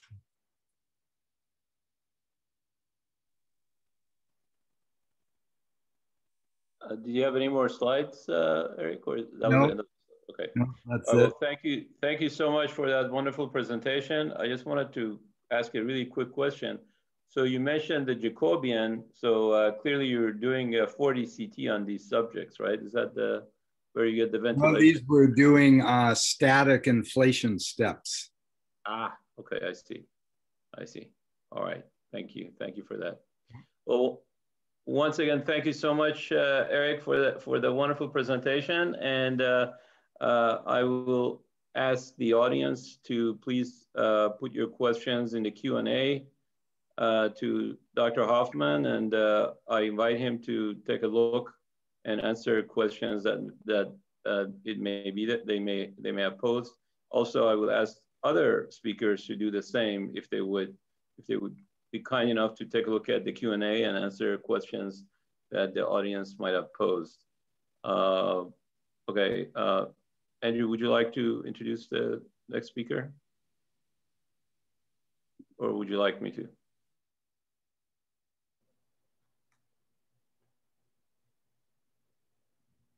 Okay, uh, I will go ahead and do that uh, uh, as oh. Andrew.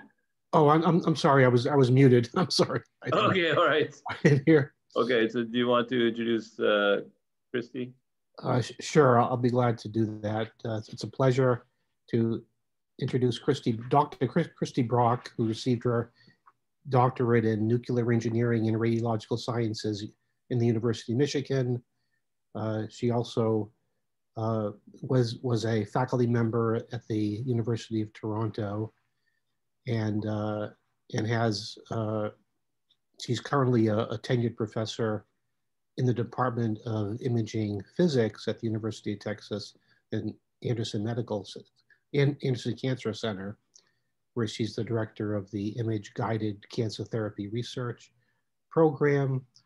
Uh, her research is focused on image guided uh, therapies, uh, where she's developed bi biomechanical model model based on image registration.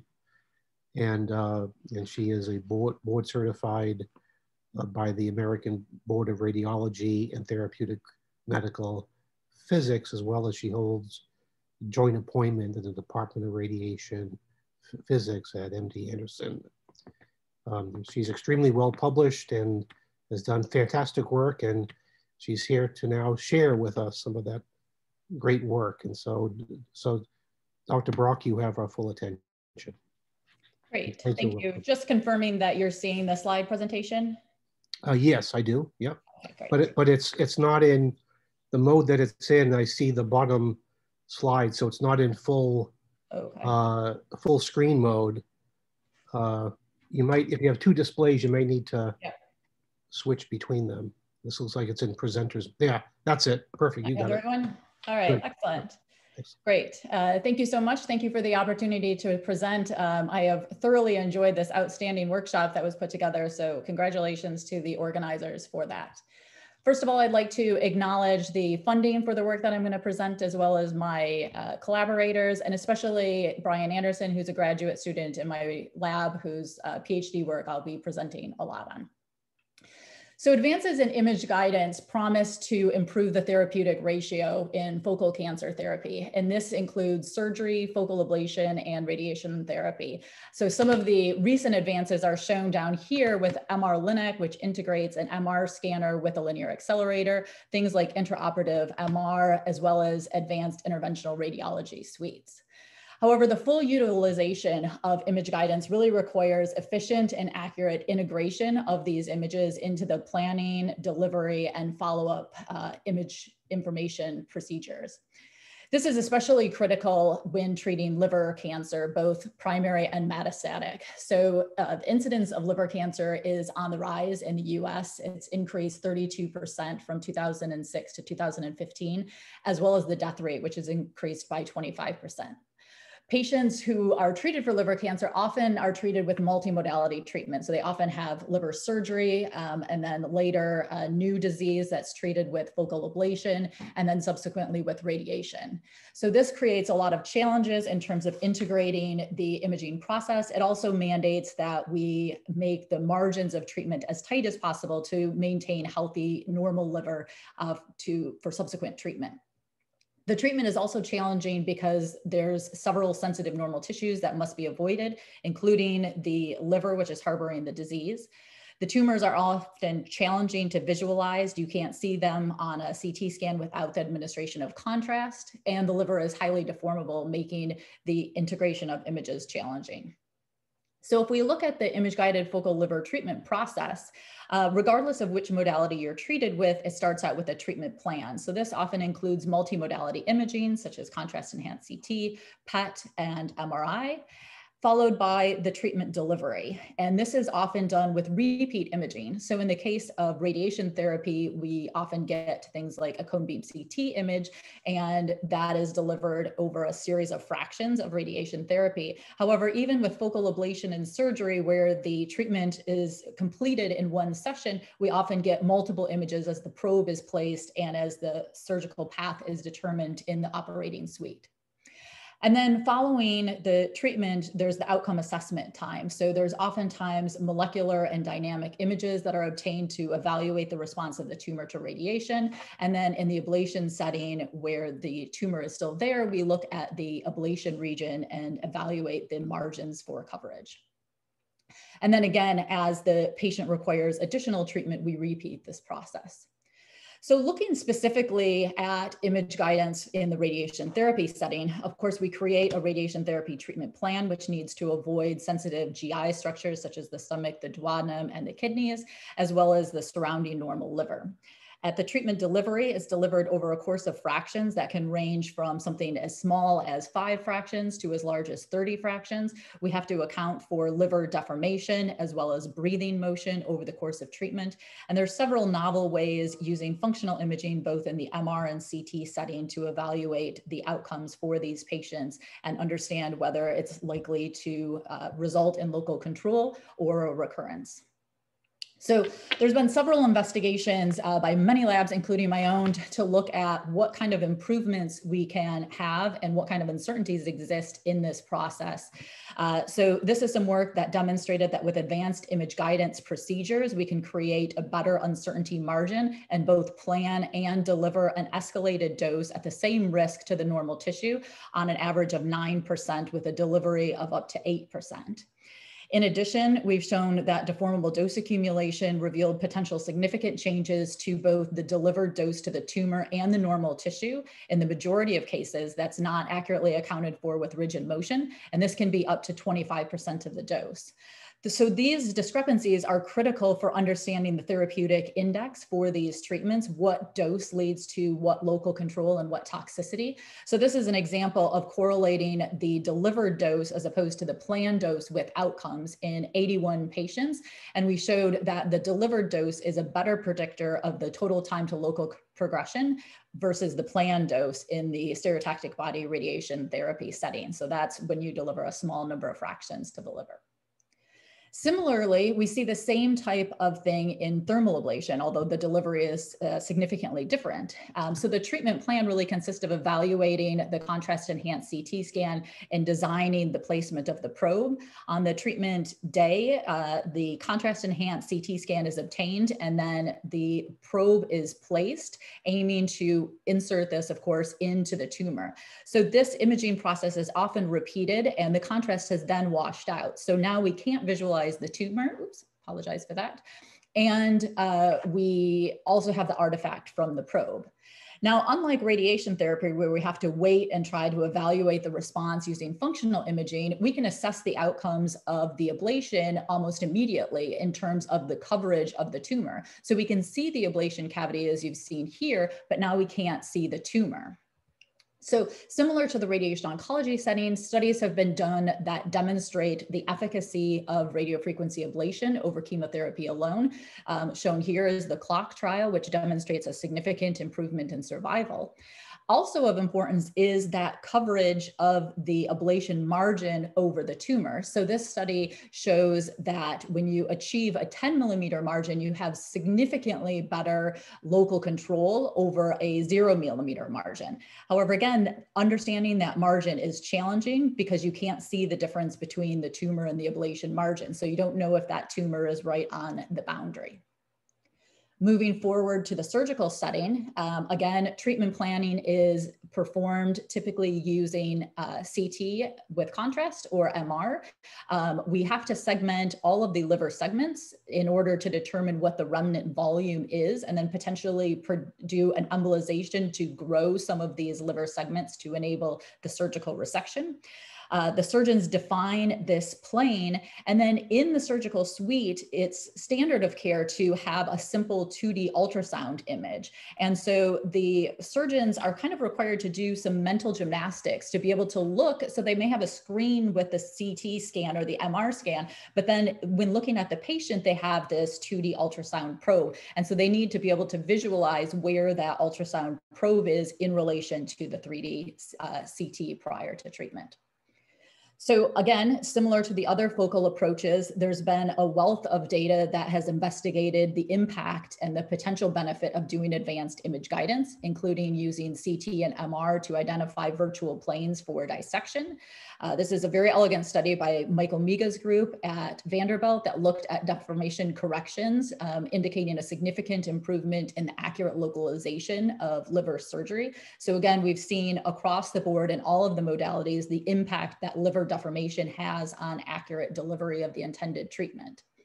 In addition, there's been studies that evaluate the impact of being able to use more sophisticated approaches, such as robotic surgery, in ensuring the quality of outcomes and the reduction of quality of life impact. So despite advances in imaging, targeting accuracy is still a source of uncertainty due to the lack of the integration of these images over the course of time. So we're able to get these exquisite images, but we still lack the tools to integrate them together. So I'd like to do a deeper dive and show you some evidence from focal liver ablation. So as I mentioned, the, getting the images is, an, is really not enough because each image has its own limitations. So here's an example of a pre-treatment image with contrast. We can beautifully determine the boundaries of the tumor. However, intra-treatment, we see this image. So you can see the probe that's here. You can see that the contrast is washed out, so we can't see the vasculature. The liver image is totally homogeneous, and we can't visualize the tumor.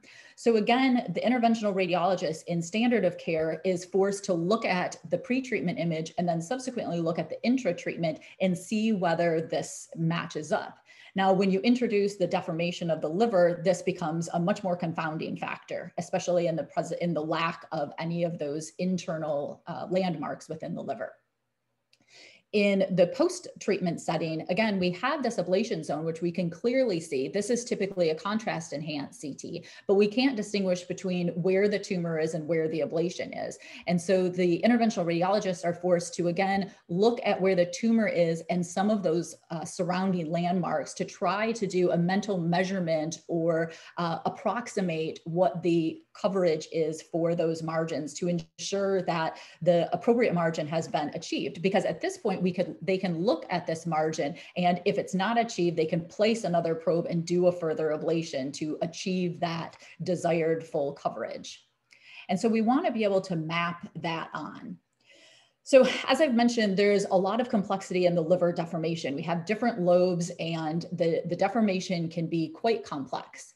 The majority of deformable image registration algorithms use image intensity to drive registration, which is great when you have two images with a lot of context and uh, rich variation in the variability of the intensity across the image. However, this causes significant challenge when you have a secondary image without contrast in the presence of a large amount of deformation. And we've previously published the benefit of using a biomechanical approach in this setting when you have a contrast rich image to a contrast lacking image. And so we believe that this biomechanical approach can provide a potential solution. So we investigated the use of MORFEUS, which is a biomechanical model-based deformable image registration algorithm that we've developed in my lab. And so just briefly, it takes the liver contour and converts it into a mesh. We then assign uh, material properties to the tumor and the liver. And biomechanics, so the physiological properties of the liver drive the deformation and specifically drive the motion and deformation and secondary position of the tumor within the liver. So it takes away the dependence of the deformable registration on matching the intensities between these two images. So it enables the mapping of the tumor onto the secondary image with the same level of accuracy, regardless of the level of contrast and visibility on that secondary image. So I've, I've, referenced a series of papers here that we have validated this algorithm in the liver to be on the, the order of a voxel size, so about one by one millimeter in plane and two and a half millimeters slice thickness. However, it does require segmentation. So we need the segmentation of the liver, we need the segmentation of the tumor, and the deformable image registration running this through the finite element analysis can take on the order of two to four minutes. So that's a reasonable approach for the interventional radiology suite, although when you are sitting there waiting for two to four minutes, uh, it seems like a lot longer. So the question that we had was, can advanced imaging guidance tools such as these make a difference in outcomes? So the first thing that we did was a retrospective study. So we grabbed a cohort of 30 patients that were previously treated that had lesion sizes of three centimeters or less, and that had a contrast enhanced CT image prior to treatment and then immediately after ablation. And we grabbed these patients so that we had a, a group that had local recurrence and then another cohort that had no local recurrence with a significant amount of follow-up image to have confidence in that treatment. So we evaluated the minimum ablation margin by running the MORFEUS deformable registration to map the tumor onto the ablation region. The tumor and the ablation region in this case were manually segmented.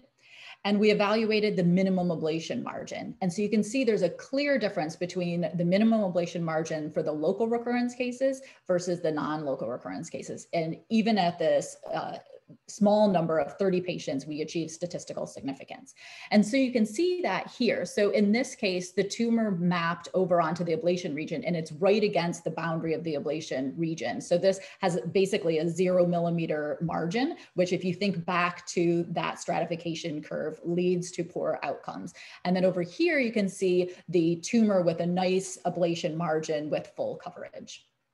So given this highly significant correlation between the ablation margin and the recurrence, is it possible to translate this technology into the treatment room to confirm the probe placement and the ablation margin in real time? And so this is where we turn to data science and say, can we automatically segment the liver, the tumor, and the ablation and work on ways to more efficiently perform the deformable registration? So Brian Anderson, uh, the outstanding graduate student in my group, took this project on for his PhD. He investigated three different deep learning techniques. Uh, this was recently published and found that the Deep Lab V3 Plus algorithm performed the best.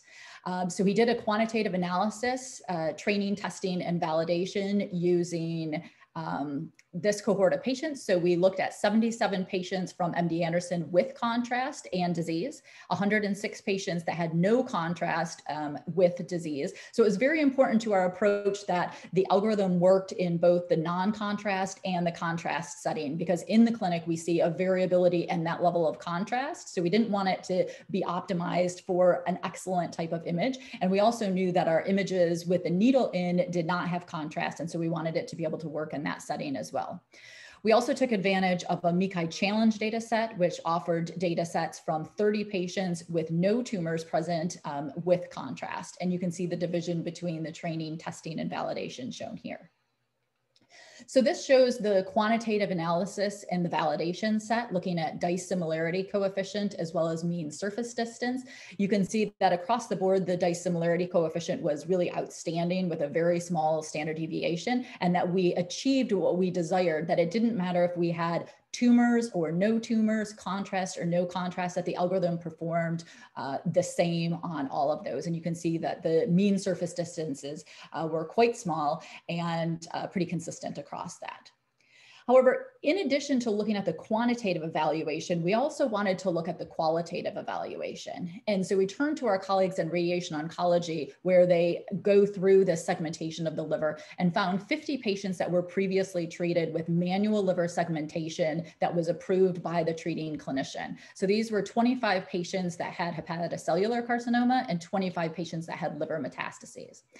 So we did a blinded comparison between the previously defined clinical contours and the automated contours with three physicians. So one of the physicians, physician one, did a repeat evaluation with more than a month time between them.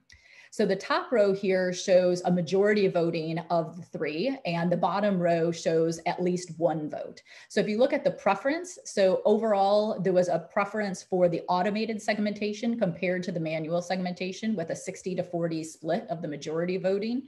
And when we looked at clinical usability of that, if we go down to at least one vote, so we saw that all of the clinical contours had at least one physician believing that it was clinically acceptable.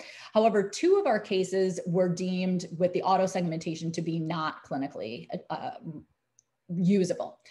And so that brings the challenges for clinical translation. So the first thing that I want to show is a lot of times when we look at AI-based segmentation, we look at things like DICE and uh, mean surface distance.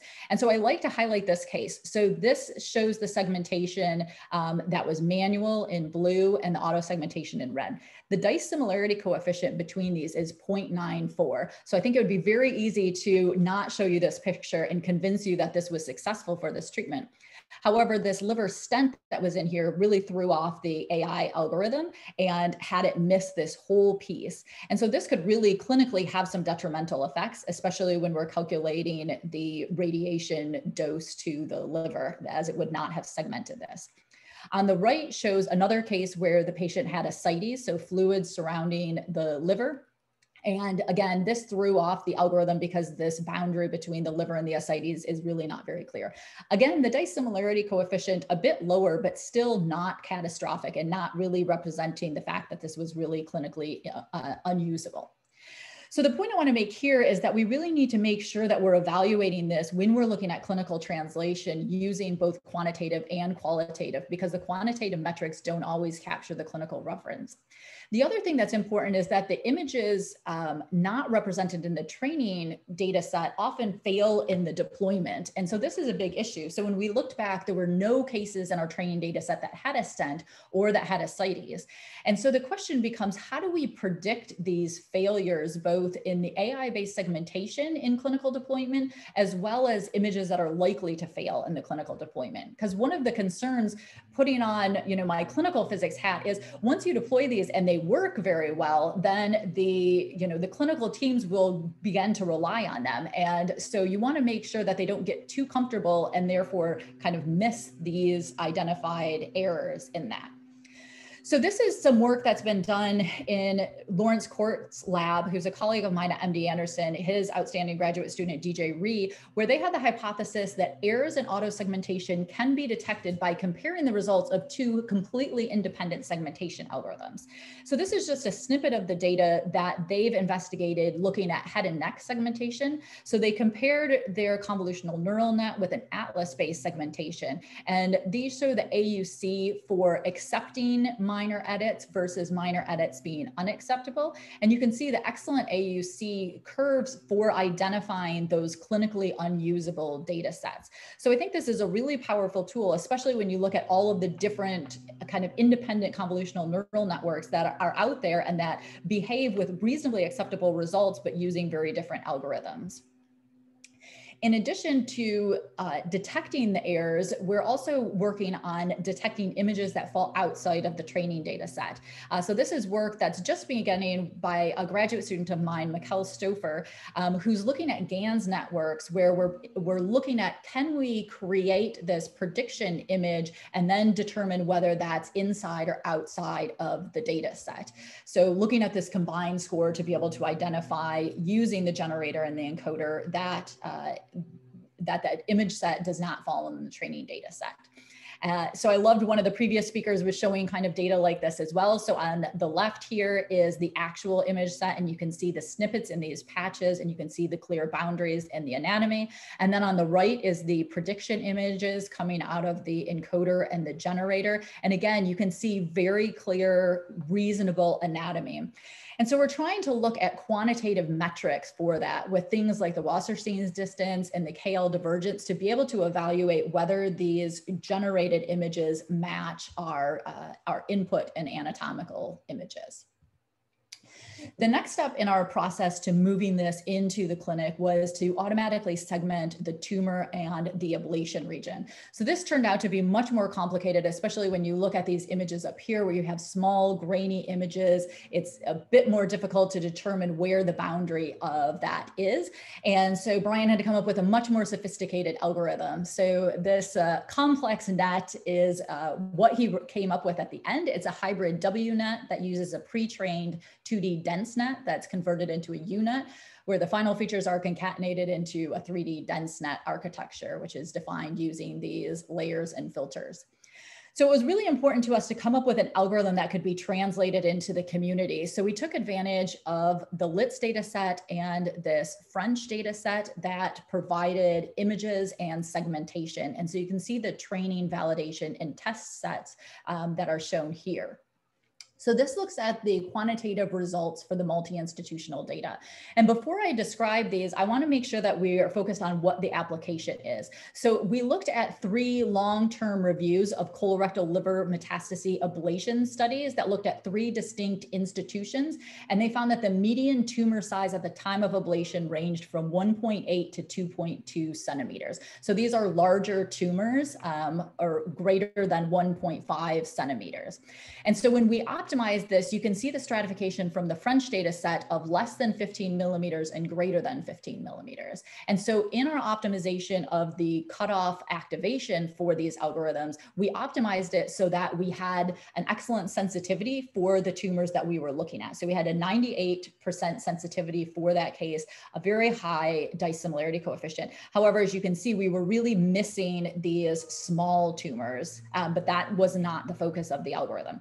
Um, overall, you can see the cases here. So this is the LITS data with 70 cases, a mean Dice similarity coefficient of 0.8, the French data set overall, um, pooling all of the data dots to 0.69. And then we looked at 15 cases of colorectal mets uh, at MD Anderson and had a mean DICE of 0.78. And we also applied this just using simple transfer learning to the ablation case, which presents very similar to the tumor and had a mean Dice similarity of 0.79. So that's using the same algorithm that was solely trained on the mets. Again, we wanted to look at the qualitative evaluation. So we found three highly trained radiologists specialized in abdominal cancers and asked them to grade the results of the AI-based segmentation using this Likert score. And so for the 24 colorectal liver mets, you can see that for all of the cases and all of the reviewers, it was all rated a four of good or a five of excellent uh, with a majority vote average of 4.8. So it really performed excellent in the segmentation of these. It performed slightly less, but still very good in the ablation scoring, especially since it wasn't trained specifically on this data set. So there were a couple of cases that had, uh, you know, fair or poor rating for these cases. So the challenges in clinical translation is really how to optimize this algorithm. And so as I've shown here, when we optimize this algorithm to have a high level of specificity with a low level of false positives, we achieved an excellent value of the sensitivity for the larger size tumors. However, if you wanted to use this tool for a smaller tumor, more in the diagnostic setting, then you would really want to drive up that sensitivity. And if you were using this as a kind of an augmentation tool, then then maybe you would be okay with this higher false positive rate. And so we could we could change the prediction cutoff of the algorithm to enhance the ability to detect and segment the smaller lesions again at the expense of that false positive value. Now, going back to um, our needs for clinical translation, um, specifically for efficiency, the next step was the deformable image registration and increasing the speed. And so our goal was to see if we could train a 3D UNet to behave similar to the biomechanical model-based registration. So we performed the registration using our MORFEUS biomechanical model-based registration between two CT scans for 58 cases. We divided that into 50 training and eight tests. Uh, we put that into our UNet with some atrous convolutions. Um, this was using the deep learning based liver segmentation and the results are shown here. So we evaluated the results in spherical coordinates because not only is the magnitude important, but also the direction. So you can see the magnitude presented over here. So 90% of all points within the liver were less than 3.5 with 75 being less than 1.5. So 75% of the points within the liver were mapped within the voxel dimension compared to the full MORFEUS biomechanical registration. Uh, we achieved excellent efficiency. We could run this model in five seconds, so near real-time um, evaluation. Uh, you can see the angular dependence here, but this is again going back to the what is the application. Um, the application of this in our setting for focal liver ablation is specifically for that GTV centroid. And so this results show for the validation the difference between the GTV GTV centroid mapping using the full biomechanical model-based registration and then this AI trained optimization, again, only being trained on 50 cases. And so you can see that the average is within the voxel size in all three dimensions, uh, giving very encouraging results. So again, challenges in clinical translation, how much validation is sufficient? So this model is, is certainly not at the level of validation to be able to translate into the clinic because of the complexity in validating it. So um, here you can see the fusion between the contrast enhanced CT scan and then the image without contrast with the, the ablation probe in. So unlike the segmentation algorithm where you perform the segmentation and you can see the results and you can see where it's off and potentially do the corrections. Um, this does not really give you that. So you can see that the boundary of the liver is matched, but you can't see whether the internal structure and the tumor, which is the critical piece, is mapped correctly. So unlike with the biomechanical model base where you're relying on known physical principles, the convolutional neural net here does not. And so this really goes back to one of the, the talks that we heard before about really understanding and not using that as a black box because um, this translation into the clinic um, requires a lot more scrutiny because the clinical impact of the error is high because if it mapped the tumor incorrectly, then you would put the probe in the wrong place and then you would miss that in the ablation region.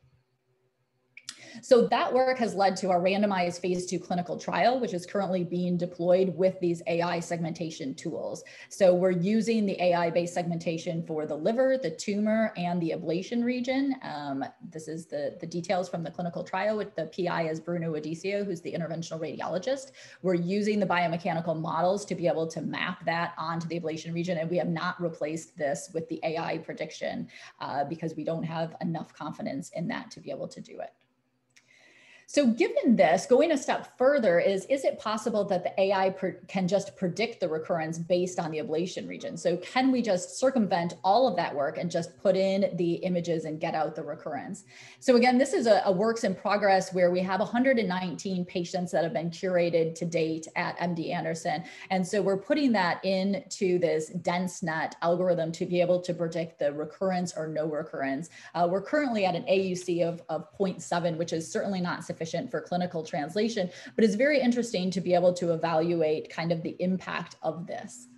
And so, of course, the, the challenges in clinical translation here is what level of AUC is needed to be clinically useful? And this is a very interesting question. So typically we compare it to what is already out there. However, in cases like focal liver ablation, there are no prediction algorithms. The clinicians look at it and, and do a purely qualitative evaluation. So implementing some kind of guidance tools that they can use without using um, totally without more as an augmentation to their visualization could be beneficial. Um, However, the, we need to think about this in terms of the detriment of what happens if the model predicts wrong. So in the case of focal ablation, if it says, if we run that through and it says the patient will have a recurrence, then we're thinking about an additional needle position and ablation. So if that was incorrect, then we may result in additional ablation to normal liver that was unnecessary. Um, of course, we need to work on ensuring that the models work on diverse data. Um, and how sensitive are the models to characteristics and uncertainties? So this is an outstanding paper that was recently published by Jing Zhao um, based on RTOG data, which looks at these convolutional neural nets with different levels of clinical data for predicting xerostomia due to radiation therapy. And so you can see the decreasing amount of data as you go in, going from an AUC of 0.84 down to 0.70. Um, so this is really interesting because how important and how impactful is it to have these contours in, in the presence of contour variability? What about the variation Im imaging parameters? How, how few of, of data points can we put into the models to be able to still achieve uh, a high level of AUC? And of course, we still need to look at what the difference between the planned versus delivered dose is in this setting. So in conclusion, advanced image guidance can improve the precision and accuracy of focal therapy as well as the therapeutic outcome. And this includes both improved local control and reduced toxicities. Advanced techniques require automation, and that's an ideal setting for artificial intelligence and deep learning. The translation of AI techniques, however, requires very careful consideration. I love the talks earlier on understanding um, the, the data sets. Uh, that's absolutely what we need. We need to be able to identify potential errors and understand the uncertainties of their clinical impact there's a significant opportunity space in AI to predict outcomes because, like I said, a lot of these clinical practice don't have there's no standard metric there. The clinicians are left um, to you know their experience and their clinical practice uh, outcomes predictions can also aid, in decision making for the patients it can also aid in decision making for resource stratification clinical trial design um, dose de-escalation or dose escalation applications as well as more aggressive adaptive and image guidance techniques there's also many more opportunities than I had a chance to talk about in this 30 minute presentation, including things like image reconstruction and automation in treatment planning in all three of those scenarios. So with that, I thank you for your attention and I've concluded my presentation. Wow, that was a fantastic presentation, Dr. Brock. I really appreciate it. Uh, it, it, was phenomenal.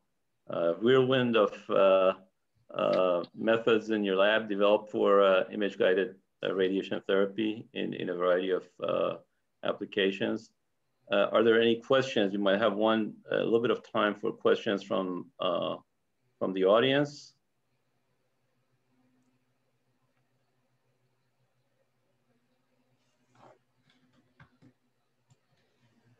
Uh, so let me ask you this, uh, you know, and there was a lot of information. I'm not sure whether I followed everything that you said. You said it very quickly, and you know, obviously it's, it's cutting edge.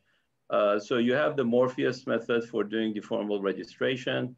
Uh, now the AI uh, approaches that you have, uh, do the deformable registration sort of tie in with, with that in terms of uh, providing the tumor outlines and the, and the, the you know, the liver outline, for example, in the liver application, the ablation region, making use of the, the deep learning segmentations.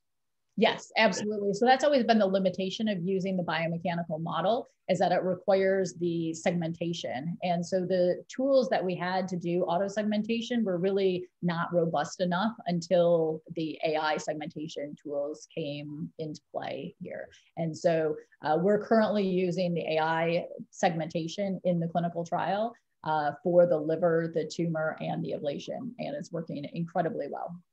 So as you may know, uh, there are some methods based on uh, spatial transformer networks that, uh, that, that, perform uh, uh, registration. Your thought from what you, what you stated on it don't work in the liver area, uh, it sounds like there's really not a whole lot of features in the image that would you know, help with, with that registration. So is that, so it sounds like the MORFEUS method is, is really the, primary approach of registering the, the, the, the data in uh, at baseline and post-treatment, for example? Well, the, the challenge is, is when your image registration algorithm relies on the intensity within the image, then you can, you can calculate the accuracy. So you can quantify metrics like target registration error by identifying bifurcations within the vasculature. However, when that information is gone, it will impact the way that the algorithm performs, and you can't quantify the accuracy in that scenario. Uh, so we collaborated with Mark Oldham and Shiva Das at Duke. Uh, that was a paper that I had referenced where they had a, a deformable phantom that they used that they had previously published um, that failed in intensity-based registration. And so they wondered if our biomechanical registration would be able to achieve a high level of accuracy since it kind of simulated the liver where you didn't have contrast in those. And so we did that and showed that we still maintained a high level of accuracy in that scenario. Um, so that's kind of the motivation for using the biomechanical registration in this scenario. Um, so we don't have a head-to-head -head comparison yet of the of what happens if you use an intensity base relative to this, but that phantom study demonstrates the potential benefit of the biomechanical model.